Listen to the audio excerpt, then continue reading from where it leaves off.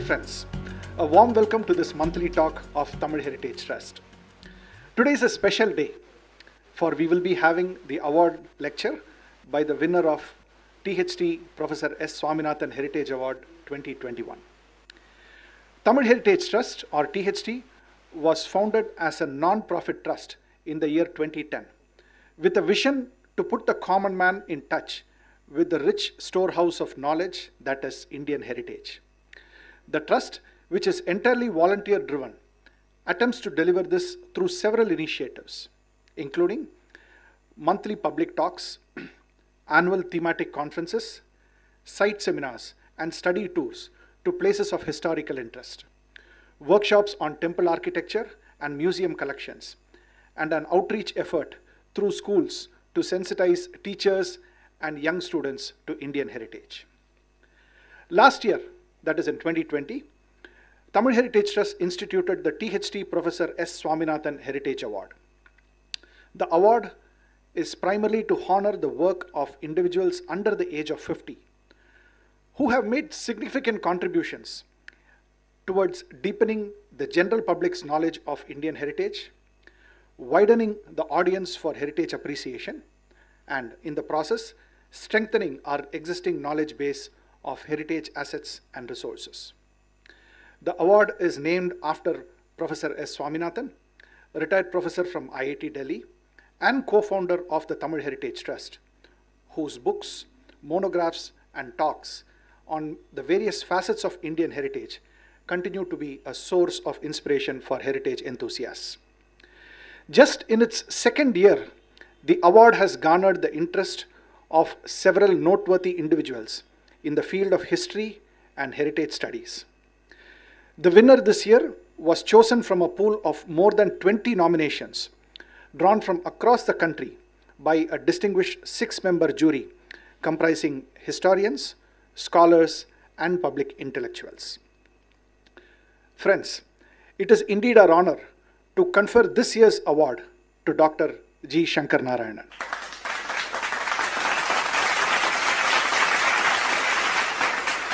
Dr. G. Shankar Narayanan is a professor of Sahitya at the National Sanskrit University in Tirupati. He completed his undergraduate and postgraduate education in Sanskrit with gold medals in both levels.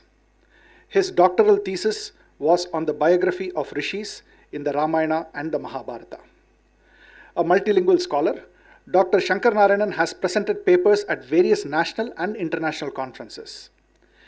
He has published a 1200 page compilation of Chola copperplate inscriptions for the Tanjavur Tamil University. One of the editors of Bharatavani, a collection of moral sayings from the Mahabharata, he has also translated it into English, Tamil, Telugu, Malayalam, and Kannada. Besides having edited a multilingual dictionary in Sanskrit and 12 Indian languages, he is also the editor of the Sanskrit journal Samskrita Sri. He has helped read and publish several rare palm leaf manuscripts, besides discovering and publishing 10 new lithic inscriptions. A prolific speaker on Sanskrit literature, temple architecture, epigraphy, iconography, and manuscriptology. He has also composed several slokas in Sanskrit. Dr. Shankar Narayanan is also an exponent of Bharatanatyam, having learned the dance form from Padma Shri Dr. Chitra Vishweshwaran. The award to Dr. Shankar Narayanan carries a citation and a cash prize of rupees 25,000. I now kindly request Professor Swaminathan to say a few words and also give the award to Dr. Shankar Narayanan. It is my pleasure to be here today. Dr. Shankara Narayanan is a great friend of ours. In fact, we have lots of doubts about our own many aspects of our heritage. In many of them, it is Shankara Narayanan whom we approach to clarify our doubts. Uh, I have only one request to make uh, to Dr. Shankar Narayanan. it is necessary that he is, his uh, expertise is not restricted to the southern India alone. He should be exposed to the to the scholars of the world, world and also he should also get exposure to the kind of work that is, that is happening in his area elsewhere. I, it is my again great pleasure giving this award to Dr. Shankar.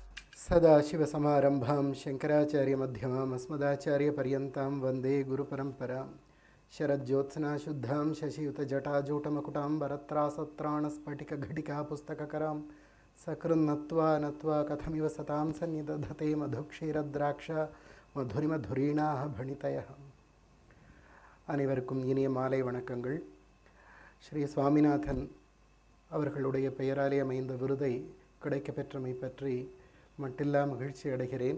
அதன் தொடர்பாக வழங்க வேண்டிய உரையாக இன்று வரலாற்றுப் போக்கில் சைவம் என்னும் தலைப்பிலே ஒரு உரை வழங்கவிருக்கிறேன். நம்முடைய பாரத நாட்டிலே தொன்று தொட்டு வழங்கி வரும் சமயங்களில் ஒன்று சைவம். பல்வேறு உட்பிரிவுகளையும் கொண்ட இந்த சைவத்தினுடைய பிரிவுகள் எப்படி தோன்றின காலப்போக்கில் எப்படி வளர்ந்தன என்பதை குறித்து ஒரு அறிமுக உரையாக இது அமையும் என்று நம்புகிறேன். முனைவர் க. சங்கரநாராயணன் திருப்பதியில் உள்ள தேசிய வடமொழி பல்கலைக்கழகத்திலே பணியாற்றி கொண்டிருக்கிறேன். இதற்கு முன்னோட்டமாக ஒரு சிறு ஸ்லோகம் ஒன்று. வேதாந்தவிதோ வதந்தி மனசக சங்கல்பபூதம் சிவம். பிரம்ம ஏகம் பரமக்ஷரம் தம் அஜரம் தம் ச அமரம் தத்விதः அந்நே தம் சிவமேவ புத்தம் அமலம் து அந்நே ஜினம் வாமனம். தஸ்மை சர்வமயைக்கிய காரண பரம் சர்வாய நித்யம் நமஹ. என்னும் இந்த ஸ்லோகமானது பதினோராம் நூற்றாண்டைச் சேர்ந்த ஒரு கல்வெட்டிலே கஜுராகவில் அமைந்திருக்கக்கூடிய கல்வெட்டிலே காப்புச் செய்யுளாக அமைந்திருக்கக்கூடியது. எல்லா மதங்களும் கூறுகின்ற இறைவன் ஒருவனே அது சிவபெருமானே என்று விளக்கும் வகையாக இந்த செய்யுள் அமைந்திருப்பதால் அந்த காப்புச் செய்யுளையே இதற்கும் காப்பீடாக அமைத்து உள்ளே நுழைகின்றேன். எம் சங் சங்கல்பபூதம் சிவம் எந்த சிவனை இந்த மங்களமான எண்ணத்தில் உரைகின்ற சிவனை வேதாந்த விதக வேதாத்த வேதாந்தத்தை அறிந்தவர்கள் ஏகம் பிரம்ம ஒரே பிரம்ம என்றும் பரம் அக்ஷரம் மிக பெரிய பிர பரபிரம்ம என்றும் அக்ஷரம் அழிவற்றது என்றும் மூப்பற்றது என்றும் அழிவற்றது எந்த மரணமும் அற்றது என்றும் எவர்கள் கூறுகின்றார்களோ? மற்றவர்கள் புத்தர் என்று எவரை கூறுகிறார்களோ? ம- மற்றவர்கள் ஜினர் என்று எவரை கூறுகிறார்களோ? இன்னும் பிறர் வாமனர் திருமால் என்று எவரை கூறுகிறார்களோ?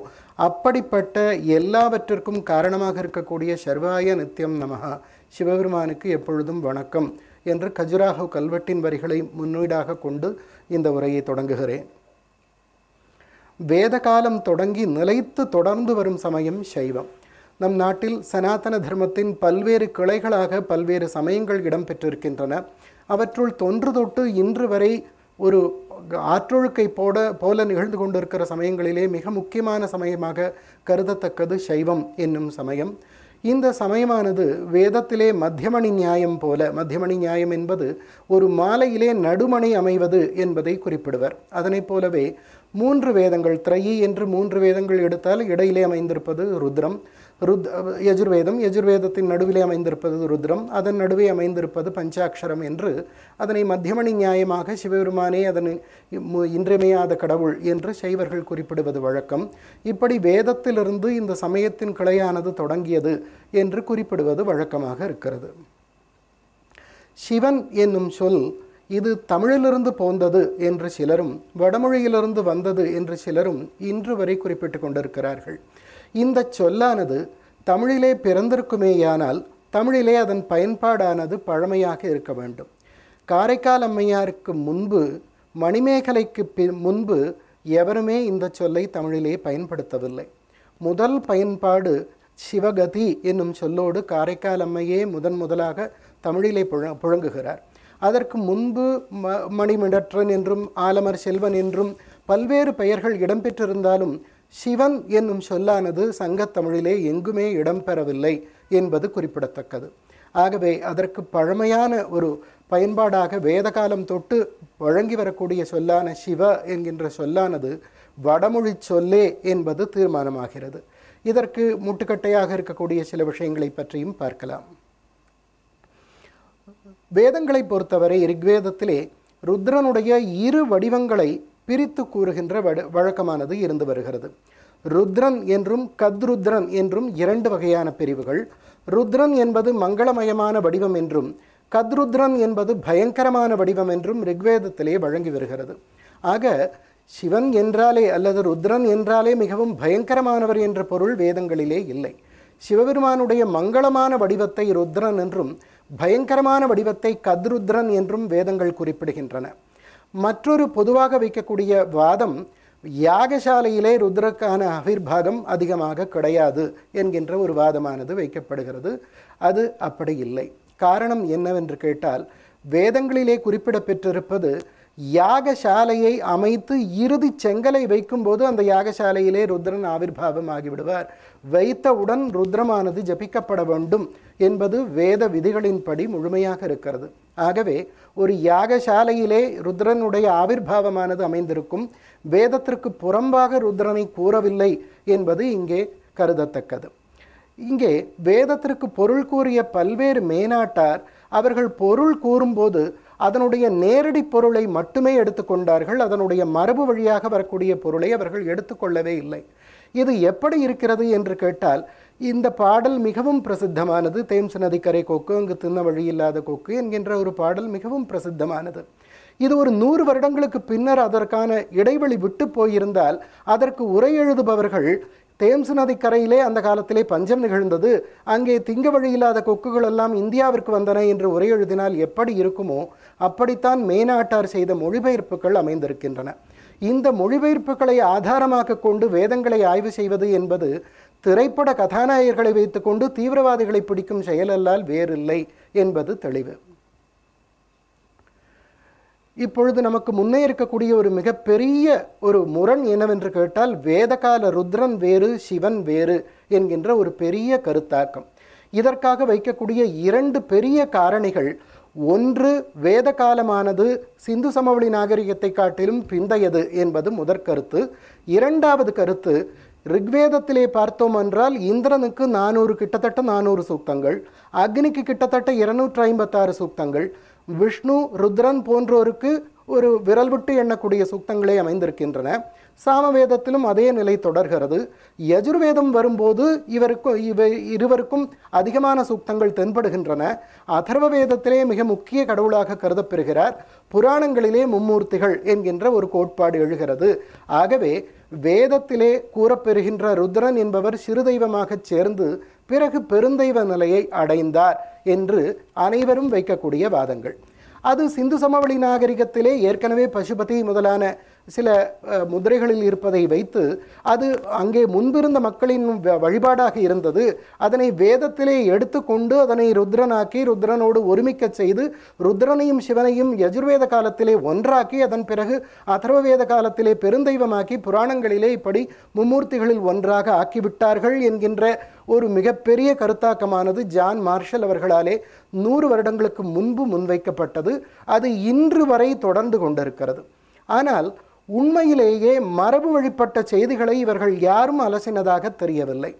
காரணம் என்னவென்று கேட்டால் ஒரு பெயர் இருந்தால் அதற்கு மரபு வழி காரணம் என்ன என்பதை பார்த்த பிறகுதான் அது வேறு இடத்திலிருந்து வந்திருக்குமா அல்லது அங்கேயே இருந்திருக்குமா என்பதை முடிவு செய்ய முடியும். எடுத்துக்காட்டாக பொற்கை பாண்டியன் என்ற பெயர் இருந்தால் அதற்கான வரலாறு என்ன என்பதை தெரியாமல் எப்பொழுதும் கையிலே தங்கத்தை வைத்திருப்பான் அதனாலே பொற்கை பாண்டியன் என்று விளக்கம் கூறினால் எப்படி இருக்குமோ அப்படித்தான் இருக்கின்றன. இந்த விளக்கங்கள் யாவும்? இரண்டாவது கேள்விக்கு அது முதலில் வருவோம். முதல் கேள்விக்கு பிறகு செல்லலாம். சிந்து சமவெளி நாகரிகத்திற்கு பிற்காலம் வேத காலம் என்பதற்கு பிறகு செல்லலாம். அதற்கு முன்பு இருக்கக்கூடிய இந்திரனுக்கு நானூறு சூக்தங்கள் இவ- அக்னிக்கு இருநூற்றி ஐம்பத்தாறு கிட்டத்தட்ட பிறகு இருக்கிற இருப்பவர்களுக்கெல்லாம் சிற்சில சூக்தங்களை அமைந்திருக்கின்றன என்ற கேள்விக்கு முதலிலே வருவோம். வேதகால இந்திரனுக்கும் புராணத்தில் இடம்பெறக்கூடிய இந்திரனுக்கும் எந்த விதமான தொடர்பும் இல்லை. வேதங்களுக்கும் புராணங்களுக்கும் இருக்கக்கூடிய ஒரு மிகப்பெரிய நுண்ணிய தொடர்பானது அது மிக கூர்மையாக மரபு வழிபட்டு ஆய்ந்தாலே ஒழிய அது வெளிக்கொணர முடியாதது. இதுதான் உண்மை. காரணம் என்னவென்று கேட்டால் வேதத்திலே இந்திரன் என்று குறிப்பிடுபவர் இந்த தேவர் தலைவன் இல்லை. ரிக்வேதத்திலே ஐத்தரேய உபனிஷதத்திலே இந்திரன் என்ற பெயர் எதனாலே ஏற்பட்டது என்கின்ற ஒரு விளக்கம் வருகிறது. அந்த பரம்பொருளானது இந்த உலகத்தை படைக்க நினைத்தது படைத்தது. அதற்கு பிறகு அது ஒரு சமஷ்டி ரூபம் என்று வேதாந்தத்திலே கூறுவதைப் போல ஒரு மிகப்பெரிய வடிவத்தை உருவாக்கியது. அதன் கால் இடுக்கு வழியாக உயிரை செலுத்தியது பல புலன்களை செலுத்தியது ஒரு வடிவம் தயாரானது. பிரம்மரந்திரத்தின் வழியாக தலையிலே இருக்கக்கூடிய இந்த உச்சியின் வழியாக ஆத்மாவை உட்புகுத்தியது. அதன் பிறகு உள்ளே புகுந்த பிறகு அந்த பரம்பொருளின் துகள்தான் உள்ளே புகுந்திருக்கிறது. அது தன்னைத்தானே பார்த்து கொண்டதாம். இதம் திரஹ இதனை பார்த்தது என்பதனாலே சுருங்கி இந்திரஹா என்று பெயர் ஏற்பட்டது. இது பரம்பொருளின் பெயர் என்று மிக தெள்ள தெளிவாக ஐத்தரேய உபனிஷதமானது குறிப்பிடுகிறது. ஆக மேனாட்டார் இதனை ஆய்வு செய்த போது அவர்களுக்கு கிடைத்த தரவுகளை வைத்துக்கொண்டு அவர்கள் இந்த இந்திரனும் புராண இந்திரனும் ஒருவர்தான். இதே இந்திரனையும் இதே அக்னியையும் தான் புராண காலத்திலே வழங்கினார்கள். ஆகவே இதிலே பெருந்தெய்வமாக இருந்தவர்கள் சிறுதெய்வமாக சுருங்கி போனார்கள். இதிலே சிறுதெய்வமாக இருந்தவர்கள் பிறகு பெருந்தெய்வமானார்கள் என்று அவர்கள் எழுதியதை வைத்து அப்படியே பண்டார்கர் போன்ற நம் நாட்டு மூதறிஞர்களும் அதனையே எடுத்துக்கொண்டு பயன்படுத்தினார்கள் என்பதுதான் வருந்தத்தக்க செய்தி. ஆக வேதங்களிலே இந்திரன் அக்னி முதலிய சொற்களிலே குறிப்பிடப்படுபவை பரம்பொருளின் வடிவமே அல்லாமல் இந்த புராணங்களிலே குறிப்பிடக்கூடிய இந்த இந்திரனோ அல்லது இந்த அக்னியோ இல்லை என்பது உணரக்கூடியது. ஆக இப்படிப்பட்ட மரபு வழி சார்ந்த ஒரு விளக்கங்களை பார்த்து கொண்டு வேதத்தை ஆராய்ச்சி செய்தால்தான் சரியான ஒரு முடிவுக்கு வர முடியுமே தவிர அதில் இருப்பதை நேரடியாக பொருள் பெயர்த்தால் அது தேம்சு நதிக்கரை கொக்குக்கு நாம் விளக்கம் காண்டார் போலதான் அமைந்திருக்கும். மற்றொன்று உக்ர ரூபமாக சிவபெருமான் அறியப்பெறுவது முன்பே கண்டிருந்தோம் கத்ருத்ரன் என்கின்ற பெயரிலே அவர் அப்படி அறிய பெற்றிருந்தார் என்று. மற்றொரு முக்கியமான குறிப்பு எல்லா வேதங்களும் தரக்கூடிய குறிப்பு அக்னி ருத்ரன் என்பதுதான். அக்னி என்று வேதங்களிலே இடம்பெறக்கூடிய எல்லா சொற்களும் ருத்ரனை குறித்ததை ஒழிய இந்த புராண காலத்தில் இடம்பெறக்கூடிய இந்த அக்னியை இல்லை என்பது வேதங்களே குறிப்பிட இருக்கின்றன. அதனை பிறகு பார்க்கவிருக்கிறோம். சௌமிய ரூபம் மிகவும் தன்மையான வடிவம் அதாவது சற்றே குளிர்ந்த வடிவம் ஒன்றும் சிவபெருமானுக்கு இருப்பதாக வேதங்களும் வர்ணிக்கின்றன. குறிப்பாக யஜுர்வேதத்திலே சிவ அந்யா கோர அந்யா என்று மங்கள வடிவமான ஒரு ப பகுதியானது பெருமானுக்கு உண்டு. கோரமான வடிவமானது மற்றொன்றாக அமைந்திருக்கிறது என்று குறிப்பிடுகிறது. இதே தஸ்ய துவே தனுவௌ சிவ அந்யா கோர அந்யா என்று வேதங்களிலே குறிப்பிடப்பட்டிருப்பதை அப்படியே எடுத்துக்கொண்டு மகாபாரதம் விளக்கும் முகமானது துவேதனூதஸ்ய தேவஸ்ய வேதஜா பிராமணா விதுகு கோராமன்யாம் சிவாமன்யாம் தேதனு பகுதா புனகா என்று வேதங்களை ஆய்வு செய்ய வேண்டுமானால் இதிகாச புராணங்கள் மூலம் இல்லாமல் ஆய்வு செய்வது என்பது நேரடியான த ஒரு தவறான பொருளை மட்டும்தான் தரும் என்பதை ஏற்கனவே பார்த்திருந்தோம். இதே கருத்தை வேதத்திலே இருக்கக்கூடிய கருத்தை மகாபாரதம் தருகிறது.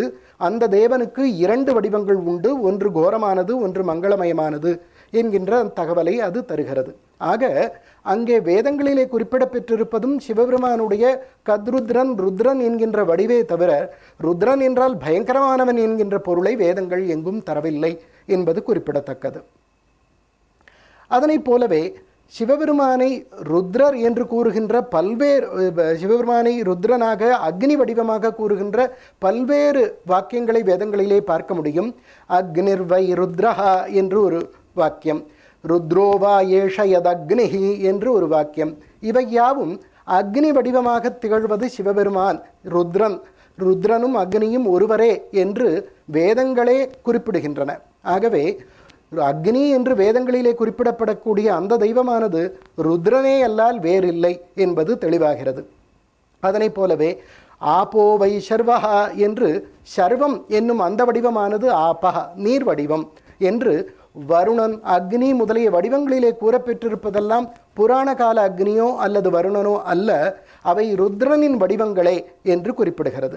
அதனைப் போலவே உக்ரா கோரா என்கின்ற இரண்டு வடிவங்களும் ரிக்வேதங்களிலே பல இடங்களிலே குறிப்பிடப்பெற்றிருப்பதை பார்க்கலாம். ரிக்வேத சூக்தங்களிலும் கூட இமா ருத்ராய தவசே கபர்தினே க்ஷயத் வீராய என்று அவருடைய கபர்தம் அவர் ஜடா ஜடாமுடியோடு இருக்கக்கூடிய அந்த நிலை போன்ற பல்வேறு நிலைகளை அவர் உலகத்திற்கே நன்மையை தர வேண்டும்.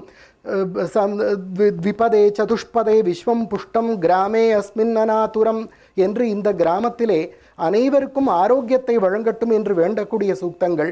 இப்படி ருத்ரனை மிக பெரிய தெய்வமாக வழிபடக்கூடிய பல்வேறு சூக்தங்கள் ரிக்வேத காலத்திலிருந்தே இடம்பெற்றிருக்கின்றன வேத புறம்பான தெய்வம் என்று எங்கேயும் குறிப்பிடவில்லை.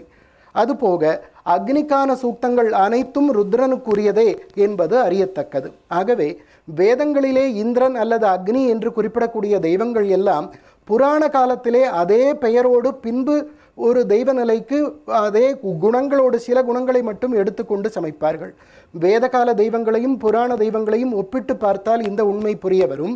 வேதங்களிலே பிரித்ரனை கொன்ற அந்த ஒரே ஒரு செய்தியை மட்டும் எடுத்துக்கொண்டு புராண கால இந்திரனை உருவாக்கி இருப்பது ரிஷிகள் உருவாக்கி தந்திருப்பது தெரிய வரும்.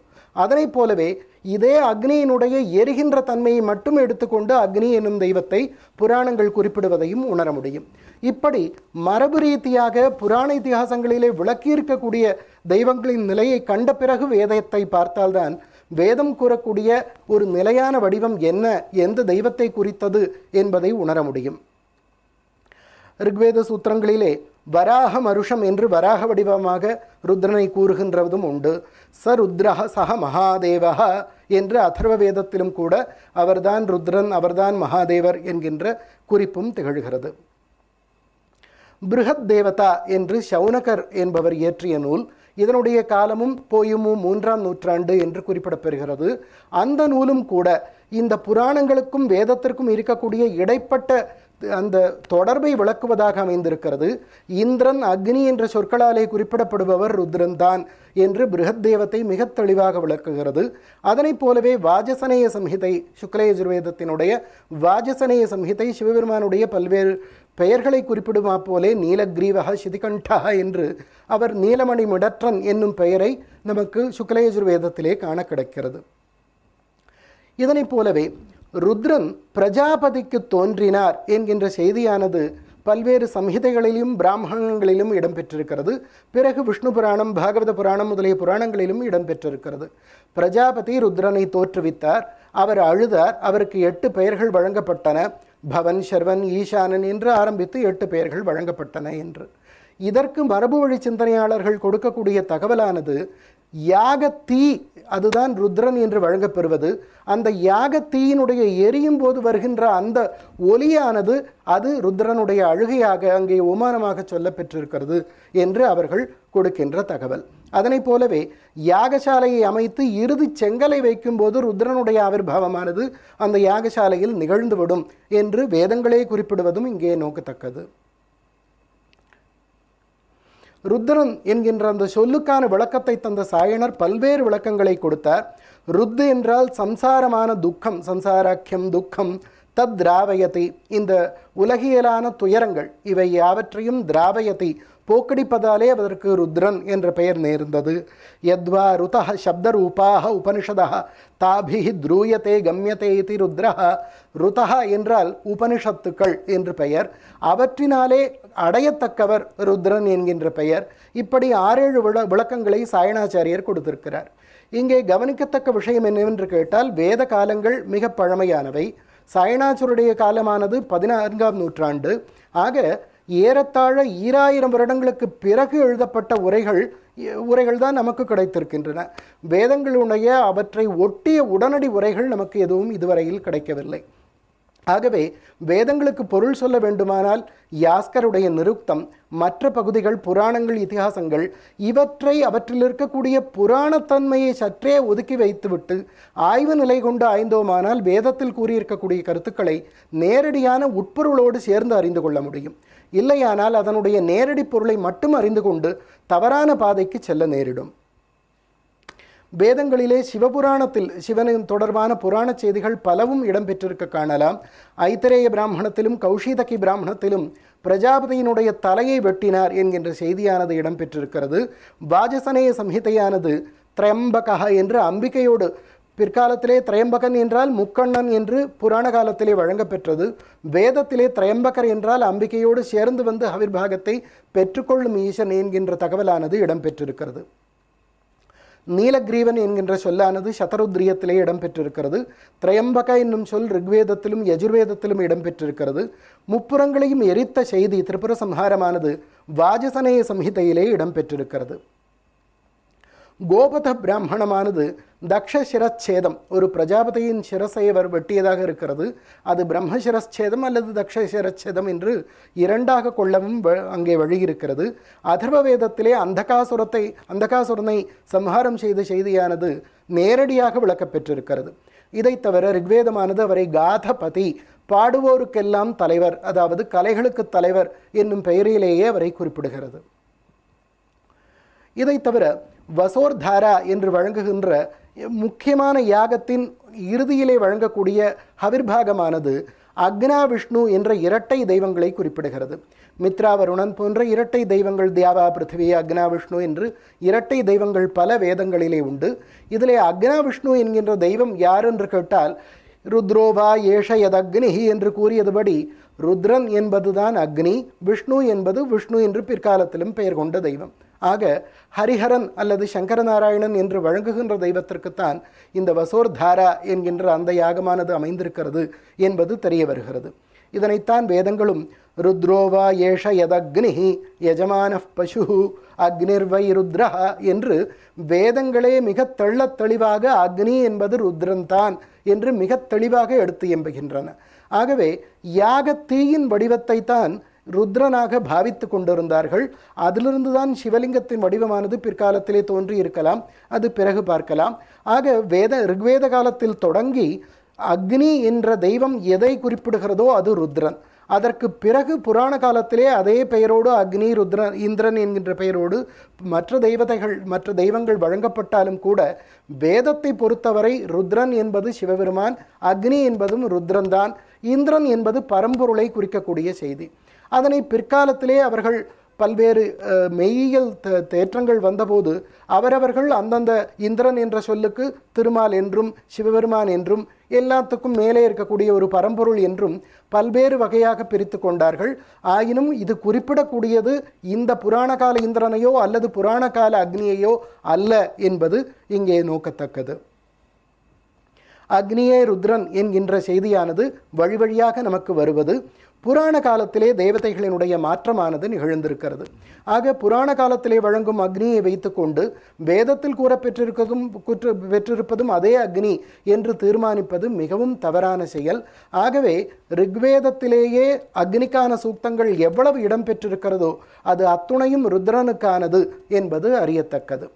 அதனைப் போலவே அக்னி இந்திரன் சிவன் முதலிய தெய்வங்கள் ஒன்று என்று பிருகத் தேவதையிலும் விளக்கி இருக்க பார்த்தோம். அதனைப் போலவே ஏகம் சத் விபராக பகுதா வதந்தி என்கின்ற அந்த வாக்கியத்தை பல்வேறு வகையிலே விளக்குவதை பார்த்திருக்கிறோம். அங்கே இருப்பதும் ஒரே பொருளானது பல்வேறு வகையாக விளக்கப்பெற்றிருக்கிறது மாதரைஸ்வானமாகு என்று வாயுவாக அக்னியாக விளக்கப்பெற்றிருப்பது ஒரே பொருள்தான் என்று குறிப்பிடப்பெற்றிருக்கிறது அதனைப் போலவே பல்வேறு ருத்ரர்கள் இருக்கக்கூடிய செய்தியும் சதருத்ரியத்திலிருந்து நமக்கு தெரிய வருகிறது. சிந்து சமவெளி பகுதிக்கு இப்பொழுது வரலாம். முதல் கேள்விக்கு. முதலில் இரண்டு கேள்விகள் முன்வைக்கப்பட்டன. முதல் கேள்வியிலே மற்ற தெய்வங்களுக்கு பல்வேறு வகையான சூக்தங்கள் அமைந்திருக்கின்றன. ருத்ரனுக்கும் விஷ்ணுவுக்கும் குறைந்த எண்ணிக்கையிலே சூக்தங்கள் இருக்கின்றன. ஆகவே அவை காலத்தோடு வளர்ந்தன. முதலிலே சிறு தெய்வமாக இருந்து பிறகு பெருந்தெய்வ நிலையை எய்தின என்கின்ற முடிவை எய்தியிருந்தார்கள். மற்றொரு செய்தியானது சிந்து சமவெளியின் காலம் வே வேத காலத்திற்கு முற்பட்டது என்கின்ற ஒரு தகவலானது மேக்ஸ்முல்லர் அவர்களாலே வைக்கப்பட்டது. இன்று வரை அதனையே பிடித்து கொண்டிருக்கிறார்கள். அதற்கு பிறகு பல்வேறு தேற்றங்களிலே இந்த வேதங்களின் காலமானது அதற்கு பழமையானது என்பதை இறுதி காலத்திலே மேக்ஸ்முல்லர் கூட எழுதியிருந்தார். ஆனால் அவற்றிலே யாரும் கண் சாய்க்காமல் அவர் முதலிலே கூறிய ஆயிரத்தி இருநூறு போயும் ஆயிரத்தி இருநூறு என்கின்ற காலத்திலேயே அத்துணை பேரும் அதோடு ஒட்டி கொண்டார்கள். இதுவரை அதனை திரும்பி பார்க்கவில்லை. ஆனால் பிற்பட்ட ஆய்வுகள் எடுத்துக்காட்டுக்காக ஒரே ஒரு ஆய்வு மட்டும் இங்கே முன்வைக்கிறேன். வேதத்திலே நிறைய இடங்களிலே மழை வேண்டும் மழை வேண்டும் என்பதைப் போல பல்வேறு மந்திரங்கள் அமைந்திருக்கின்றன. இதனை கொண்டு அப்போது நிலவிய புவியியல் சூழலை எல்லாம் ஆதாரமாக கொண்டு பார்த்தபோது போயுமு இரண்டாயிரத்திலிருந்து மூவாயிரத்திற்கு இடைப்பட்ட காலத்திலே மழையின் குறைவானது இருக்கிறது. ஆகவே வேதங்கள் அந்த காலகட்டத்தைச் சேர்ந்ததாக அதாவது மிகச் சரியாக சிந்து சமவெளி நாகரிகத்தைச் சேர்ந்த காலமாக இருக்கலாம் என்று பிற்பட்ட ஆய்வுகள் தெரிவித்துக் கொண்டிருக்கின்றன. ஆயினும் கூட அவற்றை கண்ணெடுத்து பார்ப்பாரில்லை. மேக்ஸ்மோலர் குறிப்பிட்ட அதே தேதியிலேயே இன்று வரை நாம் ஒட்டி கொண்டிருக்கிறோம் என்பதுதான் அதில் வருத்தத்தக்க செய்தி. பல முதிரைகளிலே சைவ தொடர்பு இருப்பதை சிந்து சமவெளி நாகரிகத்திலே பார்க்க முடியும். ஆக இரண்டு காரணிகள் முன்பு நான் விளக்கியிருந்தேன். ஒன்று சிந்து சமவெளி நாகரிகத்திற்கு பிற்பட்ட காலமாக வேதத்தை வைத்தது. இரண்டாவது காரணி முதலிலே பல்வேறு தெய்வங்களுக்கும் வைத்துவிட்டு அதற்கு பிறகு விஷ்ணுவுக்கும் ருத்ரனுக்கும் குறைந்த அளவில் வைத்து பிறகு பெருந்தெய்வ நிலையை அடைந்தார்கள் என்று இரண்டிற்குமான சமாதானம் இதுதான். சிந்து சமவெளி நாகரிகத்தின் காலம் வேத காலம் இரண்டும் ஒன்றுதான். அதனைப் போலவே ருத்ரனுக்கு என்று இருப்பதை தவிர அக்னிக்கு என்று இருக்கக்கூடிய சூக்தங்கள் யாவும் ருத்ரனைச் சேர்ந்ததுதான் என்று இரண்டிற்குமான பதில். ஆக வேத காலத்திலிருந்தே மிக பெரும் தெய்வமாகவே சிவன் பார்க்கப்பட்டார் என்பதுதான் உண்மை. சிந்து சமவெளியிலே கிடைக்கக்கூடிய இந்த வடிவம் மூன்று முகங்களோடு யோகத்திலே அமைந்திருப்பதைப் போல அமைந்திருப்பது. இதனை ஜான் மார்ஷல் அவர்கள் முதலிலே ஆய்வு செய்தார். ஆய்வு செய்து அவர் அறிவித்த முடிவானது இது யோகத்திலே அமைந்திருக்கிறது சுற்றிலும் பல்வேறு விலங்குகள் அமைந்திருக்கின்றன. ஆகவே இது பசுக்களுக்கு பதியாக இருக்கக்கூடிய பசுபதி என்கின்ற முடிவை அவர் எடுத்தார். இந்த பசுபதி என்னும் சொல்லே வேதத்திலிருந்து பெறப்பட்டது. ஆனால் இந்த தெய்வம் திராவிடர்களோட தெய்வமாக இருக்கலாம். அதற்கு பிறகு இது வேதத்திலே எடுத்துக்கொள்ளப்பட்டது என்கின்ற முதல் கருத்தை ஜான் மார்ஷல் அவர்கள் முன்மொழிந்தார். அதற்கு பிறகு வந்தவர்களும் அதையே முன்னெடுத்தார்கள். அவர்கள் வேண்டுமென்றோ அல்லது திரித்து கூறவோ இப்படி கூறவில்லை. அவர்கள் காலத்தில் கிடைத்த தரவுகளை வைத்துக்கொண்டு அவர்கள் இது பசுபதியாக இருக்கலாம். அதாவது விலங்குகளுக்கு தலைவனான ஒரு தெய்வம் அந்த தெய்வம் சிந்து சமவெளி காலத்தியது வேத காலத்துக்கு முற்பட்டது அது திராவிடர்களுடைய தெய்வமாக இருக்க வாய்ப்புகள் அதிகம். அதனை வேதத்திலே எடுத்துக்கொண்டார்கள் என்கின்ற ஒரு தகவலை அவர் தந்தார். இன்று வரை இந்த தகவல் தான் சென்று கொண்டிருக்கிறது. ஆனால் விலங்குகளுக்கு பசு என்று பெயர் அதற்கு பதி என்று வரக்கூடிய இரண்டு சொற்களுமே வேதத்திலிருந்தே எடுக்கப்பட்டது. ஆகவே சிந்து சமவெளிக்கு சமமான காலம் வேதங்களுடைய காலம் என்று ஆன போதே இந்த கருத்தியல்கள் யாவும் அடிபட்டு போகின்றன. அக்னியே ருத்ரன் என்றாகும்போது பெருந்தெய்வ நிலையிலேயே ரிக்வேத காலம் தொட்டு அவர் வழங்க வணங்கப்படுகிறார் என்று இரண்டு கருத்துக்களும் நமக்கு முன் கிடைக்கின்றன. ஆகவே இதில் இடம்பெற்றிருப்பது பசுபதியானால் அது வேதத்திலே கூறப்பட்ட பசுபதியாக இருக்கவே முடியும் என்று இங்கே பதிவு செய்ய விரும்புகிறேன். அதனைப் போலவே பல விலங்குகளும் சூழ்ந்திருக்க ஒரு கையிலே அக்ஷமாலை மற்றொரு கையிலே பாம்பை ஏந்தியது போல ஒரு வடிவம். அதனை ஒத்த நிலையிலேயே பிற்காலத்திலே தட்சிணாமூர்த்தியின் வடிவத்தை அமைத்திருக்க காணலாம். ஆகவே அதனுடைய தொடர்ச்சியானது பிற்காலம் வரை எப்படி நீட்டித்திருக்கிறது என்பதை நம்மால் பார்க்க முடியும். இது மொஹஞ்சதாரோவில் கிடைத்த ஒரு சிவலிங்கம். இந்த சிவலிங்க வழிபாடானது அந்த சிந்து சமவெளி நாகரிகத்திலிருந்தே தொடர்ந்து வருகிறது என்பதற்கு இது ஒரு எடுத்துக்காட்டாக அமைந்திருக்கிறது. லிங்க வழிபாடு பற்றி பிறகு பார்க்கலாம். எடுத்துக்காட்டாக வேதங்களுக்கும் புராணங்களுக்கும் உள்ள தொடர்பை ஏற்கனவே குறிப்பிட்டிருந்தேன். அதற்கு எடுத்துக்காட்டாக இது ஒரே ஒரு முதிரையை மட்டும் விளக்குகிறேன். கீழே எழுவர் பெண்டீர் அமைந்திருக்கிறார்கள். மேலே ஒரு பெண் சுற்றிலும் ஒரு கொடி அருகிலே ஒரு ஆடவன் போன்ற ஒரு வடிவம். அதற்கு பக்கத்திலே மனித முகத்தோடு ஒரு விலங்கின் உடலோடு ஒரு விலங்கு. இப்படிப்பட்ட ஒரு விளக்கம். இதற்கு விளக்கம் என்ன என்று கேட்டால் இது சப்தமாதர்கள் என்று கூறுகிறார்கள். பல்வேறு விளக்கங்களை கூறுகிறார்கள். டாக்டர் சங்கரநாராயண சாஸ்திரி அவர்கள் இதற்கு மிகச்சரியான விளக்கத்தை கொடுத்திருந்தார். சோமலதா என்று கூறப்படுகின்ற ஒரு சோம கொடியானது யாகங்களிலே சோமயாகத்திலே பயன்படக்கூடிய சோம கொடியானது மூன்றாவது உலகத்திலே பூஹு புவஹ சுவஹ என்று மூன்றாவது உலகத்திலே இருந்தது. அதனை கொண்டு வர வேண்டும் எவர் செல்வார் என்கின்ற ஒரு சர்ச்சையானது எழுந்தது. வேதத்திலே இருக்கக்கூடிய சந்தஸை எல்லாம் அனுப்பி வைத்தார்கள் பெண் வடிவத்திலே. இங்க திருஷ்டுப்பு அனுஷ்டுப்பு முதலிய பிருகதி பங்கி ஆகிய சந்தசுகளை எல்லாம் அனுப்பி வைத்தார்கள். அவை யாவும் சென்று எங்களால் முடியாது என்று திரும்பி வந்துவிட்டன. அதற்கு பிறகு காயத்ரியை கேட்டார்கள். காயத்ரிக்கு அப்பொழுது இரண்டே பாதங்கள் தான் மூன்று பாதம் கிடையாது. அப்பொழுது நீங்கள் எல்லாரும் ஒரு ஒரு எழுத்துக்களை கொடுத்து என்னை மூன்று பாதங்கள் ஆக்கினால் நான் சென்று கொண்டு வருகிறேன் என்று காயத்ரி கூறியதாம். அப்பொழுது அனைவரும் சேர்ந்து மூன்று பாதம் ஆக்கினார்கள். அதற்கு பிறகு சென்று அது சோமக்கொடியை கொண்டு வந்தது. கொண்டு வரும் வேளையிலே அது வரும்போது கந்தர்வர்கள் மேலுலகத்தில் இருக்கக்கூடியவர்கள் அவர்கள் அந்த சோமக்கொடியை ஒரு மனித முகம் கொண்ட கோமிருகம் என்கின்ற ஒரு வடிவத்திலே ஒரு ஒரு விலங்காக அதனை மீட்டு கொண்டு செல்ல முயன்றார்கள். அதற்கு அவர்களையும் மீறி காயத்ரியானது கொண்டு வந்து சேர்த்தது. ஆகவே காயத்ரியானது மிகவும் முக்கியத்துவம் வாய்ந்தது என்கின்ற ஒரு செய்தியானது தைத்திரிய சம்ஹிதை முதலிய பல்வேறு நூல்களிலே இடம்பெற்றிருக்கிறது. இந்த இரண்டையும் ஒப்பிட்டு பார்த்த சங்கரநாராயண சாஸ்திரிகள் கீழே இடம்பெற்றிருக்கக்கூடியவை யாவும் மற்றைய சந்தஸ்ஸுகள் மேலே சோம கொடியானது இடம்பெற்றிருக்கிறது. நடுவிலே ஒரு பெண் வடிவம் காயத்ரி அதற்கு தலையிலே மூன்று கொம்புகள் அது திரிபதா காயத்ரி மூன்று பாதங்களை உடைய காயத்ரி என்பதை குறிப்பதாகும். கீழே இறைஞ்சுகின்ற அந்த வடிவமானது கந்தர்வ வடிவம். கோமிருகம் என்று வேதங்கள் குறிப்பிடுவதுதான் இந்த மனித வடிவம் முகத்தோடு விலங்கின் உடலோடு இடம்பெற்றிருக்கக்கூடிய வடிவம் என்று விளக்கியிருந்தார். இதே செய்திதான் பிறகு புராணங்களிலே தேவலோகத்திலே அமிர்தம் இருந்தது. கருடன் அதை கொண்டு கொண்டு வருவதற்காக சென்றார். என்று காயத்ரிக்கு கூறப்பட்ட அதே செய்தியை புராணங்களிலே கருடனுக்கு ஏற்றி கூறியிருப்பதை காணலாம். அங்கேயும் வினதா கத்ரு என்ற இருவருக்கான போட்டியிலே தான் காயத்ரி கொண்டு கொண்டு வந்தது என்கின்ற செய்தியானது இடம்பெற்றிருக்கிறது. இப்படி புராணத்திலே ஒரு செய்தி இடம்பெற்றிருக்கும் அதே செய்தியை ஒரு புராண செய்தியாக புராணத்திலே காட்டியிருப்பார்கள். ஆகவே புராணங்களை ஆய்வு செய்து அதில் இருக்கக்கூடிய புராணத்தன்மையை சற்றே விலக்கி வைத்துவிட்டு அதன் மூலமாக வேத கருத்திற்கு புகுந்தாலே ஒழிய வேதம் கூற வருகின்ற முக்கியமான பொருள் என்ன என்பதை நம்மால் உணர முடியாது. இப்படி பல்வேறு இலச்சினைகளுக்கு பல்வேறு முதிரைகளுக்கும் வேத செய்தி வாயிலாக இதற்குரிய விளக்கங்களை சிற்சில விளக்கங்களை மட்டும் சங்கரநாராயண சாஸ்திரியார் வழங்கி இருக்கிறார் இதனைப் போல பொருத்தம் வேறு எந்த மொழியிலும் இடம்பெற்றிருக்கக்கூடிய செய்திக்கு இல்லை என்பது குறிப்பிடத்தக்கது. அதனைப் போலவே மேலே எழுதியிருக்கக்கூடிய எழுத்துக்களையும் கூட திரிதச சாரஹா என்று படித்திருக்கிறார். தேவர்களுக்கு சாரமானது வலிமையானது அது சோமக்கொடியை கொண்டு வந்த செய்தியாகலாம் என்கின்ற தகவலையும் அவர் தருகிறார். அதனை போலவே அதர்வ வேதத்திலே ஸ்கம்ப சூக்தம் என்கின்ற ஒரு சூக்தமானது இடம்பெற்றிருக்கிறது. ஸ்கம்பத்தை பற்றி ஸ்கம்பம் என்கின்ற நீண்ட நிலையாக நிற்கக்கூடிய ஒரு தூணை போன்றது. ஒரு வட்ட வடிவமான தூணை போன்றது. அது அந்த ஸ்கம்ப சூக்தமானது அதர்வவேதத்திலே இடம்பெற்றிருக்கிறது. யத் பரமம் அவமம் யச்ச மத்தியமம் பிரஜாபதி சசிருஜே விஸ்வரூபம் கியதா ஸ்கம்பா பிரவிவேஷ தத்ர யத்ன பிராவிஷத் கியத் தத் பபூவ என்று அதற்கு முதலும் இல்லை முடிவும் இல்லை நடுவும் இல்லை அப்படிப்பட்ட ஒரு விஸ்வரூபமான ஒரு பெரிய வடிவமெடுத்த ஒரு ஸ்கம்பமானது அங்கே இடம்பெற்றிருந்தது என்கின்ற அண்ணாமலையாருக்கு மூலமாக இருக்கக்கூடிய செய்தியை இது தருகிறது இவற்றிலிருந்து தான் ஸ்கம்பம் என்கின்ற இந்த செய்தியிலிருந்துதான் பிற்காலத்திலே சிவலிங்க வழிபாடானது தோன்றியிருக்க வேண்டும் என்பது பல மரபு நெறிப்பட்ட ஆய்வாளர்களின் முடிவாக அமைந்திருக்கிறது. பௌத்தர்களிலும் கூட ஆயக ஸ்கம்பம் என்கின்ற பெயரிலே இதனை போன்ற ஒரு தூணை ஆராதிக்கும் வழக்கம் இருந்தமை அவர்களிடம் நூலிலிருந்தும் பல்வேறு சிற்பத் தொகுதியிலிருந்தும் அறிய கிடக்கிறது. இதற்கு பிறகு வந்த உபனிஷதங்களிலே ஸ்வேதாஸ்வதரோபனிஷத்து முழுமையாக சிவப்பரம்பொருளை நமக்கு தருகிறது. ஏகோஹி ருத்ரோன த்விதீயோவதஸ்தே என்று ஒரே ஒரு ருத்ரன் அவரை தவிர வேறு யாருமே இல்லை என்கின்ற தகவலை தருகிறது. அதனைப் போலவே மற்ற பகுதிகளிலும் கூட விஸ்வாதிகோ ருத்ரா என்று விஸ்வத்தை காட்டிலும் மிக அதிகமானவர் ருத்ரன் என்று பெருந்தெய்வ நிலையிலே வேத காலத்திலிருந்தே தொடர்ச்சியாக பல்வேறு செய்திகள் இடம்பெற்றிருப்பதை காணலாம்.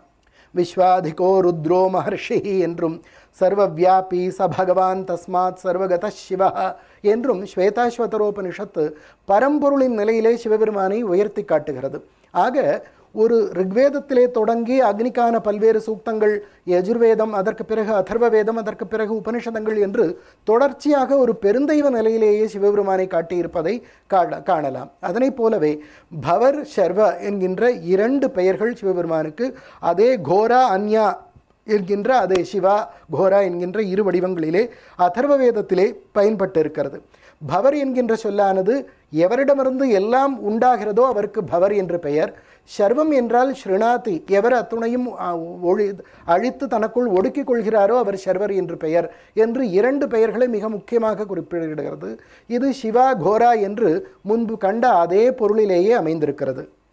இதனை தவிர அதற்கு பிறகு சூத்திர காலங்களில் வந்தால் ருத்ரனை ஒரு தீண்டத்தகாத தெய்வமாக விலக்கி வைத்தார்கள் என்று பண்டார்கர் முதலிய பல்வேறு ஆராய்ச்சியாளர்களும் கூட எழுதியிருக்கிறார்கள். ஆனால் ஆசுலாயன கிரகிய சூத்திரத்திலே சூலகவம் என்று காளைகளுக்கு சூலமுத்திரை பொறிப்பித்து அவற்றை பாதுகாக்கக்கூடிய ஒரு சடங்கு. அதில் ருத்ரன்தான் பிரதானமான தெய்வமாக அமைந்திருக்கிறது.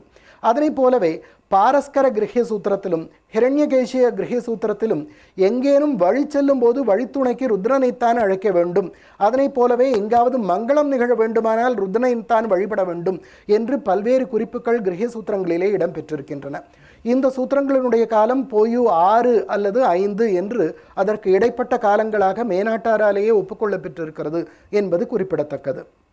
ஆக சூத்திரங்களின் காலங்களிலும் கூட சிவபெருமான் ஒரு மங்களமயமான தெய்வமாகத்தான் கருதப்பெற்றிருக்கிறார். அவர் தீண்டத்தகாத தெய்வமாக கருதப்படவில்லை என்பதற்கு இவை யாவும் நமக்கு எடுத்துக்காட்டுகளாக அமைந்திருக்கின்றன.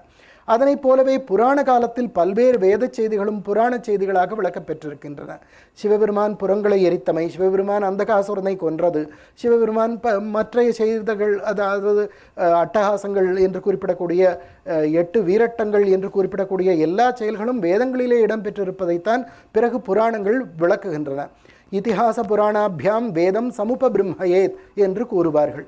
இதிகாசங்களையும் புராணங்களையும் கொண்டு வேதத்தை விரித்துரைக்க வேண்டும் என்று. முன்பே கண்டபடி வேதத்தில் இடம்பெற்றிருக்கக்கூடிய செய்தியைத்தான் புராணங்கள் பல்வேறு புராண தன்மையோடு கலந்து கொடுக்குமே ஒழிய புராணங்கள் விளக்குகின்ற செய்திகள் அதோடு நின்று விடாது மற்றைய மேனாட்டு புராணங்கள் எதையேனும் பார்த்தோமானால் ஒரு புராண செய்தி இடம்பெற்றிருக்கும். அதற்கு உட்பொருள் என்று எதுவும் கிடையாது. மீதி மீறி போனால் ஒரு நீதிநெறி கொள்கை ஒன்று கிடைக்கலாம். ஆனால் இங்கே புராணங்கள் என்று இருக்கின்ற இருக்கின்றன. அதில் இருக்கக்கூடிய புராணத்தன்மையை நீக்கிவிட்டு பார்த்தால் அதற்கு ஒரு உட்பொருள் அது குறிப்பிடக்கூடிய வேத பொருள் என்று இப்படியாக அதற்கு தொடர்புகள் செல்லும். ஆனால் அந்த தொடர்புகள் கால போக்கில் நின்றுவிட்டதனால் அந்த தொடர்புகளை மீட்டமைக்க வேண்டிய நிலையிலே நாம் இருக்கிறோம். மாகேஸ்வர மூர்த்தங்களுக்கான புராணங்களும் அமைந்திருக்கின்றன. பல்வேறு மாகேஸ்வர மூர்த்தங்கள் திரிபுர சம்ஹாரர் பிக்ஷாட்டனர் போன்ற பல்வேறு வடிவங்களுக்கான செய்திகளும் புராணங்களில் கிடைக்கின்றன. புராணங்கள் அனைவரும் அறிந்த தகவலே என்பதால் அதற்குள் செல்லவில்லை. லிங்க வழிபாட்டை பற்றி காணலாம். லிங்க வழிபாடு பல்வேறு தகவல்களை கொண்டிருக்கிறது. லிங்க வழிபாடு எப்படி தோன்றியது என்பதை விளக்கும் முகமாக பல்வேறு செய்திகளையும் பலரும் கூறுகிறார்கள். ஆணுறுப்பு லிங்கம் என்று வழங்கப்பெறுகிறது. அதிலிருந்து தோன்றியது தான் லிங்க வழிபாடு என்று சிலர். யாகத்தீ யாகத்திலே தெரியக்கூடிய தீ அதனை ஸ்கம்பமாக வழிபட்டு அதற்கு பிறகு லிங்க வழிபாடானது தோன்றியிருக்கலாம் என்பது சிலருடைய கருத்து. ஆகாய வடிவம் நின்று பார்த்தால் ஆகாயத்தினுடைய வடிவம் என்னவாக தோன்றுகிறதோ அதனையே லிங்கமாக வடித்தார்கள் என்று ஸ்காந்த புராணம் முதலிய புராணங்கள் கூறுகின்றன. இப்படி மூன்று முக்கிய கருத்துக்கள் இதை தவிரவும் சில கருத்துக்கள் இருக்கின்றன. இவற்றில் ஒவ்வொன்றாக பார்க்கலாம். ஆணுறுப்பு வழிபாடும் கூட பல புராணங்களில் விளக்கப்பட்டதுதான். அது ஏதோ தீண்டத்தகாததோ அல்லது வேண்டாததோ இல்லை. பல்வேறு புராணங்களிலும் இடம்பெற்ற செய்திதான் அது. புராணங்களிலே சைவ புராணங்களில் குறிப்பாக தாருகாவனத்திலே சிவபெருமான் செல்லும்போது அவர் நிர்வாணமாக செல்வதைக் கண்டு ரிஷிகள் சாபமிட்டார்கள். உன்னுடைய உறுப்பு அருந்து விழட்டும் என்று அந்த உறுப்பையே நீங்கள் வழிபடக் கடவீர் என்று சாபமிட்டார் என்கின்ற ஒரு செய்தி. அதற்கு பிறகு சிவபெருமான் உலகியல் இன்பங்களிலே ஆசையை ஒழித்து தன்னுடைய ஆணுறுப்பை வெட்டி வீசினார். அதுவே வழிபடத் தகுந்த பொருளாக ஆகியது என்று ஒரு செய்தி. இது இது போன்ற பல்வேறு செய்திகள் அவருடைய ஆணுறுப்பை வழிபட்டதாக இருக்கக்கூடிய செய்திகள் பல்வேறு செய்திகள் இடம்பெற்றிருக்கின்றன. யாக தீயிலிருந்து அது தோன்றியது ஸ்கம்பசூக்தம் அதற்கு ஆதாரமாக அமைந்தது என்பதை ஏற்கனவே பார்த்தோம். அக்னி என்பது ருத்ரர் தான் அந்த யாக தீயின் வடிவத்திலிருந்து ஸ்கம்பங்கள் அதிலிருந்து அதற்கு பிறகு இந்த லிங்க வடிவங்கள் தோன்றியிருக்கலாம். இதை தவிர ஸ்தூபங்களை பற்றிய குறிப்பும் வேதங்களிலே இடம்பெற்றிருக்கின்றன. அக்னேர் ஸ்தூபா என்று விஷ்ணோர் ஸ்தூபோசி என்று விஷ்ணுவுக்கான ஸ்தூபங்கள் அக்னிக்கான ஸ்தூபங்கள் வேத காலத்திலேயே அமைந்திருந்தன என்று எஜுர்வேதத்திலிருந்து நமக்கு காண கிடைக்கின்றன. அந்த ஸ்தூபங்கள் இன்று பௌத்த ஸ்தூபங்கள் அதற்கு எப்படி அமைந்திருக்கின்றனவோ அதற்கு முன்னோடியாக அமைந்த வடிவங்கள். அதிலிருந்து தான் வழிபாட்டு முறை தொடங்கி இருக்கிறது அதற்கு பிறகுதான் பௌத்தர்கள் இந்த ஸ்தூபங்களை அமைப்பதை அதிலிருந்து எடுத்துக்கொண்டார்கள் அதனைப் போலவே அதர்வ வேதத்திலே வருஷத்திற்கு வழிபாடு செய்வதற்காக ஒரு கல்லை அமைப்பது போன்ற செய்திகளும் கூட அதர்வ வேதத்திலே இடம்பெற்றிருக்கின்றன. ஆக இந்த வழிபாட்டு முறைகளுக்கான மூலம் வேதத்திலே இடம்பெற்றிருக்கிறது. அதிலிருந்து தான் பௌத்தர்கள் ஜெயினர்கள் பின்னாளிலே ஸ்தூபங்கள் அமைப்பதை அவர்கள் வாடிக்கையாக்கி கொண்டார்கள்.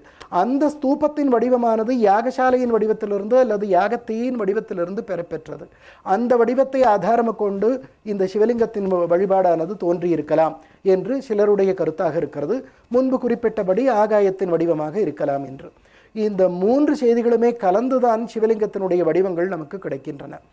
வெறும் லிங்க வழிபாடு என்றால் அது ஆணுறுப்பின் வழிபாடாக மட்டும் இல்லாமல் புராணத்தை ஆதாரமாக கொண்ட அத்தகைய வழிபாடுகளும் நமக்கு காண கிடைக்கின்றன. அதனைப் போலவே இப்படி யாகத்தியை கொண்டு வழிபாடாக இருக்கக்கூடிய பல்வேறு செய்திகளும் நமக்கு காண கிடைக்கின்றன ஆகாய வடிவம் என்று கருதத்தக்க லிங்க வடிவங்களும் நமக்கு எண்ணிறந்த வடிவங்கள் கிடைக்கின்றன.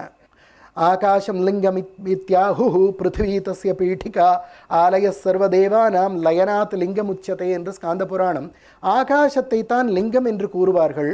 பிருத்திவி இந்த பூமி அதற்கு பீഠமாக அமைந்திருக்கிறது? இது எல்லா தெய்வங்களுக்கும் ஆலயமாக அமைந்திருக்கிறது. லயனாத்து லிங்கம் உச்சதே. எல்லோம் எல்லா பொ- பொருட்களும் அதிலே லயமடைவதால் அதற்கு லிங்கம் என்று பெயர் ஏற்பட்டது என்று ஒரு செய்தியானது ஸ்காந்த புராணத்திலே இடம்பெற்றிருக்கிறது.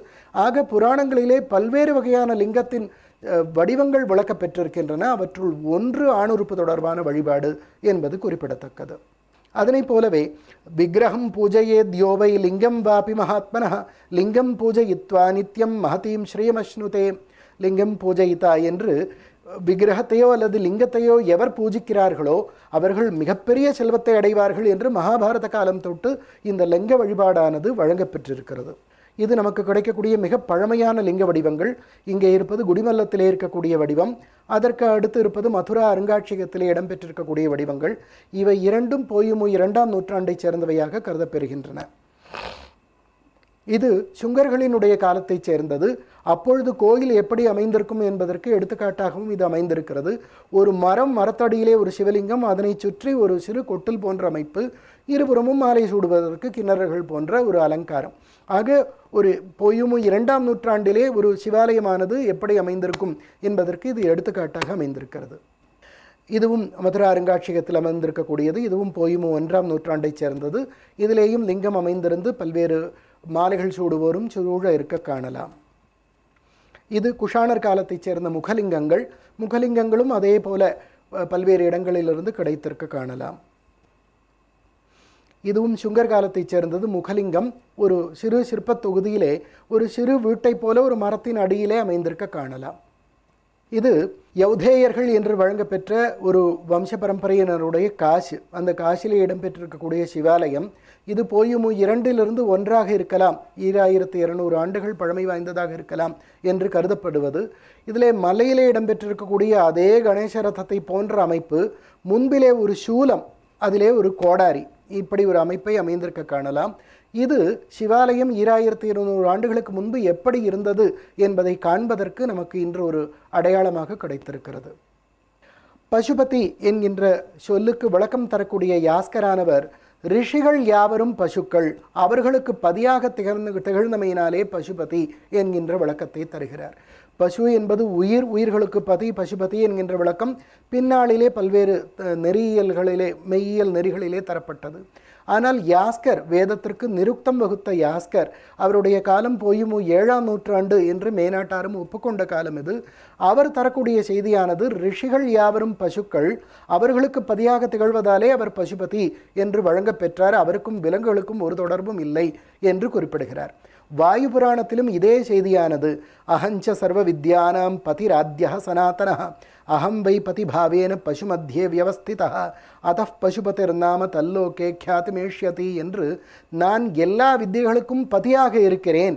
நானே இந்த பசுக்களின் நடுவே இந்த கல்வியை போதிப்பதால் இந்த ஞானத்தை வழங்குவதால் எனக்கு பசுபதி என்ற பெயர் உருவாகும் என்று சிவபெருமானே கூறுவதைப் போல அமைந்திருக்கிறது. ஆக பசுபதி என்பது விலங்குகளுக்கு தலைவராக இருப்பதால் தான் பசுபதி என்று துவக்க நிலையிலே உருவான ஒரு கருத்தாக இருக்கலாம். பிறகு பிறகு இப்படிப்பட்ட விளக்கங்கள் அதிலே நிறைய இருக்கின்றன. பதஞ்சலி தம்முடைய மகாபாஷ்யத்திலே சூலம் தாங்கிய சிவபாகவதர்களை பற்றிய குறிப்பை தருகிறார். சிவபுரம் என்கின்ற ஒரு இடத்தை குறிப்பிடுகிறார். அது இன்றைய பாகிஸ்தானாக அமைந்திருக்கலாம் என்று பல்வேறு ஆய்வாளர்களும் கருதுகிறார்கள். சிவபுரத்திலே சூலம் தாங்கிய சிவபாகவதர்கள் செய்வர்கள் தெரிந்தமையை அவர் குறிப்பிடுகிறார். அதற்கு பிறகு காளிதாசன் தொடங்கி பல்வேறு இலக்கிய குறிப்புகளையும் நம்மால் சிவபெருமானை பற்றி பார்க்க முடியும். இதிலே காளிதாசன் குறிப்பிடுகின்ற அஷ்டமூர்த்தி என்கின்ற எட்டு வடிவத்திலே சிவபெருமான் ஐம்பெரும் பூதங்கள் அதை தவிர சூரியன் சந்திரன் ஆத்மா என்கின்ற எட்டு வடிவங்களானது சாங்காயன பிராமணம் தொட்டு அதாவது ரிக்வேதத்தில் இருக்கக்கூடிய பிராமணம் தொட்டே வழங்கி வரக்கூடிய ஒரு செய்தி அது பிற்கால செய்தி அல்ல. மகாபாரதம் முதன் முதலாக சைவத்தை பாசுபதம் என்கின்ற பெயராலே சுட்டுகிறது. சைவம் என்கின்ற பெயர் சற்றே பின்னானது. அதற்கு முதன் முதலிலே கொடுத்த பெயர் பாசுபதம் என்கின்ற பெயர்தான் மிக பழமையானது. அதனைப் போலவே வைஷ்ணவத்திற்கும் மிக பழமையான பெயர் பாஞ்சராத்திரம் அல்லது பாகவதம் என்றே பெயர். அதற்கு பிறகே அதற்கு வைஷ்ணவம் முதலிய பெயர்கள் வழங்கத் தொடங்கின. ஆக மிக பழமையான பயன்பாடாக பாசுபதம் பசுபதியினுடைய மதம் பாசுபதம் என்கின்ற பெயரோடே அந்த மதமானது அறியப்பெற்றிருந்தது.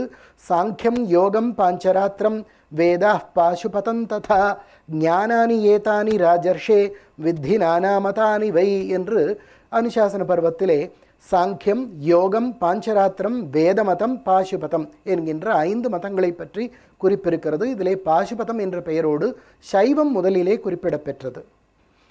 சாந்தி பருவத்திலே உமாபதி பூதபதி ஸ்ரீகண்டோ பிரம்மணசுதா உக்தவான் இதம் அவ்வக்ரோ ஞானம் பாசுபதம் சிவா என்று அதற்கு அடுத்த செய்யுள்ளது உமாபதியான சிவபெருமான் பிரம்மண பிரம்மதேவனுக்கு மகனாக பிறந்து இந்த பாசுபதத்தை தொடங்கி வைத்தார் என்ற குறிப்பானது அங்கே விளங்குகிறது இதனை பற்றி ஏற்கனவே இது வேத குறிப்பு என்பதை பார்த்திருக்கிறோம். அவரே பாசுபதத்தை தொடங்கி வைத்தார் என்று ஸ்ரீகண்டர் என்னும் பெயரோடு அவர் தொடங்கியதாக இது குறிப்பிடுகிறது பிறநாளிலே லகுலீஸ்வரர் அவரை பற்றியும் பார்க்க போகிறோம். லகுலீஸ்வரரையும் ஸ்ரீகண்டரையும் சேர்த்த அபினவகுப்தர் தொழுகிறார். ஸ்ரீகண்டரும் லகுலீஸ்வரரும் எனக்கு முன்னான குருக்கள் என்று தொழுகிறார். அந்த ஸ்ரீகண்டரும் இந்த சிவபெருமானும் ஒருவரா என்பதிலே பல்வேறு சர்ச்சைகள் இருக்கின்றன. பாட்டக் முதலிய பல்வேறு அறிஞர்களும் இருவரையும் ஒருவராக கொண்டு இந்த சிவபெருமானே இந்த ஸ்ரீகண்டர் என்று முடிவு செய்திருக்கிறார். ஆனால் அந்த ஸ்ரீகண்டர் வேறு ஒரு ஆச்சாரியராக இருப்பதற்கு வாய்ப்புகள் அதிகம். ஸ்ரீகண்டர் என்னும் ஆச்சாரியரானவர் மிக பழமையான ஆச்சாரியராக இந்த பாசுபதத்திலே அறியப்படுகிறார். இப்பொழுது சைவ சித்தாந்திகளாலே வணங்கக்கூடிய அந்த ஸ்ரீகண்டர் என்பவர் பின்னாலே ஒரு ஆச்சாரியர். இவர் மிக பழமையான ஆச்சாரியர் பாசுபதத்தினுடைய ஆச்சாரியராக திகழ்ந்தவர். அதில் குறிப்பிடும்போது தந்திராலோகத்திலே அபினவகுப்தர் சக்தயோசிய ஜெகத்கிருத்ஸ்னம் சக்திமாம்ஸ்து மகேஸ்வர இது மாங்கல்ய சாஸ்திரே து ஸ்ரீ ஸ்ரீகண்டோ நியரூபயத் என்று இவருடைய சக்தியில்தான் இந்த உலகமெல்லாம் நிகழ்ந்து கொண்டிருக்கிறது. சக்தியை உடையவர் மகேஸ்வரன் என்று மாங்கல்ய சாஸ்திரத்திலே ஸ்ரீகண்டர் நிரூபித்திருக்கிறார் என்று அபினவகுப்தர் குறிப்பிடுகிறார். ஆக அவருக்கு முன்பு இருந்த ஸ்ரீகண்டர் என்கின்ற ஒரு மிகப்பெரிய ஆச்சாரியரை அவர் குறிப்பிடுகிறார். அதனைப் போலவே தந்திராலோகத்திலே துவாபவாப்தௌ தத்ரச்ச ஸ்ரீமத் ஸ்ரீகண்ட லகுலேஸ்வரவ் என்று ஸ்ரீகண்டர் லகுலேஸ்வரர் என்கின்ற இரண்டு ஆச்சாரியர்கள் தனக்கு முற்பட்டவர்களாக திகழ்ந்தார்கள் என்பதை குறிப்பிடுகிறார். ஆகவே ஸ்ரீகண்டர் மூல ஆச்சாரியராக கருதத்தக்கவர் இந்த பாசுபத மதத்திற்கு. அவருக்கு பிறகு பலவாறாக இந்த பாசுபதமானது சைவத்தின் பிரிவுகள் நேர்ந்திருக்க வேண்டும் என்பது இங்கே அறிய கிடக்கிறது. கூர்ம புராணம் ஸ்ரீகர பாஷ்யத்திலே எடுத்துக்காட்டப்பட்ட கூர்ம புராணமானது சைவத்தை மூன்று பிரிவாக பிரிக்கிறது. இந்த பாசுபதத்தை முதலிலே பாசுபதம் என்று அறியப்பட்ட சைவத்தை.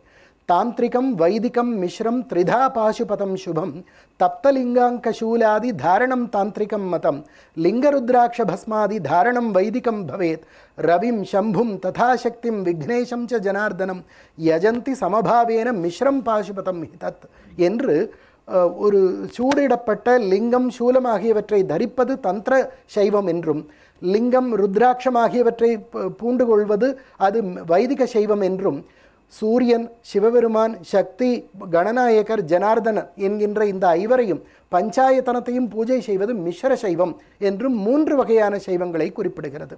இதில் இந்த மிஸ்ர சைவம் ஸ்மார்த்த சைவம் என்கின்ற பெயரிலே பின்னாளிலே வழங்கி வந்தது. பாசுபதம் தந்திரம் வைதிகம் மிஸ்ரம் என்று மூன்று வகையாக இருப்பதாக கூர்ம புராணம் குறிப்பிடுகிறது. தமிழகத்திலும் சங்ககாலம் தொடங்கி பல்வேறு சைவத்தை பற்றிய குறிப்புகள் கிடைக்கின்றன. நீலமணி மிடற்றன் ஆலமர் செல்வன் கரைகண்டன் என்கின்ற பெயர்கள் சிவபெருமானுக்கு வழங்கி வந்திருக்கின்றன. புலவர்களினுடைய பெயர்களும் கூட பேரையில் முருவலார். பேரையிலை கோட்டையை தன்னுடைய முருவலாரை அழித்த சிவபெருமானுடைய பெயரை உடையவராக இருக்கலாம் என்று ராசமாணிக்கினார் குறிப்பிடுகிறார். வெண்பூதியார் என்பது விபூதியை அந்த பெயரினுடைய தமிழாக்கமாக இருக்கலாம் என்று அவருடைய கருத்து. பெருந்தேவனார் என்பது மகாதேவன் என்பனுடைய தமிழாக்கமாக இருக்கலாம். என்பதும் அவருடைய கருத்தாக அமைந்திருக்கிறது.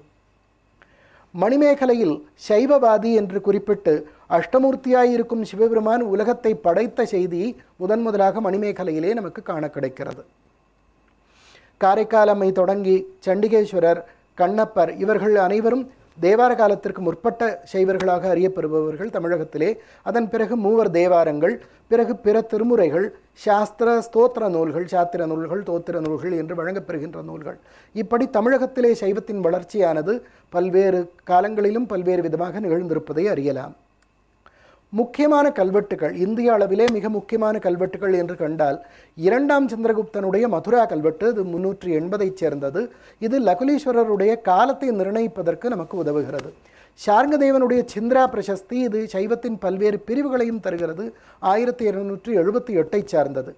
காகதீய ருத்ரதேவனுடைய மல்காபுர கல்வெட்டு ஆயிரத்தி இருநூற்று தொண்ணூற்று ஒன்றை சார்ந்தது. இதுவும் செல் சைவத்தின் பல்வேறு பிரிவுகளை பற்றிய தகவல்களை தருகிறது. இன்னும் ரணோட் கல்வெட்டு நேபாள கல்வெட்டு என்று பல்வேறு கல்வெட்டுகள் இருக்கின்றன. மிக முக்கியமான கல்வெட்டுகள் இவை. மல்காபுர கல்வெட்டுகளில் கல்வெட்டிலே காகதிய ருத்ரதேவனுடைய மல்காபுர கல்வெட்டிலே மிக முக்கியமான சைவ பிரிவுகளை அது குறிப்பிடுகிறது.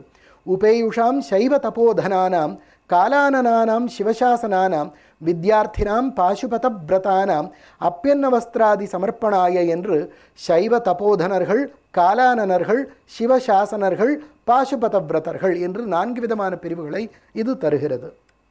சைவர் காலானனர் பாசுபதர். இது லகுலீஷ பாசுபதத்தைச் சேர்ந்தது காபாலிகர் என்கின்ற நான்கு பிரிவுகளை பற்றிய தகவல்களை இது தருகிறது.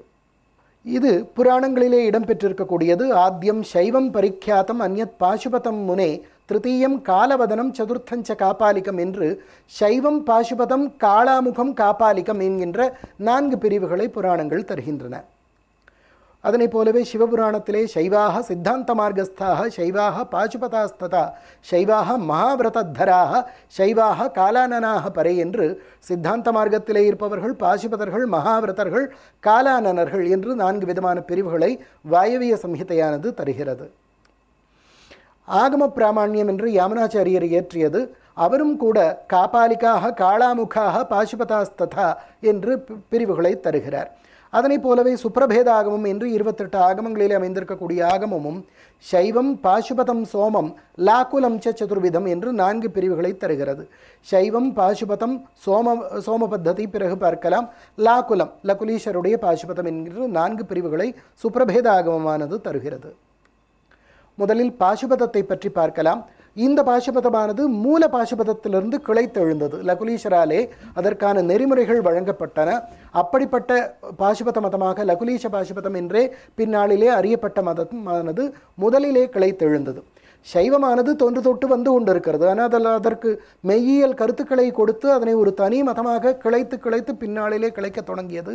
அதில் லகுலீஷர் மிக முக்கியமான ஆச்சாரியராக கருதத்தக்கவர். பாசுபதத்தின் மூல ஆச்சாரியராக ஸ்ரீகண்டர் திகழ்கிறார் என்பதை ஏற்கனவே பார்த்திருக்கிறோம். கைலாசாத்ரௌ பிரமந்தேவோ மூர்த்தியா ஸ்ரீகண்ட ரூபையா அனுகிரகாய அவதீரண சோதயாமாச பூதலே என்று கைலாசத்திலே திகழ்கின்ற அந்த ஸ்ரீகண்டர் பூமியிலே தோன்றினார். இந்த அனுகிரகம் செய்வதற்காக உலகத்தோருக்கு அருள் செய்வதற்காக என்று தந்திராலோகமானது பாசுபதம் தோன்றிய வழியை குறிப்பிடுகிறது. அதனைப் போலவே சாந்த சாந்தி பருவத்தில் இருப்பதை ஏற்கனவே கண்டோம். சிவபுராணத்திலும் கூட ஸ்ரீகண்டேன சிவேன உக்தாக சிவாயைச்ச சிவாகமாக என்று. சிவாகமங்கள் சிவனாலே சிவாவிற்கு பார்வதிக்கு கூறப்பெற்றவை என்கின்ற தகவலை தருகின்றன. ஸ்ரீகண்டரின் நூலாக அறியக்கூடிய இரண்டு நூல்கள் மாங்கல்ய சாஸ்திரம் என்கின்ற ஒரு நூல் தந்திரசாரம் என்கின்ற ஒரு நூல். இந்த இரண்டு நூல்களுமே இன்று கிடைக்கவில்லை. அவற்றினுடைய மேற்கோள்கள் மட்டுமே தந்திராலோகம் முதலிய நூல்களிலே கிடைக்கின்றன. லகுலீஷர் இவர் மிகச்சிறந்த பாசுபதத்தினுடைய மிகப்பெரிய ஆச்சாரியர். ஒரு ஆதிசங்கர பகவத் பாதற்கு முன்னர் இந்தியா முழுமையும் பரவியிருந்த ஒரு ஆச்சாரியர் என்றார். அது லகுலீஸ்வரைத்தான் குறிப்பிட முடியும். எங்கே சென்றாலும் குஜராத்திலே அவருடைய தோற்றம் அதிலிருந்து எங்கே சென்றாலும் வடக்கேயும் சரி கிழக்கேயும் சரி தெற்கேயும் சரி எங்கேயானாலும் லக லகுலீஸ்வருடைய வடிவம் பத்து பதினோராம் நூற்றாண்டுகள் வரை கிடைப்பதை நம்மால் பார்க்க முடியும். லிங்க புராணத்திலே அவர் சிவபெருமானுடைய அவதாரமாகவே கருதப்பெற்றிருக்கிறார். சிவபெருமானுடைய அம்ச அவதாரங்களாக ஆச்சாரியர்களாக இருபத்தெட்டு பேர் அங்கே ஸ்வேதம் தொடங்கி இருபத்தெட்டு பேர் குறிப்பிடப்பெற்றிருக்கிறார்கள். அதிலே இருபத்தி ஏழாவது அவதாரமாக லகுலீஷர் என்கின்ற பெயரானது இடம்பெற்றிருக்கிறது. இவர் காயாரோகணம் என்கின்ற இடத்திலே பிறந்தார். கார்வான் என்று இன்று குஜராத்திலே வழங்கப்பெறக்கூடிய இடத்திலே தோன்றினார் என்று அவரை பற்றிய குறிப்புகள் கிடைக்கின்றன. ஒரு இறந்த ஒரு பிராமண சிறுவனின் உடலுக்குள்ளே சிவபெருமான் புகுந்து லகுலீஷராக உருப்பெற்றார் என்று அதனாலே காய அவரோகணம் உடலிலே இறங்கியமை பற்றி காய அவரோகணம் என்ற பெயர் ஏற்பட்டது என்று குறிப்பிடுகிறது. தமிழகத்திலும் இத்தகைய காரோணங்கள் இருப்பதை காணலாம். கட்சி காரோணம் நாகை காரோணம் குழந்தை காரோணம் என்று காரோணங்கள் அமைந்திருக்கின்றன. இவை யாவும் லகுலீஷ பாசுபதத்தோடு தொடர்புடையவை. அதனைப் போலவே மயானங்கள் கச்சி மயானம் நாலூர் மயானம் கடவுர் மயானம் முதலிய மயானங்களும் கூட பாசுபதத்தோடு தொடர்புடையவை. அவருடைய பிறப்பை வர்ணிக்கக்கூடிய கவுண்டன்யர் என்று அவருடைய பாசிபத சூத்திரங்களுக்கு உரை எழுதியவர் குறிப்பிடுவது மனுஷ்யரூபி பகவான் பிராமண காயமாஸ்தாய காயாவதரணை அவதீர்ண இது. மனுஷ்ய வடிவெடுத்த இறைவன் ராம் பிராமண சிறுவனுடைய உடலை பற்றி அவர் காயாவதரணம் என்கின்ற இடத்திலே அவ அவதாரம் செய்தார். அவர் பத்பியாம் உஜ்ஜயினியும் பிராப்தாக காலாலேயே நடந்து உஜ்ஜயினிக்கு சென்றார் என்று அவரை பற்றிய விளக்கங்களை சிறு செய்தியாக அவர் தருகிறார். இது லகுலீஷருடைய வடிவம். இவருடைய வடிவத்தை பற்றிய விளக்கங்களும் கூட சில நூல்களிலே இடம்பெற்றிருக்கின்றன. இடது கையிலே லகுடத்தை தாங்கியிருக்க வேண்டும். லகுடம் என்பது ஒரு சிறு கோலை போன்றது தடியை போன்றது. அதிலே வழக்கமாக பாம்பு சுற்றி இருப்பதும் வழக்கம். வலது கையிலே மாதுளம்பழத்தை ஏந்தி இருக்கலாம் போன்ற பல்வேறு விதிகள் விஸ்வகிரமியம் முதலிய பல்வேறு நூல்களிலே கிடைக்கின்றன. வடக்கு தொடங்கி தெற்கு வரையில் கிழக்கிலிருந்து மேற்கு வரை எல்லா இடங்களிலும் அவருடைய வடிவங்கள் இருப்பதை காண முடியும். ஆக ஒரு வியாபித்த ஒரு பாசுபதமாக லகுலீஷ பாசுபதமானது அமைந்திருந்தது என்று கருதலாம். இது தமிழகத்திலே அரிட்டாப்பட்டியிலும் இங்கே கர்நாடகத்திலும் அமைந்திருக்கக்கூடிய லகுலீஷருடைய வடிவங்கள். இவர் இயற்றிய நூல் பாசுபத சூத்திரங்கள் என்று வழங்கப்பெறுகின்றன. இதற்கு பஞ்சாத்தியாயி ஐந்து அத்தியாயங்களை உடையமை பற்றி பஞ்சாத்தியாயி என்ற பெயரும் உண்டு. இதற்கு பஞ்சார்த்திக பாஷ்யம் என்கின்ற ஒரு உரையை கவுண்டின்யர் எழுதியிருக்கிறார். இதற்கு சிவசாசனம் என்கின்ற மற்றொரு பெயரும் உண்டு. இவருடைய சிஷ்யர்களாக நால்வர் குறிப்பிடப்பெற்றிருக்கின்றனர். குஷிகர் கார்கியர் மைத்ரேயர் கௌருஷர் என்று நான்கு சிஷ்யர்கள் குறிப்பிடப்பெற்றிருக்கிறார்கள். இதில் இந்த கௌருஷருடைய வழிவந்தவர்கள்தான் காளாமுகத்தவர் என்று சிலருடைய கருத்தாக அமைந்திருக்கிறது. மதுராவில் அமைந்திருக்கக்கூடிய இரண்டாம் சந்திரகுப்தனின் பிரசஸ்தியானது அது உதிதாச்சாரியர் என்கின்ற ஒரு பாசுபத ஆச்சாரியரை குறிப்பிட்டு அவர் குஷிகருடைய மாணவர் என்று குறிப்பிடுகிறது. இதனை வைத்து தான் லகுலீஷருடைய காலம் கணக்கிட பெற்றிருக்கிறது. இதனுடைய காலம் முன்னூற்றி எண்பது. இதிலே குஷிகருடைய சீடரான ம உதிதாச்சாரியாரை பற்றி குறிப்பிருக்கிறது. ஆகவே இவருடைய குருவானவர் குஷிகர் அந்த குஷிகருக்கு பத்து தலைமுறை முற்பட்டவர் லகுலீஷர். ஆகவே அவர் இரண்டாம் நூற்றாண்டு என்று முடிவை கூறியிருக்கிறார்கள். அதற்கு பிறகு இதனை மீள் மீள்பதிவு செய்த பல்வேறு ஆசிரியர்கள் இதனை பார்த்துவிட்டு குஷிகர் இரண்டு குஷிகர்கள் இருக்கிறார்கள் அந்த ஆச்சாரிய பரம்பரையிலே. முதலாவது குஷிகராக இருந்தால் லகுலீஸ்வரருடைய காலம் இரண்டாம் நூற்றாண்டாக அமையலாம். இது இரண்டாவது குஷிகராக இருந்தால் லகுலீஸ்வருடைய காலம் போயுமு இரண்டாக அமைய வேண்டும். இருபது தலைமுறைகள் முன்னாக வேண்டும் என்கின்ற கருத்தை தெரிவித்திருக்கிறார்கள். ஆகவே அவருடைய காலம் போயுமு இரண்டு என்று இப்பொழுது மீட்டமைக்கப்பெற்றிருக்கிறது. போயு இரண்டாக இருக்கலாம் என்பது பழைய கருத்தாக அமைந்திருக்கிறது. அதனைப் போலவே சிந்திரா பிரசஸ்தி என்று கூறப்படுகின்ற போர்ச்சுகலிலே சிந்திரா என்னும் இடத்திலே அமைந்திருக்கிறது. அதில் இருக்கக்கூடிய பிரசஸ்தியிலே நான்கு பரம்பரைகள் அவருடைய வழிவந்த பரம்பரைகள் ஆச்சாரிய பரம்பரைகளாக குறிப்பிடப்பெற்றிருக்கிறது. இந்த அவருடைய சித்தாந்தத்தை பொறுத்தவரை ஐந்து பொருட்கள் பொருண்மைகள் அமைந்திருக்கின்றன. காரியம் காரணம் கிரியா யோகம் துக்காந்தம் என்கின்ற ஐந்து கருத்துக்கள். காரியம் என்பது இந்த உலகம் நாம் காண்கின்ற உலகம். காரணம் என்பது சிவபெருமான். கிரியா என்பது விரதங்கள் நோன்புகள் பல்வேறு அதற்கான நாம் செய்யக்கூடிய நெறிமுறைகள். யோகம் என்பது பிராணாயாமம் முதலியவை. இவற்றை மேற்கொள்ளும் போது துக்கத்திற்குடைய அந்தம் அதாவது துயரங்கள் நீங்கி இறைவனை அடையலாம் என்று வழிபடுவதைப் போல ஐந்து அத்தியாயங்கள் அமைந்திருக்கின்றன. யத்னம் போதா இச்சா என்று மூன்று பொருட்கள் அங்கே விளக்கப்பெற்றிருக்கின்றன நம்முடைய முயற்சி வேண்டும் ஞானம் கிடைத்தால் இறைவனுடைய இச்சையாலே நாம் கரையேறலாம் என்பது. விரதங்கள் பிராணாயாமங்கள் முதலியவை இதிலே கூறப்பெற்றிருக்கின்றன. திகம்பரம் ஜட்டாபஸ்ம தல்பஞ்ச விபுலாமகி பிக்ஷாவிருத்தி கர பாத்திரம் எஸ்யைதானி பரிகிரஹா என்று மல்காபுரம் கல்வெட்டிலே பாசுபதருடைய வடிவமாக வர்ணித்திருப்பது திகம்பரம். இந்த திக்க திசையெல்லாம் அவருக்கு ஆடையாக இருக்கும். ஜட்டா ஜடையை தரித்திருப்பார். பஸ்ம உடலெல்லாம் அவர் விபூதியை பூசியிருப்பார். தல்பஞ்ச விபுலாமகி படுக்கையானது விரிந்த பூமிதான் அவருடைய படுக்கை. பிக்ஷா விருத்தி பிக்ஷை எடுத்து வாழ்வதுதான் வாழ்க்கை. கரக பாத்திரம் கையே பாத்திரம். தனியாக அதற்கு பிக்ஷை எடுப்பதற்கு பாத்திரம் கூட கிடையாது. இதுதான் பாசுபதர்களுடைய இலக்கணம் என்று குறிப்பிடுகிறது. அதனைப் போலவே கௌபீன மாத்திர வசனகா சுச்சி பஸ்மசாயி என்றும் இவர்களை பற்றி கௌபீனத்தை மட்டுமே உடுத்தியிருப்பார்கள். தூய பஸ்மத்தை உடலெல்லாம் பூசியிருப்பார்கள் என்று குறிப்பிடுகிறது. பாசுபத சூத்திரங்களிலும் கூட பஸ்மத் திரிஷவணம் என்று மூன்று வேளையும் விபூதியிலே குளிக்க வேண்டும் என்று குறிப்பிடுகிறது. அதனைப் போலவே உலகோர் அருவருக்கத்தக்க நடவடிக்கைகளை மேற்கொண்டு உலகையிலிருந்து விலகி இருக்க வேண்டும் என்று பல்வேறு குறிப்புகளை தருகிறது. இதனை தவிர ஒரு பாசுபதர் எங்கே தங்க வேண்டும் என்று கேட்டால் பகவதா தட்சிணாமூர்த்தேஹே என்று தட்சிணாமூர்த்தியினுடைய ஆலயத்திலே தங்க வேண்டும் என்ற குறிப்பை தருகிறது.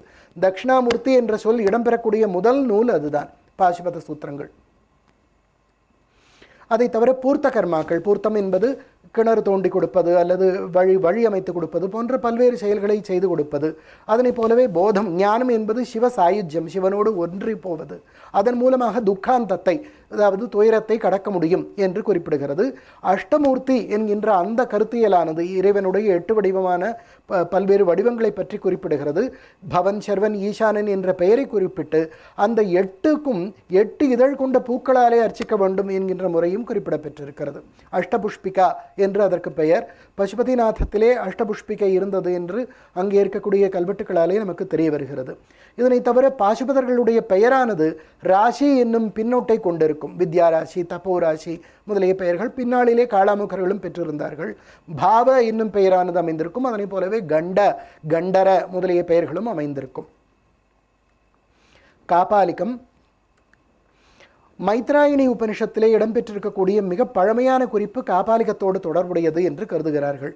அத ஏச்ச அந்நேக விருதா கஷாய குண்டலினா காபாலினஹா என்று ஒரு வாக்கியமானது மைத்ராயணி உபனிஷத்திலே அமைந்திருக்கிறது. கஷாயத்தை உடுத்தி அதாவது காவி உடை தரித்து கபாலத்தை ஏந்தியவர்களாக இருக்கிறார்கள் என்ற குறிப்பு இது காபாலிகர்களை பற்றிய குறிப்பு என்று கருதுகிறார்கள். கபாலம் என்பது மண்டையோடு அதனை எப்பொழுதும் தாங்கியிருப்பதாலே இவர்களுக்கு காபாலிகர்கள் என்று பெயர். இந்த காபாலிகர்களை பற்றிய குறிப்புகள் பல்வேறு நூல்களில் காண கிடைக்கின்றன. மைத்ராயணி உபநிஷத்திற்கு பிறகு மத்தவிலாச பிரகசனத்தில் பிரபோத சந்திரோதயம் அதனைப் போலவே ராமானுஜருடைய பாஷ்யம் சங்கர பாஷ்யத்திலே மாகேஸ்வரர்கள் என்று பொதுவாக எல்லோரையும் குறிப்பிட்டு இருக்கக்கூடிய குறிப்புகள். அதனைப் போலவே சங்கர விஜயத்திலே உக்ர பைரவர் என்கின்ற பெயரிலே ஒரு காப்பாளிகர் இப்படி காப்பாளிகர்களை பற்றி குறிப்பிடக்கூடிய மாலதி மாதவம் என்கின்ற வடமொழி நாடகம் இப்படி பல்வேறு குறிப்புகள் நமக்கு கிடைக்கின்றன. இவர்களை பற்றிய குறிப்புகள் சிவபுராணம் மத்தவிலாசம் மாலதி மாதவம் முதலிய பல்வேறு நூல்களிலே நமக்கு காண கிடைக்கின்றன. இதற்கே மகாவிரதம் என்கின்ற மறுபெயரும் உண்டு என்பது அதனை ஒரே இடத்திலே மகாவிரதத்தை கூறியிருந்தால் காப்பாலிகத்தை கூறியிருக்காதது பற்றி நம்மாலே அறிய முடிகிறது. மகாவிரதம் என்பதும் காபாலிக்கம் என்பதும் ஒன்றுதான் என்பதை ஒரே இடத்திலே இரண்டையும் கூறாது பற்றி அதனாலே அறிந்து கொள்ள முடிகிறது. ஆயினும் கூட சிவஞான போதத்திலே இரண்டையும் வெவ்வேறாக கூறி கூறியிருப்பது குறிப்பிடத்தக்கது. ஆயினும் இந்த பிரிவுகளிலே எது எந்த பிரிவு என்பது தீர்மானிப்பது சற்று குழப்பமாக இருக்கிறது. சிவசாசனம் என்பது பாசுபதம் தானா என்பதை அறுதியிட்டு கூற முடியவில்லை. மகாவிரதமும் காபாலிக்கமும் ஒன்றுதானா என்பதையும் அறுதியிட்டு கூற முடியவில்லை. அதனைப் போலவே சோம சித்தாந்தமும் காப்பாலிகமும் ஒன்றுதானா என்பதையும் இறுதியாக கூற முடியவில்லை. கபால கட்வாங்க தாரணேச்ச சுத்திம் பிரத்யவகச்சந்தி சம்மூடா என்று இவர்களை இழிவு செய்வதைப் போல இருக்கக்கூடிய சில இலக்கியங்களிலே கபாலத்தையும் கட்வாங்கத்தையும் கையிலே பிடித்து கொண்டு அதனாலேயே அவர்கள் மோட்சத்தை அடைந்துவிட நினைக்கிறார்கள். சில முட்டாள்கள் என்று இவர்களை இகழ்ந்து கூறியிருப்பதனாலே ஒரு கையத்தில் க கட்வாங்கம் கட்வாங்கம் என்பது தடி அதற்கு மேலே கபாலம் பொருத்த பெற்றிருக்கும் அதனைப் போலவே கபாலத்தை மறுகையிலே கபாலத்தை ஏந்தியவர்களாக இவர்கள் இருப்பார்கள் என்பது அறிய கிடக்கிறது. மாலதி மாதவம் சங்கர விஜயம் முதலிய நூல்களிலே எலும்பினால் ஆன தோடுகள் முதலியவற்றை குண்டலங்கள் முதலியவற்றை அவர்கள் தரித்து கொண்டிருப்பார்கள். ரோமத்தினாலான பூணூலை அறிந்திருப்பார்கள். கையிலே மது பாத்திரத்தை ஏந்தி இருப்பார்கள் என்பது மத்தவிலாச பிரகசனம் முதலிய நூல்களினாலே அறிய கிடக்கிறது. மகாவிரதம் என்பது காப்பாலிகம் அல்லது காளாமுகமாக இருக்கலாம். இன்னமும் அவ்வளவு அறுதியிட்டு கூற முடியவில்லை. பம்பா மகாத்மியம் என்று வழங்குகின்ற ஒரு பின்னாளையைச் சேர்ந்த ஒரு மகாத்மியமானது ஹம்பி அதனுடைய மிக பழமையான மகாத்மியம். அந்த நூலிலே அது புராண செய்தியாக இருந்தாலும் கூட வரலாற்றுக்கு தேவையான சிறு தகவலை அது தருகிறது. வழக்கம் போல விநாயகருக்கும் முருகப்பெருமானுக்கும் இடையே நிகழ்ந்த போட்டி இருவரும் சுற்றி வந்தது. அதற்கு பிறகு அவர்களுக்கு முருகன் கோபித்து கொண்டு சென்றபோது மகாகாலருக்கு கூறியதுதான் காளாமுகம் என்று அதிலே தொடக்கம் போகிறது. அப்படி காளாமுகத்தின் தொடக்கம் அமைத்துவிட்டு அதிலே முற்றிய ஞானம் தேர்ந்த பின் தனக்கு கையில் கிடைக்கும் கபாலத்தை ஏந்தி கொண்டு காபாலிகனாக செல்லலாம் என்கின்ற குறிப்பானது அந்த பம்பா மகாத்மியத்திலே இடம்பெற்றிருக்கிறது. ஆகவே காளாமுகம் முற்றி காபாலிகம் என்று இருக்கலாமோ என்கின்ற ஒரு ஐயத்தை இந்த செய்தியானது ஏற்படுத்துகிறது. பாகவதத்திலும் பவவிரதம் என்கின்ற பெயரிலே இதனை சற்று இழிவுபடுத்தி காபாலிகம் அவ்வளவு ஏற்க தகுந்த மார்க்கம் அல்ல அல்ல என்பதை விளக்கியிருக்கிறது. இவர்களுக்கு குண்டலங்கள் எலும்பினாலான குண்டலம் அஸ்தி மாலை எலும்பினாலான மாலை அசவம் அதாவது கள் கள் குடிப்பது இவையாவும் இவர்களுடைய வழக்கமாக இருந்து வந்தது. சோம சித்தாந்தமும் காப்பாலிக்கமும் ஒன்றாக இருக்கலாம் என்று சிலர் வெவ்வேறு தர்சனங்கள் என்று சிலர் என்று பல்வேறு கருத்துக்கள் நிலவி வருகின்றன. சோமசர்மா என்பவர் நியாயத்தையும் வைசேஷிகம் இந்த இரண்டும் சைவத்தோடு தொடர்புடையது என்றே பழைய நூல்கள் கூறுகின்றன. நியாயத்தைச் சேர்ந்தவர்கள் சைவர்களாகவும் வைசேஷிகத்தைச் சேர்ந்தவர்கள் பாசுபதர்களாகவும் இருப்பார்கள் என்று பொதுவான கருத்து. அதற்கான ஆதாரங்களும் காட்டப்பெறுகின்றன. இல்லை என்று மறுப்போரும் உளர் இது காப்பாளிகர்களுடைய வடிவம். சென்ற நூற்றாண்டைச் சேர்ந்த ஒரு காப்பாளிகர் இது மேனாட்டாராலே புகைப்படம் எடுக்கப்பெற்றது. காப்பாளிகர்களுடைய வடிவம் எப்படி இருக்கும் என்பதை அறிந்து கொள்வதற்காக கையிலே ஒரு குண்டாந்தடி ஒரு கல் பாத்திரம் போன்றவற்றை ஏந்தி இருப்பார்கள். அதனைப் போலவே அவர்கள் அஸ்தி மாலை எலும்பினாலான மாலை முதலியவற்றை அவர்கள் அணிந்திருப்பார்கள். இது கிட்டத்தட்ட அகோரியை போன்றது ஒரு வடிவம்தான். இவரும் சென்ற நூற்றாண்டைச் சேர்ந்த காப்பாளிக்கர் சித்த மதம் என்கின்ற ஒரு மதம். பொதுவாக சித்தர்கள் என்பது தமிழ்நாட்டைச் சேர்ந்தவர்கள் என்று நாம் கருதி கொண்டிருக்கிறோம். உண்மையிலே சித்த மதம் என்பது சித்த சித்தாந்த சங்கிரகம் சித்த சித்தாந்த பத்ததி கோரக்ஷ சம்ஹிதா ஆகிய நூல்களை அடிப்படையாக கொண்டது. நாத சம்பிரதாயம் என்கின்ற பெயரிலே வழங்கப்பெற்ற சம்பிரதாயம் அது. அது நாத பரம்பரை என்கின்ற பெயரினாலே வழங்கப்பட்டது. சித்த சித்தாந்த சங்கிரகம் என்பது அதற்கு மிக முக்கியமான நூல். திருமூலநாதர் திருமூலர் அந்த பரம்பரையைச் சேர்ந்தவர் தான். ஆகவே தான் திருமூலநாதர் என்கின்ற பெயராலே அவர் வழங்கப்பெறுகிறார். நட்டகல்லும் பேசுமோ நாதன் உள்ளிருக்கையில் என்பதற்கு மூலம் சித்த சித்தாந்த சங்கிரகத்திலே இருக்கிறது. இந்த மற்ற மதங்கள் மற்ற பிரிவுகள் கூறுகின்ற யந்திர மந்திரங்களை எல்லாம் பார்க்காதீர்கள். அவை எல்லாம் வெறும் ஏமாற்று. உள்ளே இருக்கிறான் இறைவன் அதனை பாருங்கள் என்று சித்த சித்தாந்த சங்கிரகத்திலே இருப்பதைத்தான் திருமூல நாயனாரும் பாடியிருக்கிறார்.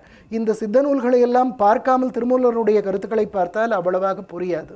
ஆக இந்த மூன்று நூல்கள் சித்த சித்தாந்த சங்கிரகம் அதனைப் போலவே சித்த சித்தாந்த மார்க்கம் கோரக்ஷ பத்ததி முதலிய நூல்கள் பல்வேறு நூல்கள் இடம்பெற்றிருக்கின்றன. இந்த நூல்கள் இந்த சித்த மார்க்கத்திற்கு மூலமாக அமைந்த நூல்கள். அதிலிருந்து தான் இந்த சித்த மதமானது கிளைத்து வந்தது. கோரக்ஷர் மிக முக்கியமான சித்தராக கருதப்படுகிறார். அவரைத்தான் தமிழிலே கோரக்கர் என்கின்ற பெயரிலே இங்கேயும் வழங்கி கொண்டிருக்கிறோம். இடைக்காடர் ராமதேவர் அழுகணி சித்தர் முதலிய பல்வேறு சித்தர்களும் கூட இந்த பரம்பரையிலே வந்தவர்கள்தான். அவர்களுக்கு வெட்டவெளியே அதனையே நிராகாரமாக இறைவனை பாடுவது போன்ற இத்தகைய வழக்கங்கள் யாவும் அந்த சித்த சித்தாந்த சங்கிரகத்திலிருந்து வந்தவைதானே தவிர தமிழகத்திலே தோன்றியவை அல்ல. அது அநேகமாக திருமூலநாதரிலிருந்து தோன்றியிருக்கலாம் தமிழகத்திலே என்பது அறிய கிடக்கிறது. இன்று உத்தரப்பிரதேசத்தின் முதல்வராக விற்றிருக்கக்கூடிய யோகி அவர்களும் இந்த கோரக்ஷ சம்பிரதாயத்திலே வந்தவர் தான் கோரக்ஷ மட்டாதிபதியாக இருப்பவர் தான் இவை யாவும் அங்கே நிலை கொண்டு அங்கிருந்து தான் வந்தவையே தவிர இங்கே தோன்றியவை அல்ல. இவர்களுக்கு ராமனை வழிபடுவதும் ஒரு வ- வழிபாடாக இருக்கிறது என்பது அவர்களுடைய நூலிலிருந்து தெரிய வருகிறது. ராமனும் சிவபெருமானும் ஒருவரே என்று தந்திராலோகம் முதல் பல்வேறு நூல்களும் குறிப்பிட்டிருக்கின்றன. ராமரையும் சிவபெருமானையும் ஒன்றாக காண வேண்டும் என்று இது வழக்கத்திலும் இன்றும் கூட இருப்பதை காணலாம். பிரதோஷ வேளையிலே சைவர்களோ அல்லது ஸ்மார்த்தர்களோ விஷ்ணு ஆலயங்களுக்கு செல்வது வழக்கமில்லை. விஷ்ணுவின் எந்த வடிவங்களையும் பார்ப்பது வழக்கமில்லை. ஆயினும் கூட ராகவம் ரிஹரிம் வினா என்று நரசிம்மரையும் ராமரையும் தவிர்த்து மற்ற வடிவங்களை பார்க்கக்கூடாது என்று ஒரு வழக்கம் உண்டு உண்டு. ஆக சிவபெருமானையும் ராமனையும் ஒன்றாக பார்க்கக்கூடிய இந்த வழக்கமானது சித்த மதத்திலும் பாசுபதத்திலும் பல்வேறு சைவங்களிலும் பெரிந்திருப்பதை காணலாம்.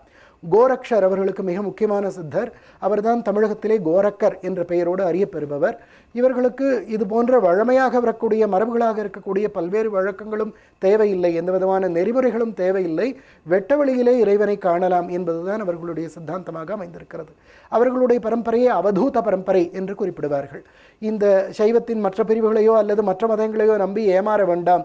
அவதூதர்களாக வந்து வெட்டவழியை பாடி அதனை மூலமாக மோட்சத்தை அடைய முடிவு செய்யுங்கள் என்று இப்படியாக அவர்களுடைய நூல்களிலே அமைந்திருக்க காணலாம். அதனையே தமிழில் இருக்கக்கூடிய சித்தர்களும் பாடியிருக்க காணலாம். சித்தர்கள் திருமூலர் முதலியோர் இருக்கக்கூடியது தந்திராலோகத்திலே பார்த்த செய்தி இது. இதனை தவிர கௌல மார்க்கம் என்கின்ற ஒரு சைவ பிரிவும் உண்டு. இது பாசுபதத்தின் கிளையாக கருதப்பெறுகிறது. விஸ்வரூபர் என்பவருடைய சீடராக ப பாவரக்தர் என்பவரால் இது உருவாக்கப்பெற்றதாக இது அறியப்பெறுகிறது. சாம்சாரிக்க குலம் என்கின்ற பெயரிலே அவர்களுடைய குலமானது. கோத்திரம் குலம் மடம் என்று சைவங்களிலே வருகின்ற எல்லா செய்தியுமே குரு பரம்பரையே குறிப்பிடும் என்று தந்திராலோகத்திலே அபினவகுப்தர் குறிப்பிடுகிறார். கோத்திரஞ்ச குரு சந்தானம் மடிகா குலம் உச்சதே என்று கோத்திரம் என்றால் குரு சந்தானம் சந்தான குரவர் என்று தமிழிலே வழங்குவது அங்கிருந்து வந்ததுதான். சந்தான குரவர் என்றால் குருவினுடைய பரம்பரை என்பது பொருள். ஆக கோத்திரம் குலம் மடம் என்பது யாவும் குருவினுடைய பரம்பரை என்று குறிப்பிடுகிறது. இங்கே சாம்சாரிக்க குலம் என்பது ஒரு குலமாக இந்த கௌல மார்க்கத்திற்கு மிக மூலமாக அமைந்தது. சித்த யோகீஸ்வரி இவர்களுடைய தெய்வமாக கருதப்பெறுகிறார் அதனைப் போலவே காப்பாளிகர்களுக்கு பைரவ வழிபாடானது மிக முக்கிய வழிபாடாக அமைந்திருந்தது. காளாமு சீடராக இருந்த கௌரவனுடைய வழிவந்ததாக கருதப்பெறுகிறது உண்மையிலேயே காளாமுகத்திற்கும் காப்பாலிகத்திற்கும் மூலமாக அமைந்தது லாகுல ஆகமங்கள் என்று வழங்கக்கூடிய லகுலீஸ்வரனுடைய வழிவந்த ஆகமங்களே ஆகும் ஆகவே இவர்கள் இந்த லகுலீச பாசுபதத்திலிருந்து கிளைத்து வந்தவர்கள் என்பதற்கு இது முக மிக முக்கிய ஆதாரமாக திகழ்கிறது. இவர்கள் கருப்பு நிற விபூதியை முகத்திலே பூசிக்கொள்வதால் காளாமுகர் கருப்பு நிற முகத்தை உடையவர்கள் என்று அறியப்பெறுகிறார்கள். இவர்களுக்கு ஆறு முத்திரைகள் இருப்பதாக ராமானுஜர் தன்னுடைய பாஷ்யத்திலே குறிப்பிடுகிறார். கண்டிகா ருச்சகம் செய்வ குண்டலம் ச சிகாமணிஹி பஸ்ம யஜ்ஞோபவீதம் ச முத்ரா ஷட்கம் பிரச்சக்ஷதே என்று ஆறு முதிரைகள் அமைந்திருக்கும். கண்டிகா கழுத்தை ஒட்டு போடக்கூடிய ஒரு மாலை ருச்சகம் என்கின்ற மற்றொரு மாலை குண்டலம் காதுகளிலே குண்டலம் சிகாமணி தன்னுடைய குடுமையிலே ஒரு சிறு மணியை தாங்குதல் பஸ்ம விபூதி யஜ்ஞோபவீதம் பூணூல் இவை யாரும் மிக முக்கியமானவை என்று குறிப்பிடுகிறார். இங்கே திருவொற்றியூரிலே அமைந்திருக்கக்கூடிய இப்பொழுது லகுலீஸ்வரர் என்று வழங்கக்கூடிய அந்த வடிவத்திலே இவையெல்லாம் பொருந்தி இருக்க காணலாம். அது காளாமுகர்களின் தட்சிணாமூர்த்தியாக இருக்கலாம் என்று நாகசுவாமி அவர்கள் கருதுகிறார். பம்பா மகாத்மியம் ஏற்ப ஏற்கனவே குறிப்பிட்டதைப் போல முருகப்பெருமானாலே கால க மகாகாலருக்கு வழங்கப்பட்டது. அதன் வழி வழியாக வந்தது என்று பம்பா மகாத்மியம் குறிப்பிடுகிறது. ஆனால் இது கௌருஷர் தொடங்கி இருக்கிறது என்பது குறிப்பிடத்தக்கது. அதில் கொடுத்துருக்கக்கூடிய பேதங்கள் காளாமுகருடைய பேதங்கள் அசிதர் காலர் காலவக்தரர் காலானனர் என்கின்ற நான்கு பிரிவுகள் இருக்கின்றன. இவர்கள் ஒவ்வொருவருக்கும் ஒவ்வொரு வ- பிரிவுகள் நெறிகள் தரப்பெற்றிருக்கின்றன. ஒருவர் மூன்று வேளை தொழுவார் ஒருவர் நான்கு வேளை ஒருவர் ஐந்து வேளை ஒருவர் ஆறு வேளை. இப்படி தொழுகைக்கான நேரங்கள் இப்படி பல்வேறு பிரிவுகள் தரப்பெற்றிருக்கின்றன. இந்த காளாமுகத்தைச் சேர்ந்தவர்கள்தான் சாளுக்கிய ராஜபரம்பரையினருக்கு ராஜகுருமார்களாக இருந்திருக்கிறார்கள் என்பது குறிப்பிடத்தக்கது. சித்தாந்த சைவம் சைவ சித்தாந்தம் என்று தமிழகத்திலே வழங்குவது இதுவும் உண்மையிலேயே தமிழகத்தை மட்டும் சேர்ந்தது அல்ல. இதனுடைய ஆச்சாரியராக நூல்கள் குறிப்பிடுவது குஹாவாசி என்பவரைத்தான் ஆச்சாரியராக குறிப்பிடுகின்றன. ஆனால் குஹாவாசிக்கு குறிப்பிட்டிருக்கக்கூடிய எல்லா செய்திகளும் பிக்ஷாட்டனருக்கே ஒத்து வருகின்றன. தாருகாவனத்திலே அவர் தெரிந்தார். அதற்கு பிறகு ரிஷிபத்னிகளை எல்லாம் அவர் வ- வசீகரித்தார். அதற்கு பிறகு அவர் மார்க்கத்தை போதித்தார் என்று கல்வெட்டுகள் கூறுகின்றன. குஹாவாசி என்பவரை பற்றி. இந்த குஹாவாசி ஒரு மானிட ஆச்சாரியராக இருக்கக்கூடும் என்கின்ற ரீதியிலும் சிலர் ஆராய்ச்சி செய்து அவருக்கு ஒரு காலத்தையும் கூட வழங்கியிருக்கிறார்கள். ஏழாம் நூற்றாண்டாக இருக்கலாம் என்று. ஆனால் உண்மையிலே இவர் பிக்ஷாட்டனர் மட்டும்தான். அவருடைய வழியிலே வந்ததாக கூறிக்கொள்கிறார்கள். வியோமசிவரனுடைய ரனோட் கல்வெட்டானது மிக சிறப்பான ஒரு கல்வெட்டாக கருதப்படுகிறது. இது சைவ சித்தாந்தத்தைச் சேர்ந்த வியோமசிவர் என்பவருடைய கல்வெட்டு. இதிலே தந்திராலோகம் குறிப்பிடக்கூடிய ஒரு செய்தி என்னவென்று கேட்டால் ஆமர்தக மடம் என்கின்ற ஒரு மட்டமானது அமைந்திருந்தது. ஆமர்தகம் என்பது கோதாவரியினுடைய கரையிலே எங்கோ அமைந்திருந்தது. எங்கே என்பது இதுவரை யாருக்கும் தெரியவில்லை. அது துர்வாசராலே உருவாக்க பெற்றது என்று அபினவகுப்தர் குறிப்பிடுகிறார். அந்த ஆமர்தக மட்டத்திலிருந்து சைவம் மூன்று கிளையாக பிரிந்தது என்று குறிப்பிடுகிறார். அது திரையம்பகர் ஆமர்தகர் ஸ்ரீநாதர் என்று மூன்று பிரிவாக பிரிந்தது என்று குறிப்பிடுகிறார். இதிலே ஒரு பிரிவு அத்வைத சைவமாகி காஷ்மீரம் நோக்கி சென்றது. இரண்டாவது பிரிவு துவைத்த சைவமாக இறைவன் வேறு ஜீவன் வேறு என்கின்ற துவைத்த சைவமாக தமிழகம் நோக்கி வந்தது. மூன்றாவது பிரிவானது துவைதாத்வைத சைவமாக கௌடம் நோக்கி சென்றது என்று அவர் குறிப்பிடுகிறார். துர்வாசராலே உருவாக்க பெற்று மூன்றும் மூன்று பிரிவுகளாக சென்றன என்று அபினவகுப்தர் குறிப்பிடுகிறார். ஆமர்தகம் மத்தமயூரம் மாதுமதேயம் என்று அந்தந்த இடங்களை வைத்துக்கொண்டு இதற்கு பல்வேறு பெயர்களும் கூட வழங்குகின்றன. ஆமர்தகம் என்கின்ற அந்த பிரிவிலே ஆமர்தக தீர்த்தநாதர் ருத்ரசம்பு ஆகிய ஆச்சாரியர்கள் மிக தேர்ந்த ஆச்சாரியர்களாக இருந்தார்கள். இவர்கள் ராஜபுத்தனம் கர்ஹத் கர்நாடகம் முதலிய இடங்களிலே இவர்கள் ராஜகுருமார்களாக திகழ்ந்தார்கள். கங்கன சிவர் மூன்றாம் கிருஷ்ணனுடைய காலத்திலே ராஷ்டிரகூட்டர்களுக்கு ராஜகுருவாக திகழ்ந்தார். அதனைப் போலவே இங்கே சோழர்களுக்கும் ராஜகுருவாக ஈசான சிவர் சர்வசிவர் முதலியோர் இருந்ததையும் நாம் பார்க்கிறோம். தமிழகத்திலே ஏழாம் நூற்றாண்டு தொடங்கி அனந்த சிவர் மேலும் மதுசூதன சிவர் என்று பல்வேறு சிவாச்சாரிய பரம்பரைகளை பார்க்கிறோம். கல்வெட்டு தொடங்குகின்ற கோயில் கல்வெட்டுகள் தொடங்குகின்ற முதல் நூற்றாண்டிலேயே இந்த சிவர் என்கின்ற பெயர்கள் தமிழகத்திலே இடம்பெற்று விடுகின்றன. அதனைப் போலவே அவர்கள் வாரணாசி மத்தமையூர் முதலிய பல்வேறு இடங்களிலே எல்லா ராஜ பரம்பரைகளுக்கும் குருமார்களாக திகழ்ந்தார்கள் என்று பல்வேறு நூல்கள் நமக்கு விளக்குகின்றன. அதனைப் போலவே தங்களுடைய ராஜ்யத்தையே அவர்களுக்கு அர்ப்பணித்ததாகவும் பல்வேறு கல்வெட்டுகள் குறிப்பிடுகின்றன. குறிப்பாக அவந்திவர்மன் அல்லது அவனிவர்மன் என்று பெயர் இருக்கக்கூடிய ஒரு அரசனானவன் மத்தமயூரம் என்கின்ற தன்னுடைய முழு சாம்ராஜ்யத்தையும் தன்னுடைய சைவ சித்தாந்தத்தைச் சேர்ந்த குருவுக்கு அர்ப்பணித்தான் என்று குறிப்பிடுகிறது. வாமதேவர் அல்லது வாமசிவர் என்று அறியக்கூடியவர் அவரை கல்வெட்டுகள் குறிப்பிடும்போது பரமபட்டாரக மகாராஜாதிராஜ வாமதேவர் என்றே குறிப்பிடுகிறது. ஆகவே தங்கள் ராஜ்யத்தையே முழுமையாக அர்ப்பணித்தார்கள். அந்தந்த சைவ சித்தாந்த குருமார்களுக்கு அர்ப்பணித்து அவர்களை குருமார்களாக பிறந்தார்கள் என்று பல்வேறு செய்திகள் நமக்கு தருகின்றன. அதனைப் போலவே இங்கே அகோர சிவாச்சாரிய பத்ததியிலும் கூட அவர்கள் பல்வேறு காசி முதலிய பல்வேறு இடங்களிலே குருமார்களாக திகழ்ந்தமை லாட்ட தேசம் கௌட தேசம் போன்ற பல்வேறு தேசங்களிலும் இருந்தமை கூட குறிப்பிடப்பெற்றிருக்கிறது. மத்தமயூரம் மத்தமயூரநாதர் இது மாளவம் அல்லது பஞ்சாபை அடுத்த பகுதிகளாக இருக்கலாம் என்று அறியப்பெறுகிறது. அவந்திவர்மா அல்லது அவனிவர்மா என்று அறியப்பெறுகின்ற ஒரு அரசனானவன் அவரை பற்றி இருக்கக்கூடிய செப்பேடு ஆயிரத்தி பத்தைச் சேர்ந்தது. ஸ்ரீ மத்தமயூர அன்வயாந்தர்கத கர்க்கரோணி சந்தான குருக்கிரமாயாத்த சித்தாந்த தத்துவாதி என்று மத்தமயூரத்தை உள்ளடக்கிய ச- இந்த இந்த சந்தானத்தைச் சேர்ந்த குருவின் பரம்பரையைச் சேர்ந்தவர்கள் என்ற குறிப்பானது அங்கே நமக்கு காண கிடைக்கிறது. மாதுமதேயத்திலே பவனசிவர் என்பவர் மிக முக்கியமான ஒரு சிவாச்சாரியராக திகழ்ந்தார். குர்கி பில்ஹரி பிரபாவ சிவர் என்பவர் சத்பாவ சிவர் இவர்கள் யாவரும் கலச்சூரி மன்னவர்களுக்கு ராஜகுருமார்களாக திகழ்ந்தவர்கள். மாதுமதேயம் அதனைப் போலவே வாரணாசியில் பிரபோத சிவரின் குர்கி கல்வெட்டு மிக முக்கியமானதாக கருதப்பெறுகிறது அதிலே குமாரசிவர் என்பவரும் குறிப்பிடப்பெற்றிருக்கிறார். ருத்ரசிவன் புரந்தரர் பாவனசிவர் முதலியோரும் பஞ்சாபிலிருந்து தமிழகம் வரையிலே இவர்களுடைய நீட்சியானது மிக பெரியதாக அமைந்திருந்தது. இந்த சைவ சித்தாந்த மார்க்கமானது அமைந்திருந்தது என்பதை நாம் இங்கே குறிப்பிடுகிறோம். அதனுடைய நீட்சியானது இவ்வளவு அமைந்திருக்கிறது. மிருகேந்திர விருத்தி மற்றும் மதங்க பரமேஸ்வர விருத்தி முதலிய ஆகமங்களினுடைய விருத்தியும் கூட பல்வேறு இடங்களிலிருந்தும் எழுத பெற்றிருக்கின்றன. கோலக்கி மட்டம் என்பது ஒரு குறிப்பிட்ட மட்டத்தைச் சேர்ந்தது. அது பிற்காலத்திலே தமிழகத்திலேயும் கூட கோலக்கி மட்டங்கள் குறிப்பிடப்பெற்றிருக்கின்றன. இதனைப் போலவே பிரபாவ சிவர் என்பவர் மிக முக்கியமான சைவத்திலே தமிழகத்திலே சைவம் சைவ சித்தாந்தம் தழைத்தோங்க பிரபாவ சிவர் என்பவர் மிக முக்கியமான ஆச்சாரியராக கருதப்பெறுகிறார் அதனைப் போலவே சைவ ஆகமங்களானது இருபத்தெட்டு ஆகமங்கள் மூல ஆகமங்களாக திகழ்கின்றன. அதற்கு பத்ததி நூல்களாக பதினெட்டு நூல்கள் திகழ்கின்றன. உக்ரஜோதி சத்யோஜோதி சத்யோ ஜோதி முதலிய சிவாச்சாரியர்கள் அதில் இருக்கும் நெறிப்படி எப்படி நடந்து கொள்வது என்பதை பத்ததி நூல்களாக ஏற்றியிருக்கிறார்கள். அதை தவிர சோமசம்பு பத்ததி வாமதேவ சிவாச்சாரிய பத்ததி முதலிய நூல்களும் நமக்கு கிடைக்கின்றன. இதனை தவிர அஷ்டப்பிரகரணம் என்கின்ற எட்டு நூல்கள். இந்த எட்டு நூல்கள் தான் சைவ சித்தாந்தத்திற்கு மூல நூல்கள் ஆகமம் என்றால் அவற்றின் மெய்யியலாக மூல நூல்களாக அமைபவை. இந்த எட்டு நூல்களை தவிர இங்கே தமிழிலே இயற்றப்பட்ட உண்மை நெறி விளக்கமோ அல்லது சங்கல்பனிக நிராகரணமோ போன்ற நூல்கள் மூல நூல்கள் அல்ல. மூல நூல்கள் ஆகம நூல்கள் ஆகமத்தில் இருக்கக்கூடிய ஞானபாதம் அல்லது வித்யாபாதத்தை ஆதாரமாக கொண்டு இந்த எட்டு நூல்கள் இயற்றப்பெற்றன.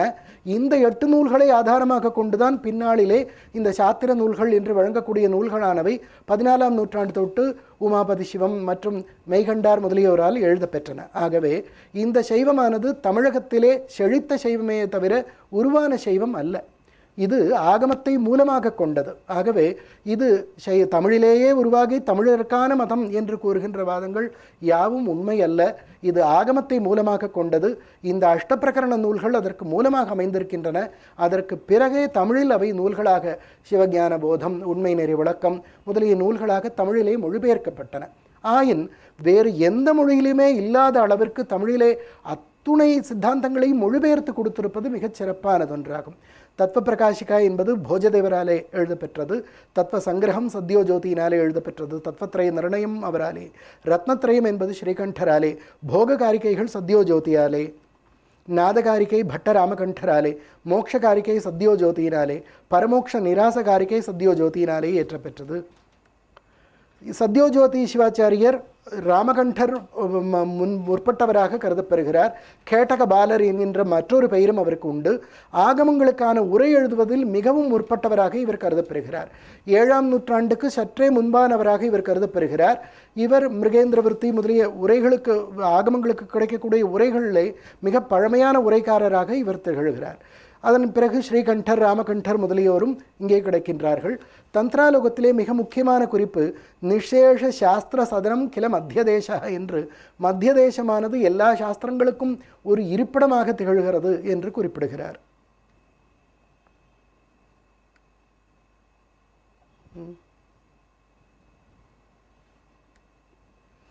அதனைப் போலவே ஆகமங்களிலே சரியா கிரியா யோகம் ஞானம் என்கின்ற நான்கு பாதங்கள் இடம்பெற்றிருக்கின்றன.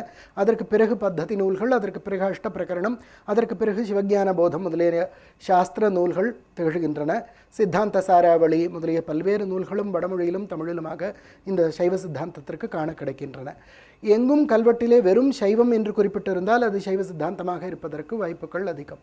சைவ சித்தாந்தம் என்ற சொல்லோடே கைலாசநாதர் கோயிலிலே முதல் கல்வெட்டு காண கிடைக்கிறது. அதற்கு முன்பும் கூட சைவம் என்ற பெயரோடு பல்வேறு இடங்களிலே காண கிடைக்கிறது. முதலாம் பரமேஸ்வரனுடைய கூரம் செப்பேடு அனந்த சிவன் என்கின்ற முதல் பெயரை தருகிறது. ஒரு கோயிலினுடைய கற்கோவிலினுடைய உருவாக்கம் ஏழாம் நூற்றாண்டிலே இருக்கிறது. அதற்கு முன்பிருந்த தரவுகள் நமக்கு இல்லை.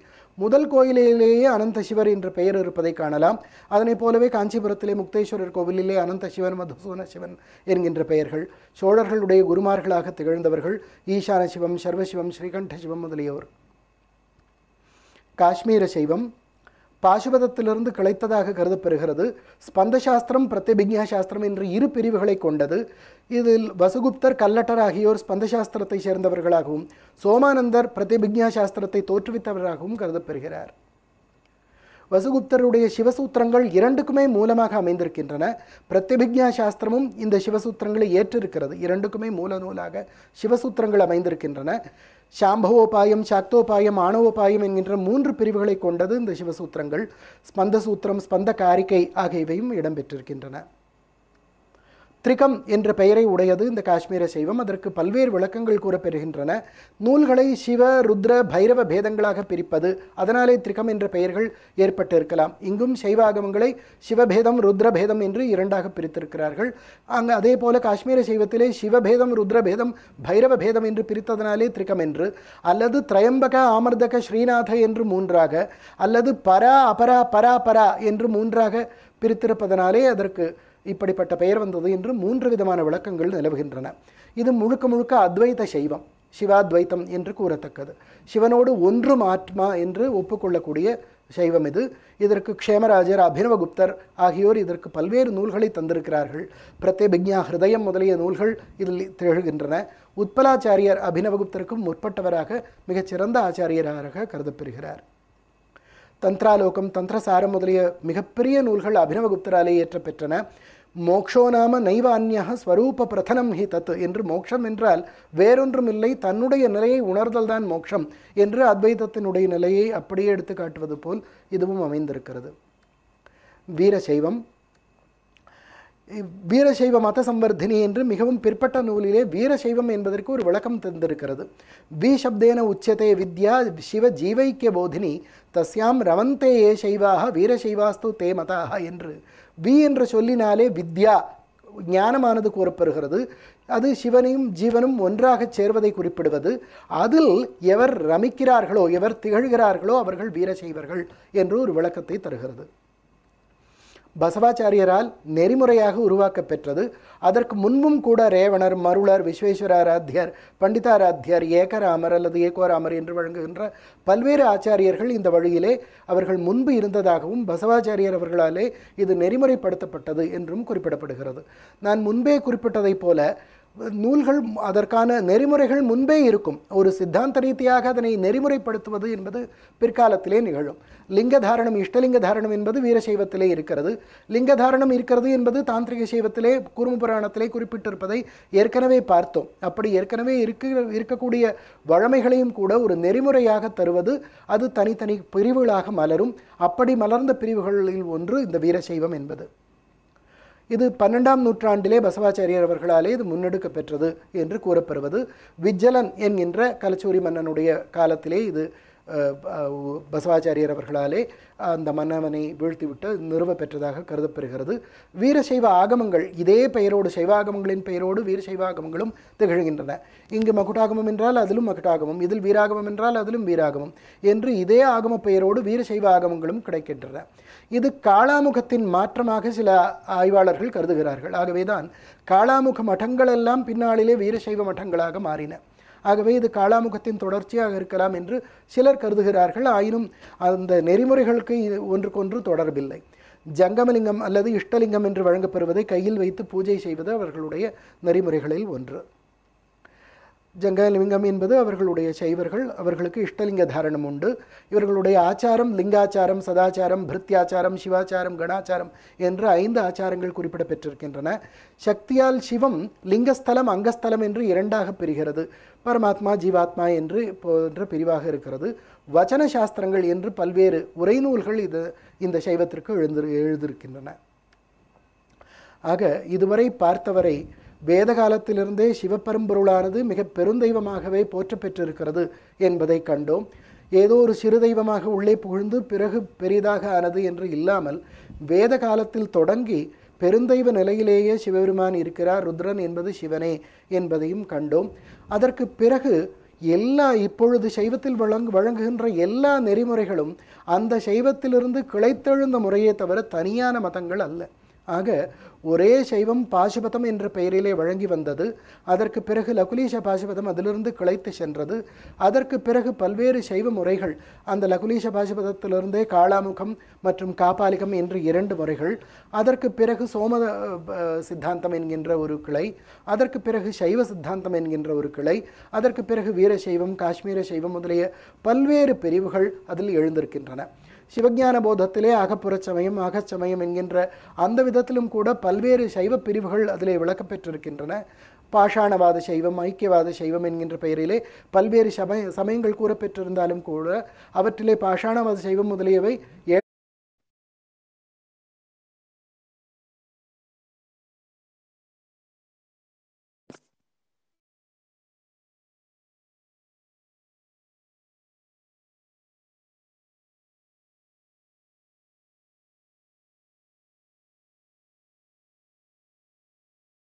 ரைட் அனைவருக்கும் வணக்கம். இந்த முழுமையான ஒரு பேச்சை நீங்கள் அனைவரும் கேட்டிருப்பீர்கள். இப்பொழுது இதை குறித்து மேலும் விவாதிப்பதற்காக இதில் பல்வேறு கேள்விகளையும் அஹ், கேட்டு தெளிவு பெறுவதற்காக அஹ், நம்முடைய திரு சங்கர் நாராயணன் அவர்கள் வந்துள்ளார். இந்த வீடியோ நேற்று எடுத்தது. அதை என்ற அந்த கோட்பாடுகளை கொண்டு பிரிந்திருக்கிறதை ஒழிய இவை தனித்தனி மதங்கள் அல்ல.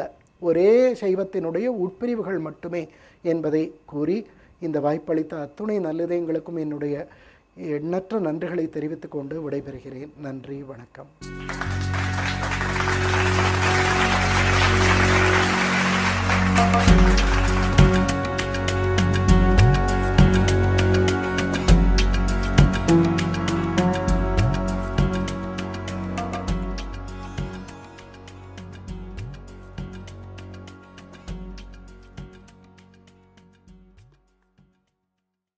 Questions-ஐ அனுப்பிய அனைவருக்கும் எங்களுடைய முதல் நன்றி. அதற்கு பிறகு இந்த ஜூரி கமிட்டி ஒன்று உருவாக்கியிருந்தோம். அதில் ஆறு மெம்பர்ஸ் இருந்தாங்க. அவர்களுக்கு எங்களுடைய அடுத்த நன்றி. இந்த அவார்டுக்காக ஸ்பெஷலாக ஓவியர் மணியம் செல்வன் அவர்கள் வந்து எல்லோரா கைலாசநாதர் கோவிலை ஒரு ஓவியமாக தீட்டி தந்திருக்கிறார். அது யுனிக் இதற்கென்றே அவர் செய்து கொடுத்தது. அது அவர் சென்ற ஆண்டும் அவர் மகாபலிபுரத்தை இந்த மாதிரி அந்த விருதில் வருவதற்கான ஒரு ஓவியமாக தீட்டி தந்திருந்தார். அவருக்கு எங்களுடைய நன்றி. இந்த சிறப்பு சொற்பொழிவு நேற்று ஆர்கே ராமகிருஷ்ணன் அவர்களுடைய ஆர்கே கன்வென்ஷன் சென்டரில் நடைபெற்றது.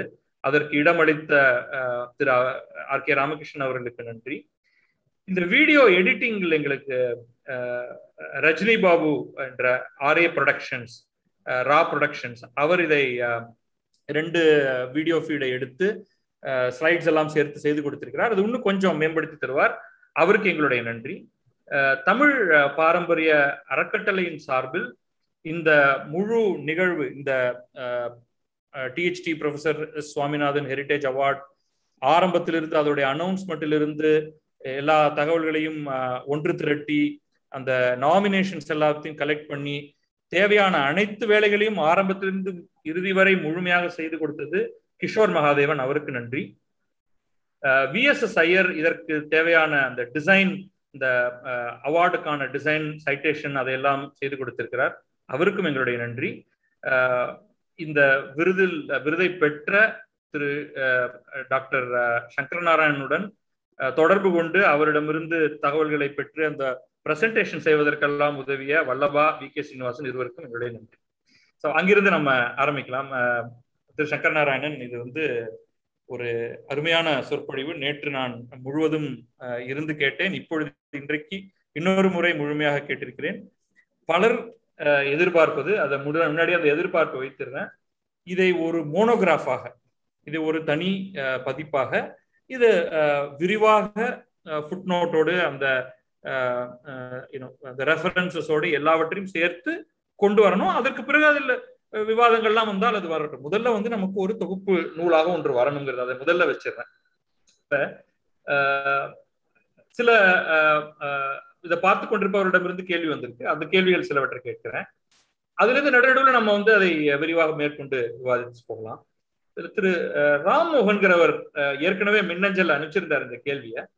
இது கொஞ்சம் ஒரு ஒரு டெப்த் இல்லாத மாதிரி கூட இருக்கலாம் பட் இருந்தாலும் அதை கேட்டுருவோம் அதை.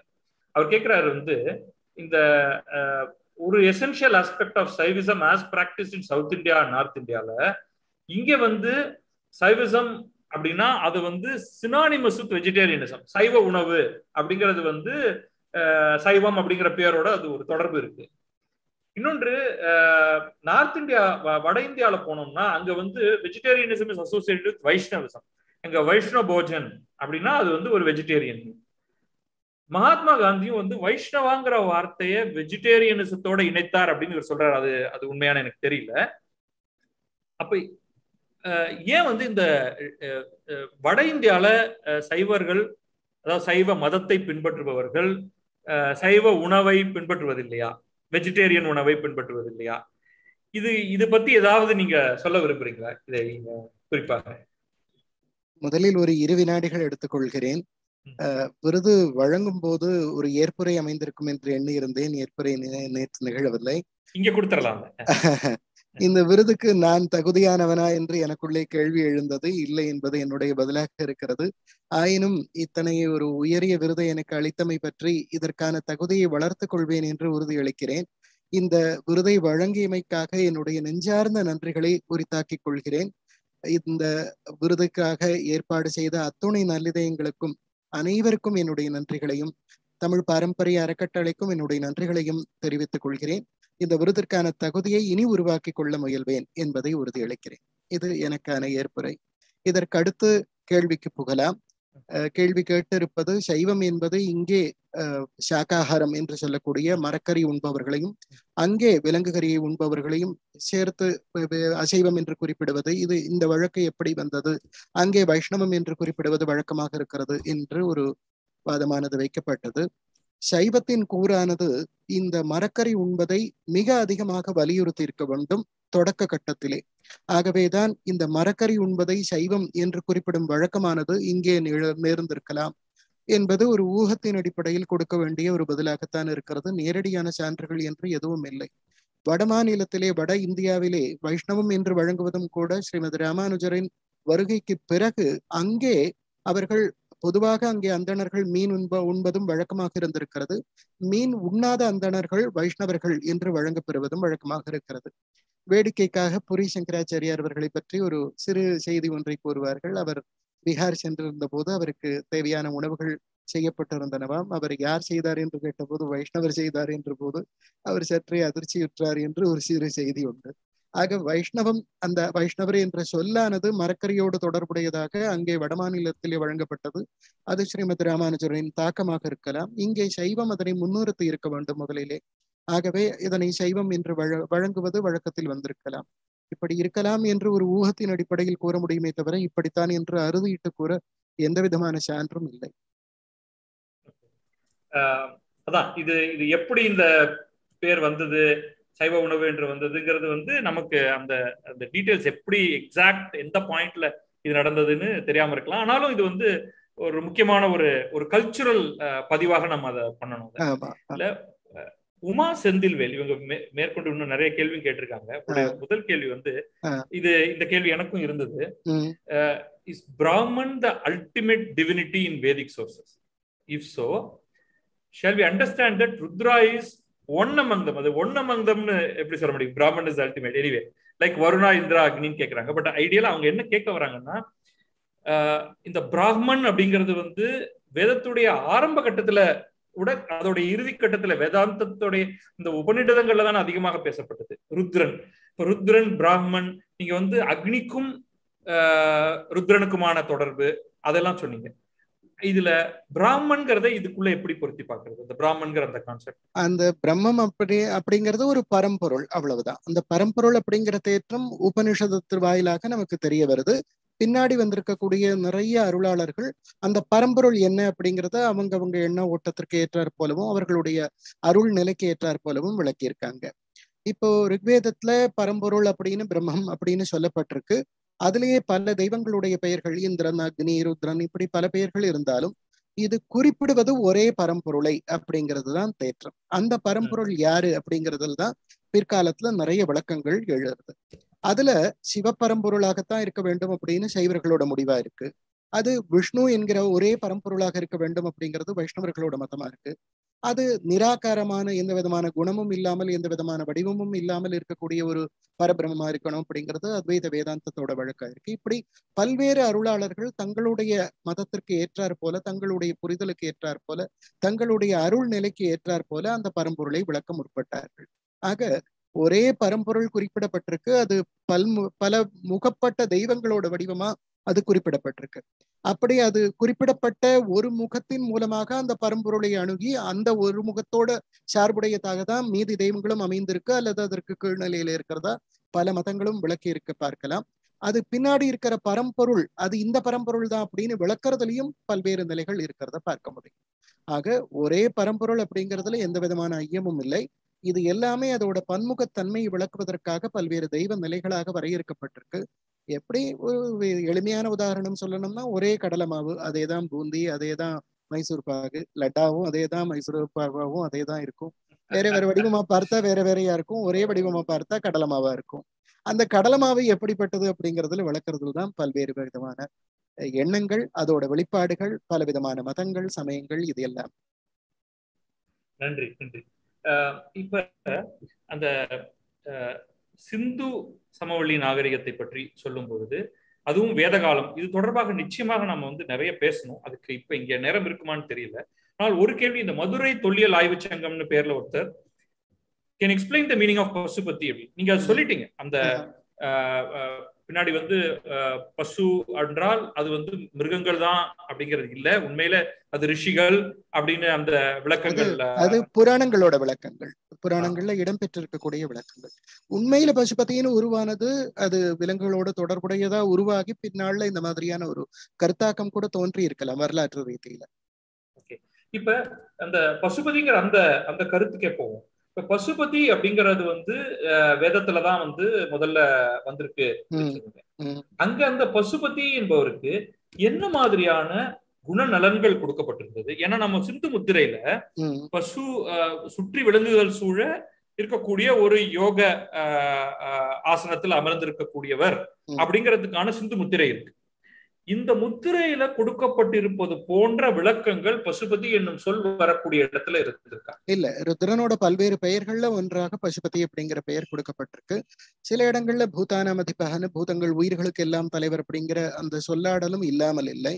ஆனா இது நேரடியா விலங்குகளோடு தொடர்புடையது அப்படின்னு வேதங்கள்ல இருந்து விளக்கறதுக்கு நேரடியான முகாந்திரம் ஒண்ணும் இல்லை ஆனால் பின்னாடி அந்த தட்சிணாமூர்த்திக்கான அந்த ஐக்கனோகிராஃபியை. பார்க்கும் பொழுது அதற்கான தொடர்பு நன்றாக இருக்கு. அது புரியுது.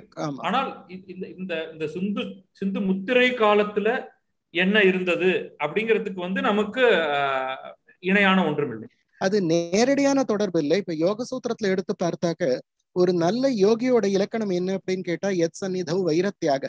எவருடைய முன்னிலையிலே பகமை மறைந்து போகுமோ அவர்தான் நல்ல யோகி.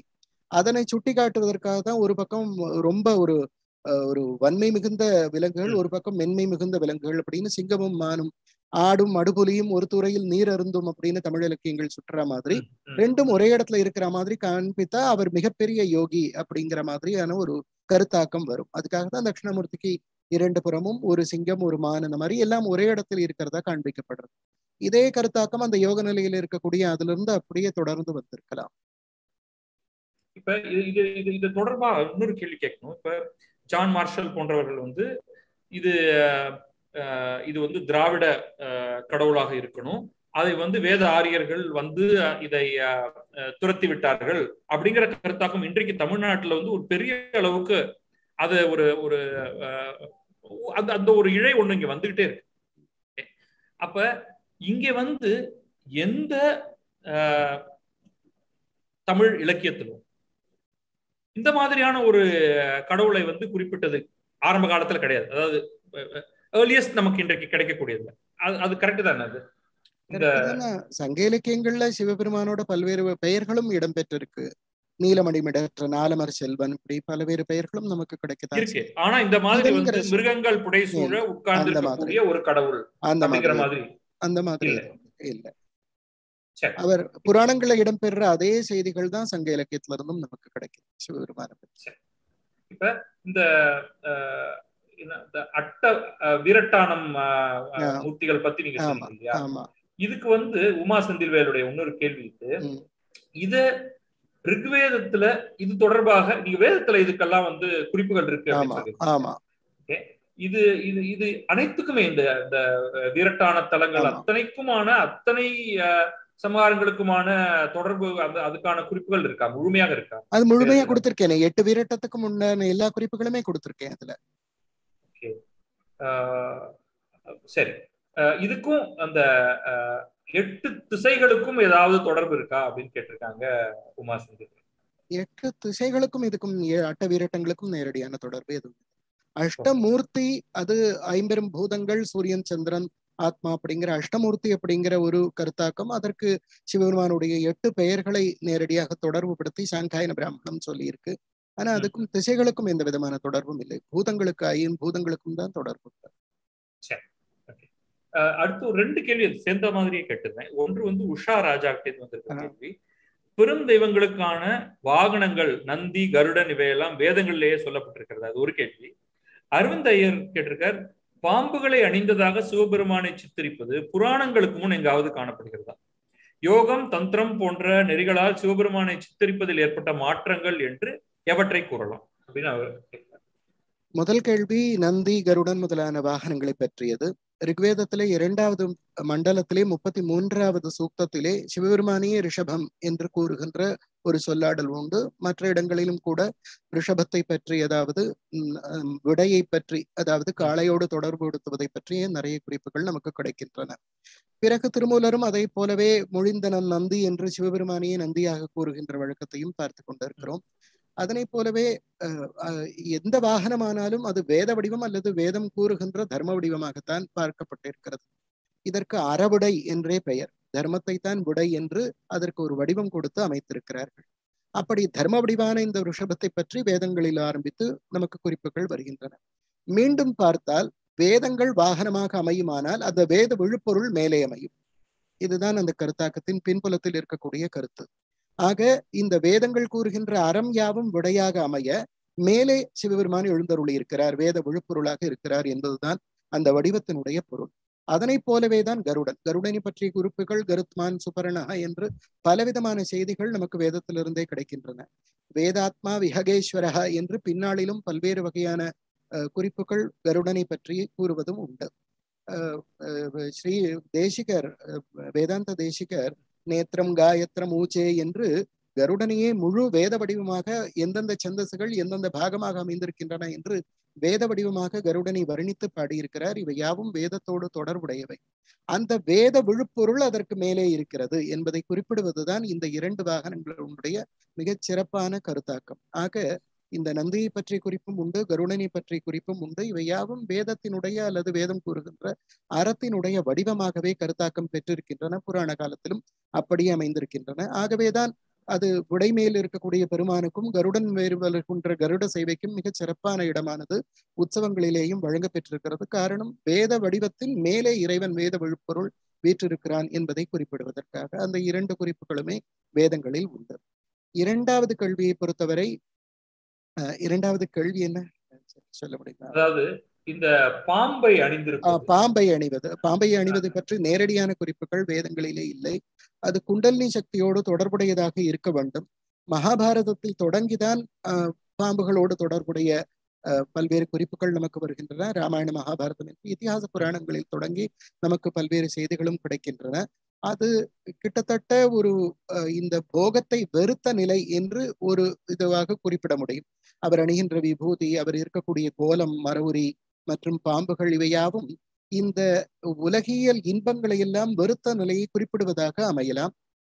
மற்றொன்று குண்டலினி சக்தியின் வெளிப்பாடாக அமைய வேண்டும் என்று இரண்டு விதமான விளக்கங்கள் கூறப்பெறுகின்றன. இந்த யோக நிலைகள் யாவுமே புராண காலங்களிலிருந்து நமக்கு கிடைக்கின்றன. அதற்கு முன்பும் கூட அவர் அஹ், பழுப்பு நிற சடையோடு இருப்பதும் மற்ற கோலங்களும் கூட வேதங்களில் ரிக்வேதத்தில் தொடங்கி நமக்கு கிடைக்க தொடங்குகின்றன. ஆகவே அவருடைய யோக வடிவமானது வேதத்திலிருந்தே நமக்கு விளக்கப்பெற்றிருந்தாலும் புராண காலத்திலே இன்னும் குண்டல்னி முழு முதலிய பல்வேறு யோக செய்திகளோடு இணைந்து நமக்கு கிடைக்கிறது. அதான் அதான் அதுதான் வந்து அரவிந்தையருடைய கேள்வி. இந்த யோகம் தந்திரம் போன்ற நெறிகளால் சிவபெருமானை சித்தரிப்பதில் ஏற்பட்ட மாற்றங்கள் என்று எவற்றை கூறலாம்? மாற்றம் மாற்றம்னு சொல்ல முடியாது. ஏன்னா ஆரம்ப. காலத்திலிருந்தே அவர் சடைமுடியோடு மரபுரியோடு இருக்கிற செய்தி எல்லாம் வேதங்கள்ல இருந்தே கிடைக்குது. அதற்கு பிறகு அதோட விரிவாக்கம்னு தான் சொல்ல முடியுமே தவிர மாற்றம்னு சொல்ல முடியாது. சரி அடுத்து அவரிடமிருந்து அது- அந்த இதிகாசங்களோட குறிப்புகள் நமக்கு கொடுக்கறது என்ன அப்படின்னு கேட்டா சிவபெருமானும் திருமாலும் பேசிக்கிற மாதிரி மகாபாரதத்துல ஒரு கட்டம். நான் தீயின் வெம்மை என்றால் நீர் நீர்மை நீர் நீர்மை அப்படின்னு சொல்ற மாதிரியான ஒரு கட்டம். இரண்டுமே வாழ்க்கையினுடைய இரண்டு நிலைகள் அவ்வளவுதான். இது தீயினுடைய வெம்மை அது நீரினுடைய நீர்மை. ஆக இந்த இரண்டுமே ஒரே விதமான ஒரு ஒரு பரம்பொருளின் வடிவங்கள் தான் அப்படின்றது மகாபாரதத்தினுடைய விளக்கமாக இருக்கிறது. ஆக இது முழுக்க முழுக்க போகத்தில் ஈடுபடுகிறது என்றால் இது முழு முழுக்க முழுக்க யோகத்திலே ஈடுபடுகிறது. வாழ்க்கையின் நிலைகளை காட்டுவதற்காக இப்படிப்பட்ட தெய்வங்களினுடைய வழிபாடு. அடுத்தது ஆஹ் அரவிந்த் இன்னொரு கேள்வி கேட்டிருக்காரு. வடமொழியில் ஈஸ்வர என்ற பெயரும் தமிழில் ஈசன் என்ற பெயரும் பொதுவாக இறைவன் என்ற பொருளில் மட்டும் பயன்படாமல் எப்போதிலிருந்து சிவபெருமானை தனித்த முறையில் குறிப்பிட தொடங்கின? அது கிட்டத்தட்ட ஒரு பிற்காலத்திலிருந்து ஒரு பாணினிக்கு பிறகு ஆரம்பித்திருக்கலாம். மகேஸ்வரன் என்ற பெயர் சிவபெருமானுக்கு. ஈசான சர்வ வித்யானாம் என்று வேதங்களிலும் குறிப்பிட்டிருந்தாலும் கூட அந்த ஈசானன் என்ற சொல்லுக்கு திருமால் என்று வைஷ்ணவர்கள் பொருள் கொள்வார்கள் சிவன் என்று சைவர்கள் பொருள் கொள்வார்கள். இப்படி பொருள் கொள்வதிலே பொருள் கோடலிலே அவரவர் மதத்திற்கு ஏற்றார் போல பொருள் கொள்வார்கள். உலகியல் சம்ஸ்கிருதத்திலே அதாவது கிளாசிக்கல் லாங்குவேஜ் என்று கூறக்கூடிய செவ்வியல் மொழியிலே மகேஸ்வரன் என்ற சொல் ஈஸ்வரன் என்ற சொல் தொன்று தொட்டு வழங்கி கொண்டு வருகிறது. பரதரும் நாட்டிய சாஸ்திரத்திலே பிதாமக மகேஸ்வரவு என்று பிரம்மனையும் சிவபெருமானையும் குறிப்பிடும்போது மகேஸ்வரன் என்றுதான் குறிப்பிடுகிறார். அமரகோஷத்திலே சிவபெருமானுக்கான பல்வேறு பெயர்களை ஒருங்கே தரும்போது அங்கே ஈஸ்வரக சர்வ ஈசானக என்று ஈஸ்வரன் என்ற பெயர் சிவனுக்கான பெயராக அவரும் குறிப்பிடுகிறார். ஆக செவியல் மொழி வரும்போது ஈஸ்வரன் என்ற சொல் சிவனோடு தொடர்புடையதாகவே அதிகமாக அறியப்பெற்றது என்று கொள்ளலாம். ஆனா வேதம் உபனிடத ஆஹ் அதோடைய பொருள் வந்து வேதம் உபனிஷதம் அது எல்லாருக்குமே பொதுவானது. அதுக்கு விளக்கம் முற்படும் போது அந்தந்த மதத்துக்கு ஏத்த மாதிரியான விளக்கங்கள் தான் நமக்கு கிடைக்கும். கிருஷ்ணகுமார் இது நீங்க உங்களுடைய அந்த ஒரு இடத்துல வந்து லிங்க வழிபாட்டுல வந்து வெவ்வேறு புராணங்கள் வேறு வேறு விதமாக வித்தியாசமாக குறிப்பிட காரணம். நீங்க மூன்று விதமான லிங்க வழிபாட்டுடைய இதை சொல்லும் பொழுது அது ஆணுறுப்பை ஆஹ் காட்டுவது. அப்புறமா வந்து ஒரு தீ கீழிருந்து மேலாக விஸ்வரூபமாக இருக்கக்கூடிய ஒரு ஸ்கம்பத்தை குறிப்பிடுவது. அப்புறம் ஆகாசத்தை குறிப்பிடுவது. இப்படி வெவ்வேறு விதமாக குறிப்பிட காரணம் என்ன? இது காரணம் சொல்ல முடியுமான்னு தெரியல. அது இருக்குன்னு தான் சொல்ல முடியும். பட் அதோடைய கிருஷ்ணகுமாருடைய கேள்வி. இந்த ஒரு செய்திக்கு மட்டும் இல்லை எல்லா செய்திக்குமே புராணங்கள்ல பல வகையான விளக்கங்கள் இருக்கும். ஒரே செய்தி இருந்தாலும் கூட அதுக்கு பல்வேறு வகையான விளக்கங்கள் இருக்கும். புராணப்படி அதை பார்த்தா அது வேற வேற கல்பங்கள்ல வேற வேற மாதிரியான வடிவங்கள் அப்படின்னு புராணம் ஓரியன்டா ஒரு மரபு வழி சிந்தனையா சொல்லணும்னா அப்படி சொல்லணும். ஆனா ஒரு ஆய்வாளரா அதை பார்த்தாக்க புராணங்கள்ல எப்பவுமே ஒரே செய்திக்கு பல்வேறு விளக்கங்கள் கொடுக்கப்பட்டிருக்கும். ஒரே மாதிரியான விளக்கங்கள் இருக்காது. நிறைய விளக்கங்கள் நிறைய செய்திகளுக்கு இருக்கும். இங்க அந்த உரையில விடுபட்டு போன ஒரு செய்தி இங்க சேர்த்துக்கிறேன்னா இந்த லிங்க வழிபாடு அப்படிங்கிறது முழுக்க முழுக்க திராவிடர்களோடது அப்படிங்கிறதுக்கு கொடுக்கக்கூடிய இன்னொரு ஒரு கருத்து என்னன்னு கேட்டா சிஷ்ணதேவர் அப்படின்னு ரிக்வேதத்துல இடம்பெற்றிருக்கக்கூடிய ஒரு சொல். இந்த சொல்ல அவர்கள் மொழிபெயர்க்கும் போது சிஷ்ணம்னா ஆணுறுப்பு அப்படின்னு அர்த்தம். ம். சிஷ்ணதேவர்னா சிஷ்ணத்தையே தேவனா வைத்திருக்கக்கூடிய மக்கள் அப்படின்னு பொருள். வேதங்கள்ல நிறைய இடங்கள்ல சிஷ்ணதேவர்களை புறந்தள்ளிய இந்திரன் சிஷ்ணதேவர்களை வென்றெடுத்த இந்திரன் அப்படின்னு இந்திரனை குறிப்பிட்டிருக்கிறதுனால அது அங்கிருந்த வேத ஆரியர்களுக்கு எதிரானவர்களை குறிப்பிடுவது அது திராவிடர்கள் அப்படிங்கிற ஒரு கருத்து முன்வைக்கப்பட்டது. இதுல பார்க்க வேண்டியது என்னன்னு கேட்டா யாஸ்கர் பாணினிக்கு முற்பட்டவர் அப்படிங்கிறத உரையிலேயே குறிப்பிட்டிருந்தேன். அவர் சிஷ்ணதேவர் அப்படின்னா ஆணுறுப்பையே தெய்வமாக கொண்டாடுபவர்கள் காமுகர்கள் பிரம்மச்சரியம் அற்றவர்கள் அப்படின்னு ரொம்ப தெளிவா சொல்லியிருக்கார். ஆனா இவங்க அதை குறிப்பிட்டு ஆனாலும் கூட இது வேறு மக்களாக இருக்கலாம் அப்படின்னு பின்னாடி பண்டார்கர் குறிப்பிடுறார். ஜான் மார்ஷல் கிருஷ்ணதேவர் திராவிடர்கள் அப்படின்னு முழுவதும் முடிஞ்ச முடிவா எழுதியாச்சு. பண்டார்கர் இந்த குறிப்பையும் கொடுத்து ஆனாலும் அதை எப்படி கருதுவதற்கு இடம் இல்லை அப்படிங்கிற ஒரு பொருளை அவர் தர. இதுல பார்க்க வேண்டிய விஷயம் என்ன அப்படின்னு கேட்டாக்க மிக பழமையானது யாஸ்கரோடது. அது ஒரு பக்கம் இருக்கட்டும். இப்போ தஸ்யூக்கள் அப்படிங்கிறது வேற இனத்தை சேர்ந்தவர்கள் அப்படிங்கிறது சில பேரோட கருத்தா இருக்கு. அதாவது ஓரளவுக்கு ஒத்துக்க முடியும். ஏன்னு கேட்டா தஸ்யூக்களிடமிருந்து எங்களை காப்பாற்று அப்படின்னு சமகாலமா சொல்லியிருக்கு. ஆனா சிஷ்ணதேவர்களை சமகாலமா சொல்லாம இந்திரன் வென்றான் இந்திரன் அவர்களை புறந்தள்ளினான் அப்படின்னு எப்போ நிகழ்ந்த கதையா சொல்லியிருக்கே தவிர இப்பொழுது சமகாலத்திலே அந்த பாடல் பாடியவர்கள்னு வைத்துக் கொண்டால் கூட அவர்களுக்கு சமகாலத்திலே வாழ்பவர்கள்னு சொல்லப்படவே இல்லை. ஆக இப்படிப்பட்டவர்கள் வந்து என்னை காப்பாற்றுன்னு சொன்னா கூட அந்த மனிதர்களுக்கு சமமாக வாழ்ந்தவர்கள் அவர்கள் வேறு இனத்தை சேர்ந்தவர்கள்னு சொல்றதுக்காவது ஒரு இது இருக்கும் இந்திரனுக்கு சமகாலமா சொல்லி இந்திரன் வென்றான் இந்திரன் புறந்தள்ளினான் அப்படின்னு சொல்ற மக்களை இவங்களுக்கு சமகாலமா வச்சு அது வேற இனத்தை சேர்ந்தவர்கள் அப்படின்னு சொல்றது எவ்வளவு தூரம் பொருத்தமாயிருக்கும் அதுக்கு இப்படி மரபு வழியா இவ்வளவு விளக்கங்கள் வரும்போதும் இதையெல்லாம் புறந்தள்ளிட்டு இப்படி ஒரு கண்ணோட்டத்துல பார்க்கறது எப்படி சரியா இருக்கும் அப்படிங்கிறது எனக்கு புரியவே இல்லை. இப்படிதான் கருத்தாக்கங்கள்ல இல்ல இந்த இடத்துல நீங்க sir John Marshall Max Muller அவர்களுடைய அப்புறம் பண்டார்கர் இந்த மூணு பேர்களை ஸ்பெசிபிக்கா குறிப்பிட்டு சொல்லியிருந்தாங்க அவர்களுடைய சில வாதங்களை வைத்து அதை மறுக்கக்கூடியதாக. நிச்சயமாக இது வந்து ஆஹ், ஆராய்ச்சி தளத்துல பல கட்டுரைகள் இதெல்லாம் வந்திருக்கும். அந்த இந்த நூறு ஆண்டுகளுக்கு முன்னால இவர்கள் எழுதியது. அதை ஏற்றுக்கொண்டு ஒரு அதை தொடர்ந்து அதை மீண்டும் விரிவாக்கி எழுதியவர்கள் அதை மறுத்து எழுதியவர்கள் அப்படின்னு அப்ப இன்றைக்கு ஆராய்ச்சி தளத்துல வெளிநாட்டுல இருக்கக்கூடிய ஆராய்ச்சியாளர்கள் எல்லாம் பெரும்பாலும் எதை முன்வைக்கிறார்கள்? இந்தியாவில் இருக்கக்கூடிய ஆராய்ச்சியாளர்கள் எதை முன்வைக்கிறார்கள்? அதுக்கப்புறமா அரசியல் தளத்துல வந்த உடனே எதை முன்வைக்கிறார்கள் அப்படின்னு ஒரு கேள்வி வருது. இது இதை பத்தின ஒரு ஒரு பொதுவான ஒரு கருத்தை உங்கள்கிட்ட நான் எதிர்பார்க்கிறேன். இது இது. இது- சொல்லுங்க சார் என்ன அப்படின்னா ஜான் மார்ஷல் அவங்கெல்லாம் தொடங்கும் போது அவங்க ஏதோ ஒரு பின்னாடி மனசுல ஏதாவது ஒரு கருத்து வச்சோ இல்ல அதை பிறச்சு பிறண்டு சொல்லணும் அப்படின்னோ இல்ல அது மாறுபாடான கருத்தை சொல்லணும்னு அவங்க நினைச்சு சொன்னதா என்னோட கருத்து இல்ல. அவங்க காலத்துல கிடைச்ச தரவுகளை வச்சு அவங்களால அப்படிதான் மொழிபெயர்க்க முடிஞ்சது.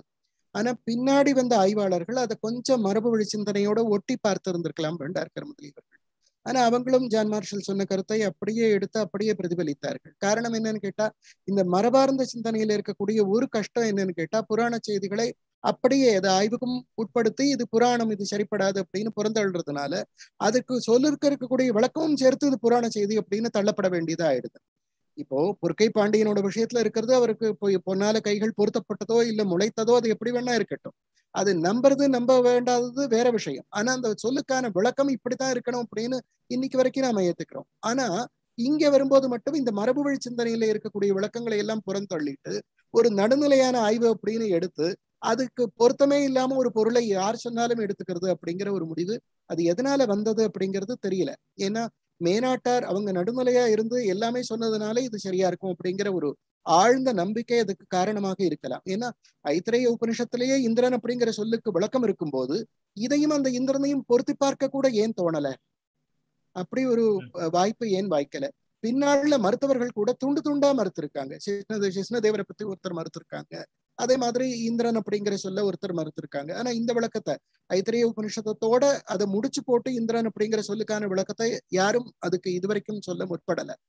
இது முதன்முறையா நான் இங்க சொல்லியிருக்கேன். இப்படி அதை துண்டு துண்டா மறுத்திருக்காங்களே ஒழி அது எல்லாத்தையும் ஒன்னா சேர்த்து இது இப்படி இருக்க முடியும் அப்படிங்கிற ஒரு முழு படம் இது வரைக்கும் எதுவும் வெளிவரல. அதுதான் இருக்கக்கூடிய கஷ்டம். இல்ல இது தொடர்பா? ஒரு ரெண்டு புள்ளிகளை தொடணும்னு நினைக்கிறேன்.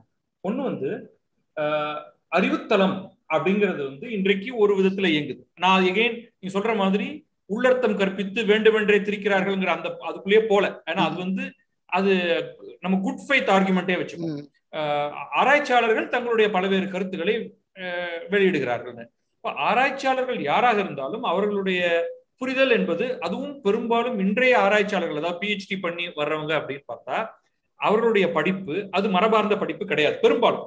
மரபார்ந்த பின்னணியிலிருந்து வந்து இந்த ஆராய்ச்சி தளத்துக்குள்ள பிஹெச்டி செய்து போறதுங்கிறது வந்து குறைவானவர்கள். இப்ப தனக்கு தெரிந்த ஒரு அவுட்லைனுக்குள்ள நீங்க ரிசர்ச் பண்ணி ஒரு பேப்பர் எழுத வேண்டியதா இருக்கு ஒரு புத்தகம் எழுதுறதுக்கு அடுத்த வாய்ப்பு வந்துருது அது ஒரு பக்கம் ஓடிட்டு இருக்கு. இன்னொரு பக்கம் இந்த ட்ரெடிஷ்னல் அந்த மரபார்ந்த வழியில வர்றவங்க இருக்காங்க இல்லையா? அவர்களுக்கு இருக்கக்கூடிய ஒரு சிக்கல் அது நீங்க உணர்வீங்க வேதம் அனாதி அப்படின்னு நம்ம ஆரம்பிக்கிறோம். மரபு வழியில. ரைட் அதுக்கப்புறம் உங்களுடைய பாரம்பரியம்னு ஒண்ணு இருக்கு. அதுல வந்து அது சிவ பரம்பொருள்னா அதுதான் இப்ப மத்த இன்னொரு பாயிண்ட நான் எடுத்துக்கிட்டு நான் பேசவே மாட்டேன்.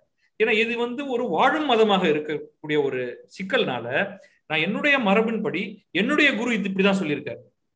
என்னுடைய இந்த பிரஸ்தானத்திரை எடுத்துட்டேன்னா அது என்னுடைய குரு அவருடைய கீழே வந்த சீடர்களுடைய பாஷ்யங்கள் இவ்வளவுதான். சோ இதுதான் நாம் இன்னொன்றை எப்ப எடுப்பேன்னா அதை மறுப்பதற்காக மட்டுமே.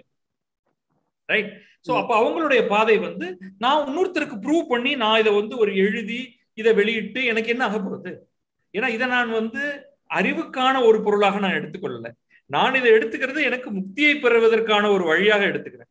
அப்ப எனக்கு இதெல்லாம் தேவையே கிடையாது என்று ஒரு மரபார்ந்த அறிஞர்கள் ஒரு பக்கத்துக்கு போயிடுறாங்க. இப்ப இப்போ ஒரு ஒரு கன்ஸ்ட்ரக்ட் அறிவுத்தளத்துல முன்வைக்கப்படுது என்றால் அது ஏதோ ஒரு கட்டத்துல அதற்கு ஒரு மாற்று பொருள் இருக்கும் பொழுது அந்த மாற்று பொருளை முன்வைப்பதற்கு ஒரு ஒரு பிரிட்ஜ் ஒண்ணு தேவைப்படுது. ரைட் சோ அப்ப அதுதான் அந்த அதை நோக்கி அது ஒரேடியா வந்து இவங்களை டிஸ்மிஸ் பண்றது இதை வந்து ஒரு மாற்று மதம் ஒன்றை சொல்லி அதோடைய கான்ஸ்பிரசின்னு சொல்றது அதை தாண்டி இன்றைக்கு உண்மையிலேயே இந்து மதம் குறித்து உலகம் முழுவதும் ஒரு பெரும் ஆராய்ச்சி நடந்து கொண்டிருக்கு வேதத்திலிருந்து எல்லாவற்றையும் பற்றி இன்னைக்கு எவ்வளவு பேப்பர்ஸ் எழுதுறாங்க ரிசர்ச் ஜேர்னல்ஸ்லன்னு பார்த்தா அது எக்கச்சக்கமாக இருக்கு. இன்றைக்கு புத்தகங்கள் எழுதுவது என்பது வந்து பெரும்பாலும் ஒரு அந்நிய நாட்டவர்களுடைய கைதான் ஓங்கி இருக்கு. அதற்கான அறிவுத்தளத்தை அவர்கள் யூனிவர்சிட்டி வாயிலாக ஃபெலோஷிப் வாயிலாக அதுக்கு வந்து அவர்களுக்கு ஒரு பெரும் இது நடந்துட்டு இருக்காங்க அப்ப அதை எப்படி வந்து நாம இதை எதிர்கொள்ளணும்னா இந்த சென்ஸ் தட் இத சண்டையாகவோ இதை ஒரு பெரும் சிவிலைசேஷனல் மோதலாகவோ நாம் பார்க்க விரும்பலை இன்றைக்கு. அறிவுத்தளத்துல ஒரு புள்ளி முன்வைக்கப்படுது என்றால் அதை மாற்று ஆர்குமெண்டாக கொண்டு வருவதற்கு நாம என்ன செய்ய வேண்டியிருக்கும்? இது வந்து ஒரு ரொம்ப ஒரு ஒரு பெரிய கேள்வியா கேட்கிறேன் பட் இந்த இந்த இந்த தளத்தை எடுத்துக்கொண்டு இது உங்களுடைய பதில் என்னன்னு நான் எதிர்பார்க்கிறேன். இது என்னன்னா மரபுவழி சிந்தனையாளர்கள் கொடுக்கக்கூடிய தகவல்களை திரட்டுறதுக்கு நமக்கு ஒரு இடம் வேணும். அவங்க கொடுக்கக்கூடிய தகவல்கள் அது ஆய்வுக்கு ஒத்து வரக்கூடிய தகவல்களா தேர்ந்தெடுத்து தேர்ந்தெடுத்து ஒன்னோட ஒண்ணு பொருத்தி பார்க்கறதுக்கு நீங்க சொல்ற மாதிரி ஒரு பிரிட்ஜ் ஒண்ணு தேவையா இருக்கு. இப்போ இதம் திரகாங்கிறது சுருங்கி இந்திரன் அப்படின்னு ஆச்சு அப்படின்னு ஐத்திரிய உபனிஷதம் சொல்லி இருக்கு அப்படின்னாக்கா அந்த தகவல் யாராவது ஒருத்தர் கொடுக்க வேண்டியிருக்கு. அதை இதோட பொருத்தி பார்க்க வேண்டியிருக்கு.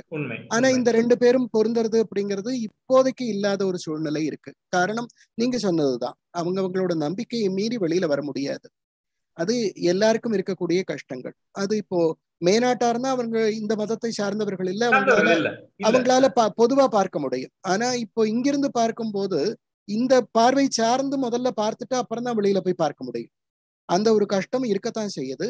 அப்படி இருக்கும்போதும் கூட தன்னுடைய நம்பிக்கைகளை ஒரு புறம் ஒதுக்கி வைத்துவிட்டு ஒரு பொதுவான பார்வையில ஒரு அலசல் கொடுத்து ஒரு நடுநிலையான முடிவுகள் சொன்னா அந்த மாதிரியான முடிவுகளை ஏத்துக்கணும். ஒண்ணு. ரெண்டாவது இந்த மாதிரியான ஆய்வுகள்ல உணர்வு பூர்வமா அருக அணுகாம அறிவுபூர்வமா அணுகணும். ஏதோ ஒரு உணர்வு அதுக்கு மேல ஒரு தனக்கு இது வேணுங்கிற அப்படிங்கிற உணர்வு ஒரு இனம் சார்ந்த உணர்வு குழு சார்ந்த உணர்வு அப்படி இல்லைன்னா ஏதேனும் ஒரு உணர்வு இல்லாம ஒரு நடுநிலையா அணுகி அதுல இருக்கிற உண்மைகளை தெரிந்துக்கிறதுக்கு அதுக்கு ஒரு முயற்சி எடுக்கணும். இவங்க ரெண்டு பேரையும் சேர்த்து இந்த மரபுவழி சிந்தனையாளர்கள் இந்த ஆய்வாளர்கள் அதற்கு சம்பந்தமே இல்லாமல் ஏதோ ஒரு கருத்தை கூறிக்கொண்டிருக்கிற ஆய்வாளர்கள். இவங்க ரெண்டு பேரையும் சேர்த்து இது இது பிணைக்கக்கூடியது இது இது ஆய்வுக்கு ஒத்து வரக்கூடியது அப்படின்னு தேர்ந்தெடுத்து அதுல இருந்து ஒரு முடிவுக்கு வர்றதுக்கு முற்படணும். இப்போ மேனாட்டார் செய்கிற ஆய்வுகள்லாம் ரொம்ப அற்புதமா இருக்கு. காரணம் என்னன்னு கேட்டா அவங்க பொது பார்வையில பார்க்கறாங்க. இது ஆனா அவங்க கிட்ட இருக்கிற ஒரே ஒரு கஷ்டம் இந்த மாதிரி இணைப்பு சங்கிலிகள் அங்க மிஸ் ஆகுது ம், ம். இதே இப்ப மேக்ஸ் முல்லரே ஐத்திரைய உபனிஷத்தையும் மொழிபெயர்த்திருக்கார். அவரே ரிக்வேதத்தையும் மொழிபெயர்த்திருக்கார். ஆனா பொருள் சொல்ல வரும்போது இந்திரன் அது இந்திரன் அப்படிங்கிற தெய்வம் அப்படின்னே பொருள் சொல்றாரே தவிர இதையும் அதையும் பிணைச்சு பார்க்கணும் அப்படிங்கிற எண்ணம் அவருக்கும் வரல. வேற யாருக்கும் கூட தோணவே இல்லை. இது மரபுவழி சிந்தனையாளர்கள் மட்டுமே கொடுக்கக்கூடிய முடிவு. எப்படி ரிக்வேதத்துல இல்லாத திருமாலையோ அல்லது சிவபெருமானையோ நீங்கள் எப்படி அதுல சொல்ல முடியும்னா இந்திரன்கிற சொல்ல அது இந்திரனை குறிப்பிடுவது இல்லை அப்படின்னு அவங்க கொடுக்குற முடிவுகளை பார்த்தாதான் நம்மளால சொல்ல முடியும். யாஸ்கரும் கூட இந்த இது இந்திரஹா ஒரு ஐஸ்வர்யசாலி மிகப்பெரிய வலிமை உடையவன் தான் இந்திரன் அப்படின்னு அவர் முடிவு சொல்றார் அவர். ஆக இந்த மாதிரி இருக்கக்கூடிய இணைப்பு சங்கிலிகளை எல்லாம் பார்த்து பார்த்து இது எந்த தெய்வம்? புராண காலத்துல எப்படி மாறி இருக்கு அப்படிங்கறத வேதங்களுக்கும் புராணங்களுக்கும் இருக்கக்கூடிய சங்கிலி இப்ப இருக்கிற வழிபாட்டுக்கு இருக்கக்கூடிய சங்கிலி இந்த இரண்டு சங்கிலிகளையும் தொடுக்கணும். இப்ப விநாயகர் புராண காலங்கள்ல இருக்கு வேதத்துல இல்லையா அப்படின்னு கேட்டா வேத காலத்துல பிரம்மணஸ்பதி அப்படின்னு பேர்ல இருக்கிற அதே தெய்வம் தான் பின்னாடி அது விநாயகர் இல்ல கணேசர் கணபதி அப்படிங்கிற பேர்ல மாற்றம் பெறுது. அந்த பிரம்மணஸ்பதிக்கு என்ன சூக்தம் இருக்கோ கணானாம் துவா கணபதிக்கும் ஹவாமகே அப்படிங்கிற அதே சூக்தம் பின்னாள்ல கணபதிக்கு கொடுக்கப்படுது. அந்த பிரம்மணஸ்பதி அப்படிங்கிற தெய்வம் அதே பேரோட ப்ரஹஸ்பதி அப்படிங்கிற பேர்ல புராண காலத்துல மாறி போகிறார் இந்த. கருத்தை டி. ஏ. கோபிநாதராவன மாதிரி ரொம்ப சொற்ப ஸ்காலர்கள் மட்டும்தான் இதை குறிப்பிட்டிருக்காங்க. வேத காலத்துல பிரம்மணஸ்பதின்னு அறியப்பட்ட ஒரே தெய்வம் அதோட இரண்டு கூறாகி ஒண்ணு கணபதி அப்படிங்கிற பேர்லயும் இன்னொன்னு அதே பெயரோட அதோட சில குணங்களோட ப்ரஹஸ்பதி அப்படிங்கிற பெயரோடும் புராண காலத்துல மாறி இருக்காங்க அப்படிங்கிற இந்த லிங்க் இந்த ஒன்னோட ஒண்ணு இருக்கக்கூடிய தொடர்பானது அற்று போகுது அதே மாதிரி புராணத்துக்கும் இப்ப இருக்கிற வழிபாட்டுக்கும் இருக்கக்கூடிய தொடர்புகள் அற்று போயிருக்கு இந்த தொடர்புகளை மீட்டமைக்கிறதுக்கு யாரேனும் ஆய்வாளர்கள் கொஞ்சம் முயற்சி பண்ணாக்க இந்த தொடர்புகள் வந்ததுக்கு அப்புறமா வரக்கூடிய ஆய்வுகள் முழுமை பெற்ற ஆய்வுகளா இருக்கும். அது வரைக்கும் கருத்துக்கள் சொன்னா அது சரியில்லாத கருத்துக்களா தான் இருக்குமே தவிர அது முடிந்த முடிவாக எடுத்துக்கொள்ளவே முடியும் அப்ப இது ஒரு இது ஒரு பெரிய ப்ரோக்ராமா மாறும். இது வந்து ஒரு சிலரால செய்ய முடியாது. ஏன்னா நம்ம இந்த வாஸ்ட்னஸ் அது மேல மேல மேல மேல இது பற்றி எழுதி கொண்டே போகும் பொழுது இதை ஒரு பெரும் திட்டமாக எடுத்துக்கொண்டு அதோடைய நோக்கம் தெளிவு பெறுவது. வேற எதுவும் யாரும் யாருக்கும் ப்ரூவ் பண்ணணுங்கிற அவசியம் இல்லை. தெளிவை நோக்கிய ஒரு பயணமாக அதை எடுத்துக்கொண்டு போகும் பொழுது ஒரு அஹ், ஒரு பெரிய அஹ், புரிதல் அந்த ஏரியால வரும் அப்படிங்கறத நம்ம அதை வச்சுப்போம். இப்ப இதோடைய கண்டினியூஷனா கிருஷ்ணகுமாரோடைய கேள்விக்கு வேத காலத்தில் சிவன் தீண்டத்தகாத தெய்வமாக இருந்திருக்க கூடும் என சில ஆய்வாளர்கள் கருது என்ன காரணமாக இருக்கலாம்? ஏன்னா நீங்க அது சொன்னீங்க அது வந்து அப்படி இல்லை. அவர் வந்து புனிதமானவராகத்தான் கருதப்பட்டிருக்கிறார். அந்த சூலம் அந்த சி- சின்னம் பொறிப்பது காலை இது விலங்குகள் மீது சின்னம் பொறிப்பது அப்புறமா வந்து புனித ஒரு பயணத்தை தொடங்கும் பொழுது கூட வருவதற்கானது அதெல்லாம் சொன்னீங்க இல்லையா?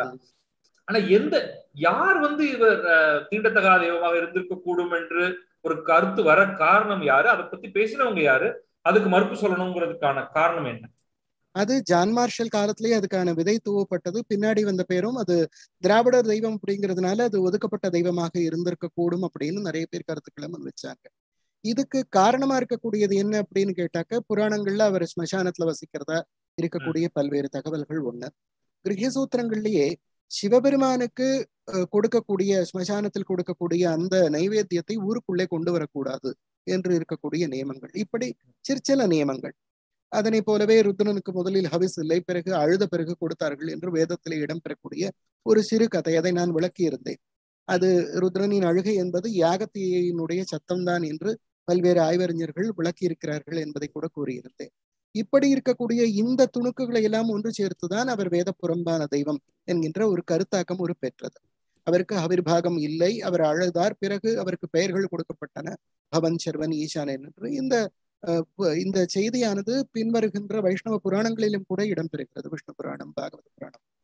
இவை யாவும் அவருடைய அக்னியினுடைய வடிவத்தை விளக்குவது என்பது மரபுவழி சார்ந்தவர்களுடைய கருத்தாக இருக்கிறது சில ஆய்வாளர்களின் கருத்தாகவும் இருக்கிறது. அது ஒரு புறம் இருக்கட்டும். அது ருத்ரன் புராண காலத்திலும் கூட சிவன் ருத்ரன் என்கின்ற இரண்டு வேறுபாடுகள் ஏகாதச ருத்ரர்களையும் பார்க்கிறோம் சிவபெருமானையும் பார்க்கிறோம். அவருடைய வடிவாகவே ருத்ரர்கள் இருப்பதையும் நாம் பார்க்கிறோம். அதனையும் நான் சற்றே கோடிட்டு காட்டியிருந்தேன் ருத்ரர்கள் என்று புராணங்களிலே பிற்காலத்திலே அதே வடிவத்தோடு விளக்கப்பெற்றிருந்தார்கள். என்று. அந்த ருத்ரர்களும் சிவபெருமானும் ஒருவர் என்று ஒரு புராண காலத்திலும் அப்படித்தான் இருந்திருக்க வேண்டும் என்று ஒரு சிறு கருத்து. அதனை போலவே அவர் ஆவிர்வாகம் முதலில் கொடுக்கவில்லை பிறகு கொடுத்தார்கள். அவருடைய நைவேத்தியங்களை ஏற்றுக்கொள்ளக் கூடாது என்று கிரகிய சூத்திரம் கூறுவது இவற்றையெல்லாம் சேர்த்து வைத்துதான் இப்படி ஒரு கருத்தாக்கமானது தோன்றியது. ஆனால் ருத்ரன் என்கின்ற அந்த தெய்வத்தினுடைய முழு வழிபாட்டையும் எடுத்து பார்த்தால் அவர் ஒரு பெருந்தெய்வ நிலையிலே தான் எப்பொழுதும் வழிபட பெற்றிருக்கிறார் என்பது தெரிய வருகிறது. அவருடைய யோக நிலையை குறிப்பதற்காக அவர் ஸ்மசானத்தில் வாழ்வது அல்லது அவருடைய நைவேத்தியத்தை ஊருக்குள் கொண்டு வரக்கூடாது போன்ற செய்திகள் அவருடைய ஒரு கூரை சேர்ந்தது. நான் முன்பே குறிப்பிட்டதைப் போல ருத்ரனுடைய இரு வடிவங்கள் குறிப்பிடப்பட்டிருக்கின்றன. ருத்ரன் கத்ருத்ரன் என்று. அந்த கத்ருத்ரனுடைய வடிவமாகத்தான் இவை எல்லாம் பின்னர் விளக்கப் பெற்றிருக்கின்றன அந்த பயங்கரமான வடிவம். சிவான்யா கோரான்யா என்று மிக குறிப்பாக குறிப்பிட்டிருந்தேன். அந்த கோரமான வடிவத்திற்கு உடைய குணங்களாக குறிப்பிடப்பட்டதை எல்லாம் தொகுத்து கொண்டு அவர் வேத புறம்பானவர் இப்படி நுழைத்து விட்டார்கள் என்கின்ற ஒரு கருத்தாக்கமானது ஆனால் பொதுவான பார்வை மேலிருந்து பார்க்கும்போது அது அவருடைய கத்ருத்ரனான வடிவம் ருத்ரனான வடிவமானது மங்களமயமானது என்பது தெரியும். நிறைய கேள்விகள்ல சிலதெல்லாம் விட்டுடணும் போல தோணுது. ஏன்னா நேரம் ஆய்கொண்டிருக்கிறது. நான் எவ்வளவு தூரம் எங்க நிறுத்தலாம்னு சொல்ற வரைக்கும் நான் சக்கரன் நான் கேள்வி கேட்டுட்டு இருக்கேன் இந்த சைவ சித்தாந்தம் குறித்து ஒரு ரெண்டு மூணு கேள்வி இருக்கு. நான் ரெண்டு கேள்வி எல்லாம் தாண்டி வந்துட்டு அது வேணா திரும்ப கேட்கறேன்னா. மூணு கேள்வி இருக்கு. அந்த மூணுத்தையுமே முன் வச்சிடறோம் ஒன் பை ஒன் அது வேணா நான் நீங்க பதில் சொல்லும்போது திருப்பியும் கேட்கிறேன். ஒண்ணு வந்து ஒரு ஒரு ஒரு ஒரு வருத்தத்துல வந்த கேள்வியா தெரியல. சரவணன் காஞ்சி போட்டிருக்கு. உங்களுக்கு தெரியுமான்னு தெரியல. சைவ சித்தாந்தத்திற்கு தமிழின் ஒரிஜினல் பங்களிப்பு ஏதும் இல்லையா? ஒரு அதிர்ச்சியோட கேட்கிற மாதிரி இருக்கு. ஒண்ணு. வச்சுப்போம் அடுத்து பிரசாந்த் கண்ணன் ஒரு கேள்வி கேட்கிறாரு. சைவம் பிரசன்ஸ் இன் சங்கம் லிட்ரேச்சர் இஃப் சைவ சித்தாந்தம் இன் தமிழ்நாடு அதை நான் பிராக்கெட்ல போட்டுக்கிறேன் அவர். சொல்லல. Is after seven century AD what was being follow during Sangam then Saiva Siddha சைவ சித்தாந்தம் ஏழாம் நூற்றாண்டுக்கு பிறகு என்று தமிழகத்துல ஏழாம் நூற்றாண்டுக்கு பிறகு என்று வைத்துக் கொண்டால் கிடைத்திருக்கிற ஆதாரத்தின்படி அதற்கு முன்னாடி சங்கம் லிட்ரேச்சர்ல சைவம் பத்தி வந்திருக்கிறத பொறுத்து பார்க்கும்பொழுது அது என்ன மாதிரியான சைவமாக இருந்தது? இதை வச்சுப்போம் இதையும் மூன்றாவது கேள்வியாக அறுபத்தி நான்கு அறுபத்தி மூன்று நாயன்மார் அறுபத்தி மூன்று நாயன்மார்கள். எல்லோருமே சித்தாந்த சைவத்தை பின்பற்றியவர்களா? இது ஸ்ரீனிவாஸ் நாகராஜாங்கிறவர் கேட்டிருக்காரு. அல்லது வீரசைவம் காலாமுகம் போன்றவற்றை பின்பற்றியவர்களா? இதை ஒரு தொகுப்பா எடுத்துட்டு இதுக்கு பதில். முதல் கேள்வி தமிழுக்கு தமிழினுடைய கொடை சைவ சித்தாந்தத்திற்கு என்றால் வேறு எந்த மொழியிலும் இல்லாத அளவிற்கு சைவ சித்தாந்த நூல்களை எல்லாம் தமிழாக்கம் செய்து கொடுத்ததுதான் தமிழினுடைய மிகப்பெரிய கொடை. அது எந்த எந்த மொழியிலேயுமே இது போன்ற அதான் சொல்லிடுறேன். ஒரிஜினல் பங்களிப்பு எதுவும் இல்லையா? அவர் கேக்குறது வந்து வெறும் டிரான்ஸ்லேஷன் மட்டும் தானா ஒரிஜினல் பங்களிப்பு என்பது இல்லை. ஆகமத்தினுடைய கொடைதான் அது. சைவ சித்தாந்தம் என்பது ஆகமங்களை பின்பற்றியதுதான் அதனுடைய ஞான பாதத்திலிருந்து தோன்றியதுதான் சைவ சித்தாந்தமே ஒழிய சைவ சித்தாந்தம் வேறு நூல்களிலிருந்து பிறந்திருந்தால் தானே அதனுடைய கொடை என்று கூற முடியும். ஆகமாந்த சைவம் என்றே அதற்கு பெயர். எப்படி வேதாந்தம் என்று கூறுகிறோமோ அதனைப் போலவே இதனை ஆகமாந்தம் என்றே குறிப்பிடுவார்கள். அதனுடைய நூல்கள் யாவும் இந்த அஷ்டப்பிரகரண நூல்கள் அதற்கு பிறகு தமிழிலே எழுதப்பெற்ற நூல்கள் என்று இப்படிதான் அதனுடைய பரம்பரையானது தொடர்கிறது. இது ஒரு பங்கு இருக்கட்டும். இரண்டாவது கேள்வியானது அதற்கு முற்பட்ட காலத்திலே ஏழாம் நூற்றாண்டுக்கு முற்பட்ட காலத்திலே சைவம் எப்படி இருந்தது என்ற கேள்வியானது. தமிழகத்தில் சைவம் எப்படி இருந்தது? சைவ சித்தாந்தத்தின் தோற்றம் முற்பட்டதாக இருக்கலாம். நான் மீண்டும் மீண்டும் கூறுவது அதுதான். சைவ சித்தாந்தம் என்பது முற்பட்டதாக இருக்கலாம். அதற்குரிய நூல்கள் ஏழாம் நூற்றாண்டுக்கு பிறகிலிருந்துதான் நமக்கு கிடைக்கின்றன. ஒன்று இரண்டாவது பாசுபதம் என்கின்ற அந்த சைவமானது பொதுவான சைவமானது இந்தியா கண்டம் முழுமையும் பரவி கிடந்தது. அது கிட்டத்தட்ட ஒரு ஈராயிரத்தி முன்னூறு ஆண்டுகளுக்கு மேலாக இந்த பாரத துணைக்கண்டம் முழுவதும் பரவி இருந்தது என்று. உதாரணமாக லக்குலீஸ்வருடைய அது லகுலீஷ பாசுபதம். அது அ- அதற்கு முன்னே முந்தைய பாசுபதமே சைவம். சைவம் அது. அந்த சைவமானது இந்தியா முழுக்க பரவி இருந்தது. இன்னும் சில நாடுகளிலும் அதனுடைய கூறுகளை நம்மால் பார்க்க முடிகிறது. அப்படி விரவி கிடந்த அந்த சைவமானது இந்த சைவ சித்தாந்தம் என்கின்ற இந்த நெறிமுறைப்படி நமக்கு கிடைக்கின்ற நூல்கள் ஏழாம் நூற்றாண்டிலிருந்து கிடைக்கின்றன. இப்பொழுது சிவாச்சாரியர்கள் ஏழாம் நூற்றாண்டிலிருந்து பெயர் கிடைக்கின்றது என்று நான் குறிப்பிட்டால் அப்பொழுதுதான் தொடங்கினார்கள் என்பது அதனுடைய பொருள் இல்லை. அதற்கு முன்பே தர்மி என்பவரை பற்றி அப்பார் குறிப்பிடுகிறார். சிவ அதனை போலவே கண்ணப்பருடைய காலத்திலே சிவஞான கோச்சரியார் இருந்தார் என்று பெரிய புராணம் குறிப்பிடுகிறது. இவர்கள் யாவரும் இரண்டு மூன்றாம் நூற்றாண்டுகளிலே இருந்திருக்கலாம். ஆக ஆதிசைவர்கள் அப்பொழுதிலிருந்தே இருக்கிறார்கள். சித்தாந்தமானது அப்பொழுதிலிருந்தே ஆகமங்களிலே இருந்திருக்க கூடும் ஆனால் அவற்றை நூல்களாக பிற்காலத்தில் எப்படி வேதாந்தமானது பிரம்மசூத்திரத்திலே நமக்கு கிடைக்கிறது உபனிஷத்திலே கிடைக்கிறது ஆனால் அந்தந்த வேதாந்தமானது சங்கர பகவத்பாதர் ஸ்ரீமத் ராமானுஜர் ஸ்ரீ மத்வர் அவர்களாலே அதற்கான உரைகள் எழுதப்பெற்ற பிறகுதான் அந்த துறைகள் விளக்கம் பெறுகின்றன. அதனைப் போலவே இந்த அஷ்டப்பிரகரணத்திற்கு பிறகு அதற்கு முன்பிலிருந்து இருப்பவர்களுடைய விருத்தி உரைகள் இந்த நூல்கள் இவை வந்த பிறகு அவை மேலும் விளக்கமுற்றன. அதற்கு முன்பு இல்லை என்று கூறுவதற்கு இல்லை இந்த நூற்றாண்டிலிருந்து அவை விளக்கம் பெற்றன என்று குறிப்பிட வேண்டும். இதுதான் என் கருத்தை ஒழிய அதற்கு முன்பு இல்லை என்று நான் குறிப்பிடவில்லை. லகுலீஸ்வரரும் அதற்கு முன்பு ஸ்ரீகண்டர் இருந்திருக்கிறார் என்று ஏற்கனவே நான் குறிப்பிட்டிருந்தேன். மாங்கல்ய சாஸ்திரம் முதலியவை அஹ், அபினவகுப்தராலே குறிப்பிட பெற்றிருக்கின்றன ஆகவே அதற்கு முன்பும் இருந்தது அதற்கு பின்பும் இருக்கிறது.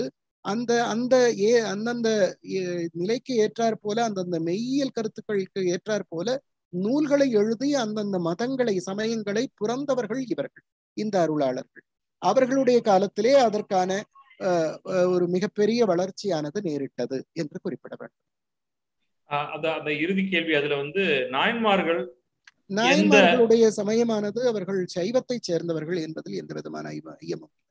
அதில் எத்துணை பேர் சைவ சித்தாந்தத்தை சேர்ந்தவர்கள் எத்துணை பேர் அவர்கள் நாத பரம்பரை திருமூலநாதர் நாத பரம்பரையாக இருப்பதற்குத்தான் வாய்ப்புகள் அதிகம்.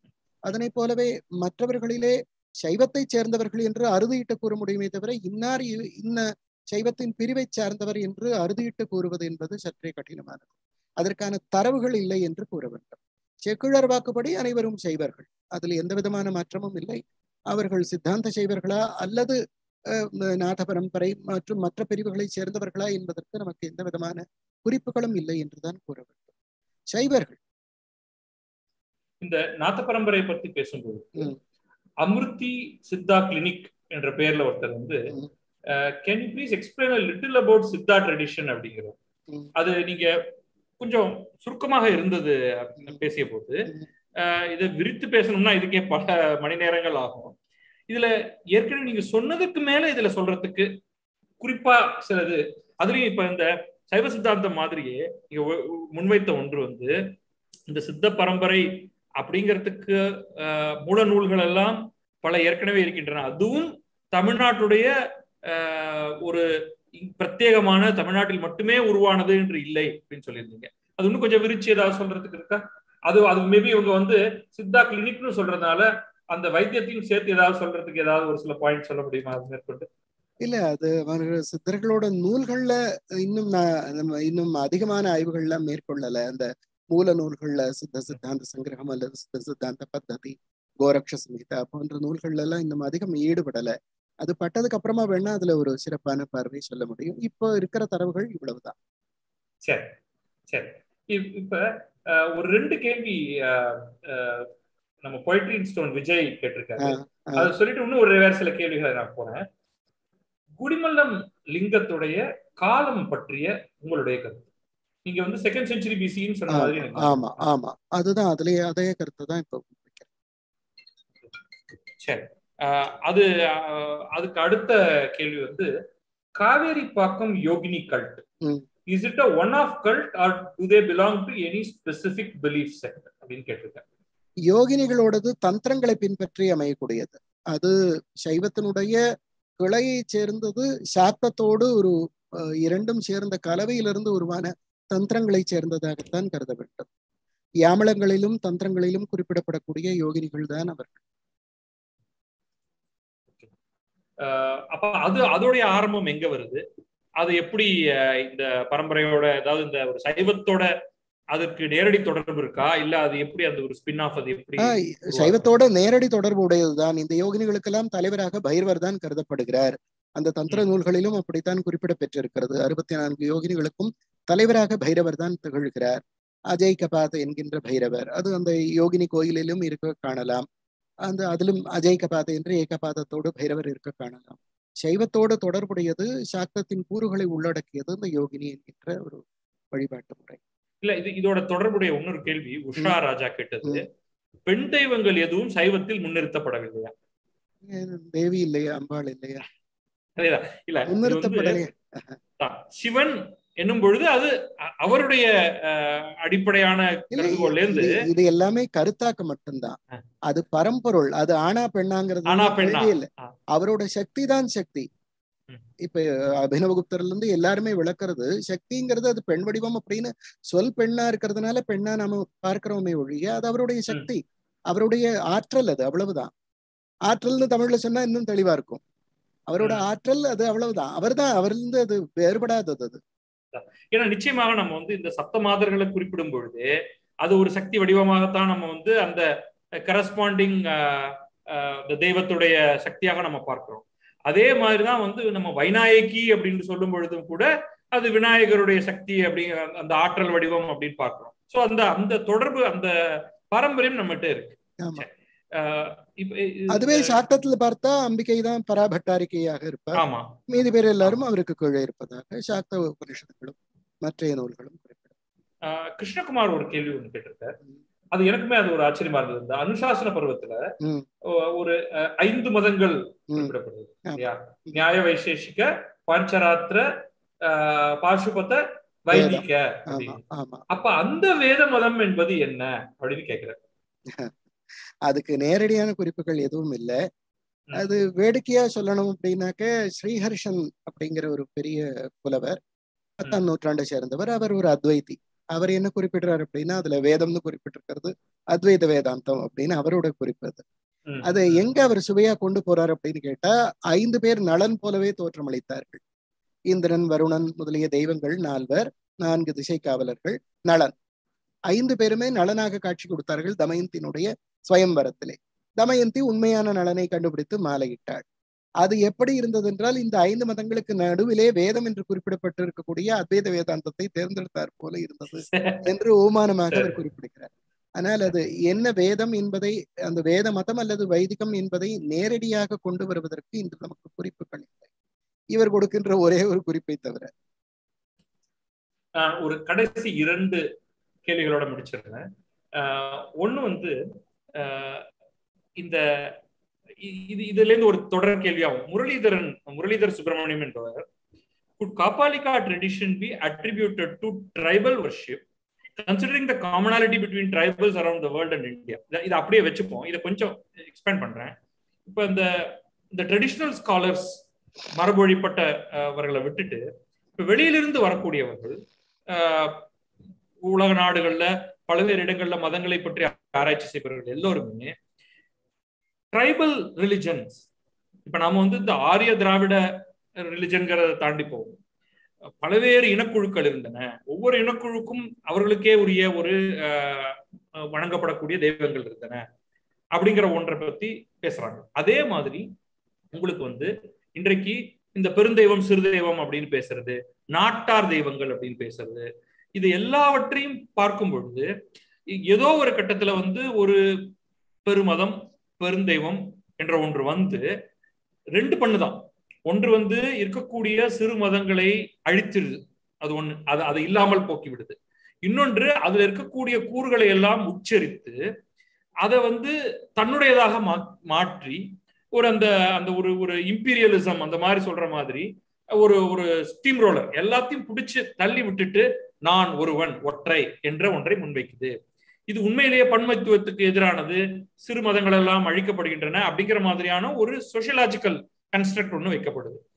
இந்த ட்ரைபல் ஒர்ஷிப் அது சார்ந்து அஹ், இந்த இந்த எவல்யூஷன் ஆஃப் ரிலிஜன் அது என்னென்னலாம் பண்ணுது மற்ற மதங்களுக்கு மற்ற சிறு மதங்களுக்குங்கிறத பற்றிய உங்களுடைய பார்வை பார்வைன்னு சொன்னா இப்போ சிறு மதங்கள் அப்படின்னா அது எதுவரையில அதோட தொடர்ச்சி இருக்கும் அப்படின்னு கேட்டா அதுக்குன்னு ஒரு நெறிமுறைகள் அதுக்குன்னு ஒரு சித்தாந்தம் இருக்கிற வரையில் தான் அதோட நீட்சி இருக்கும்.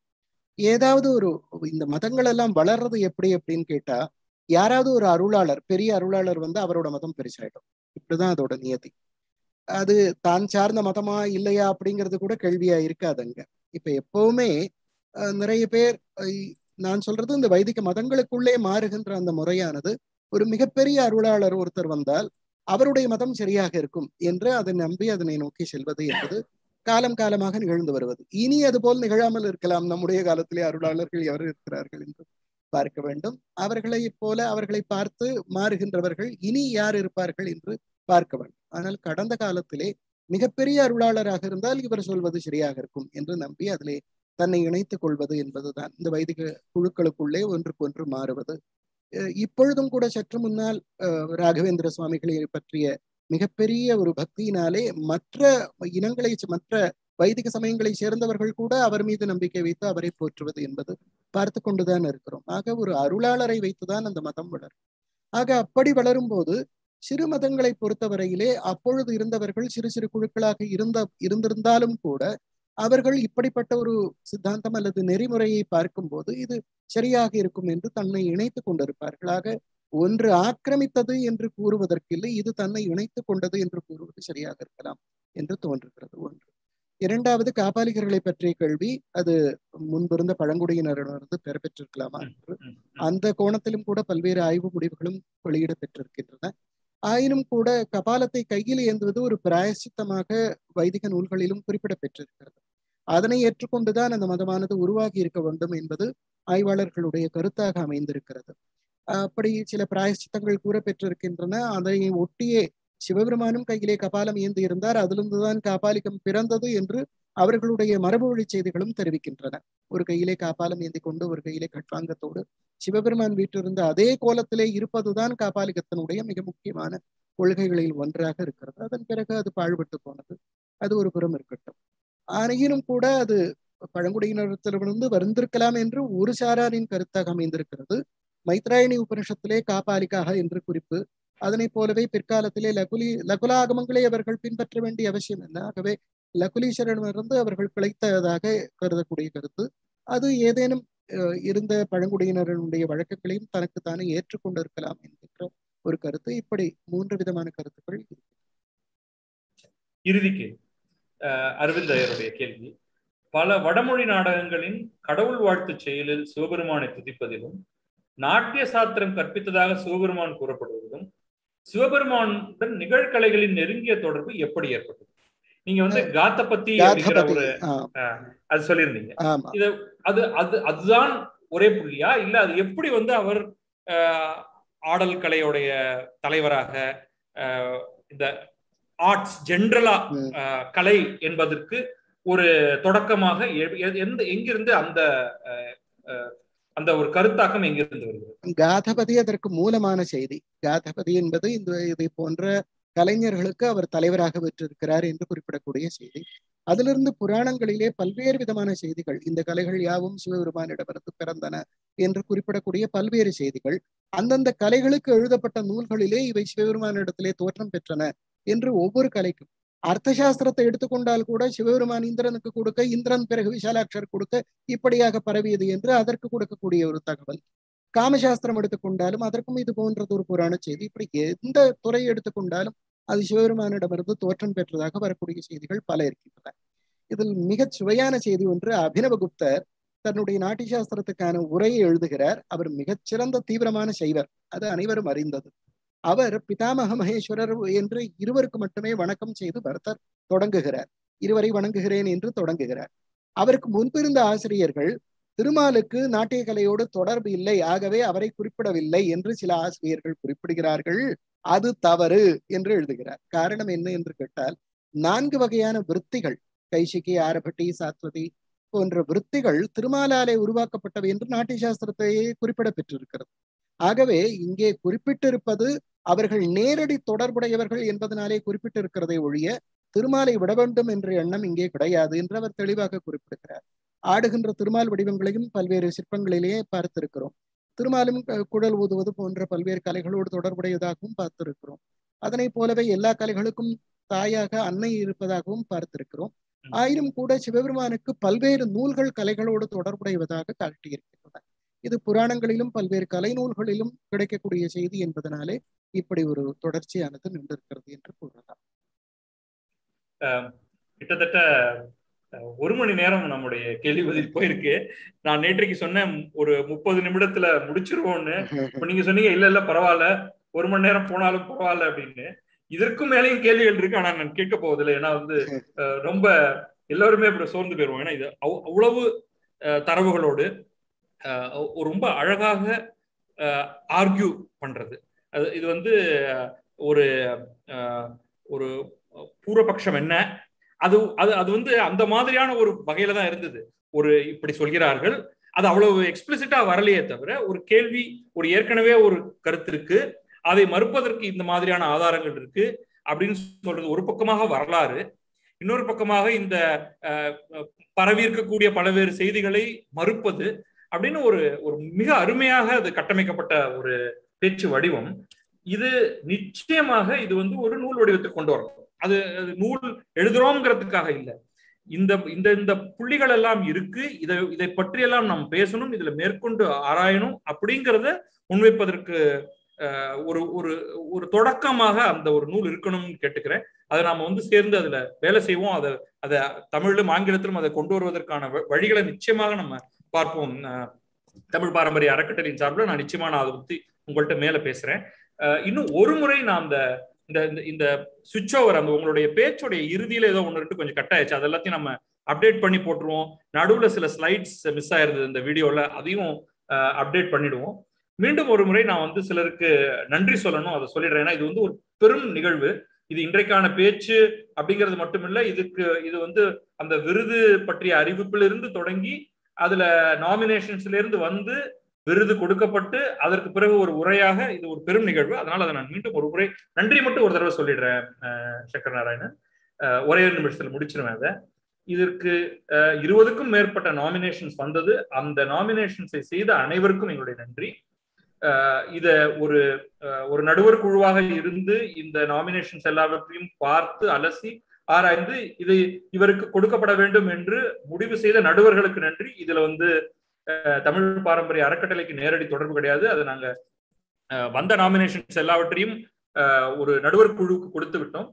இது இந்த இந்த விருதுல வரையப்பட்டிருக்கக்கூடிய அந்த படம் அது மணியம் செல்வன் அவர்கள் எல்லோராவின் கைலாசநாதர் கோவிலை வரைந்து கொடுத்திருக்கிறார். அது ஒரு அந்த படம் எல்லாம் நம்ம ஷேர் பண்ணுவோம். அது ஒரு அவ்வளவு அழகான ஒரு படம்.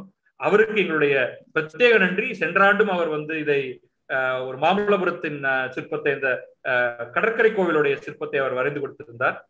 இந்த நிகழ்வை நேற்று இது வந்து இணையம் மூலமாகவே செய்து விடலாமா அப்படின்னு பேசிட்டு இருக்கும் பொழுது இல்ல அதை வந்து ஒரு ஒரு அரங்களை செய்வலாம் இப்ப கொஞ்சம் இந்த கோவிட் எல்லாம் குறைந்திருக்கக்கூடிய ஒரு காலத்தின காரணத்தினால என்று இதற்கான அரங்கத்தை கொடுத்து உதவிய திரு ஆர் கே ராமகிருஷ்ணன் அவர்களுக்கு நன்றி.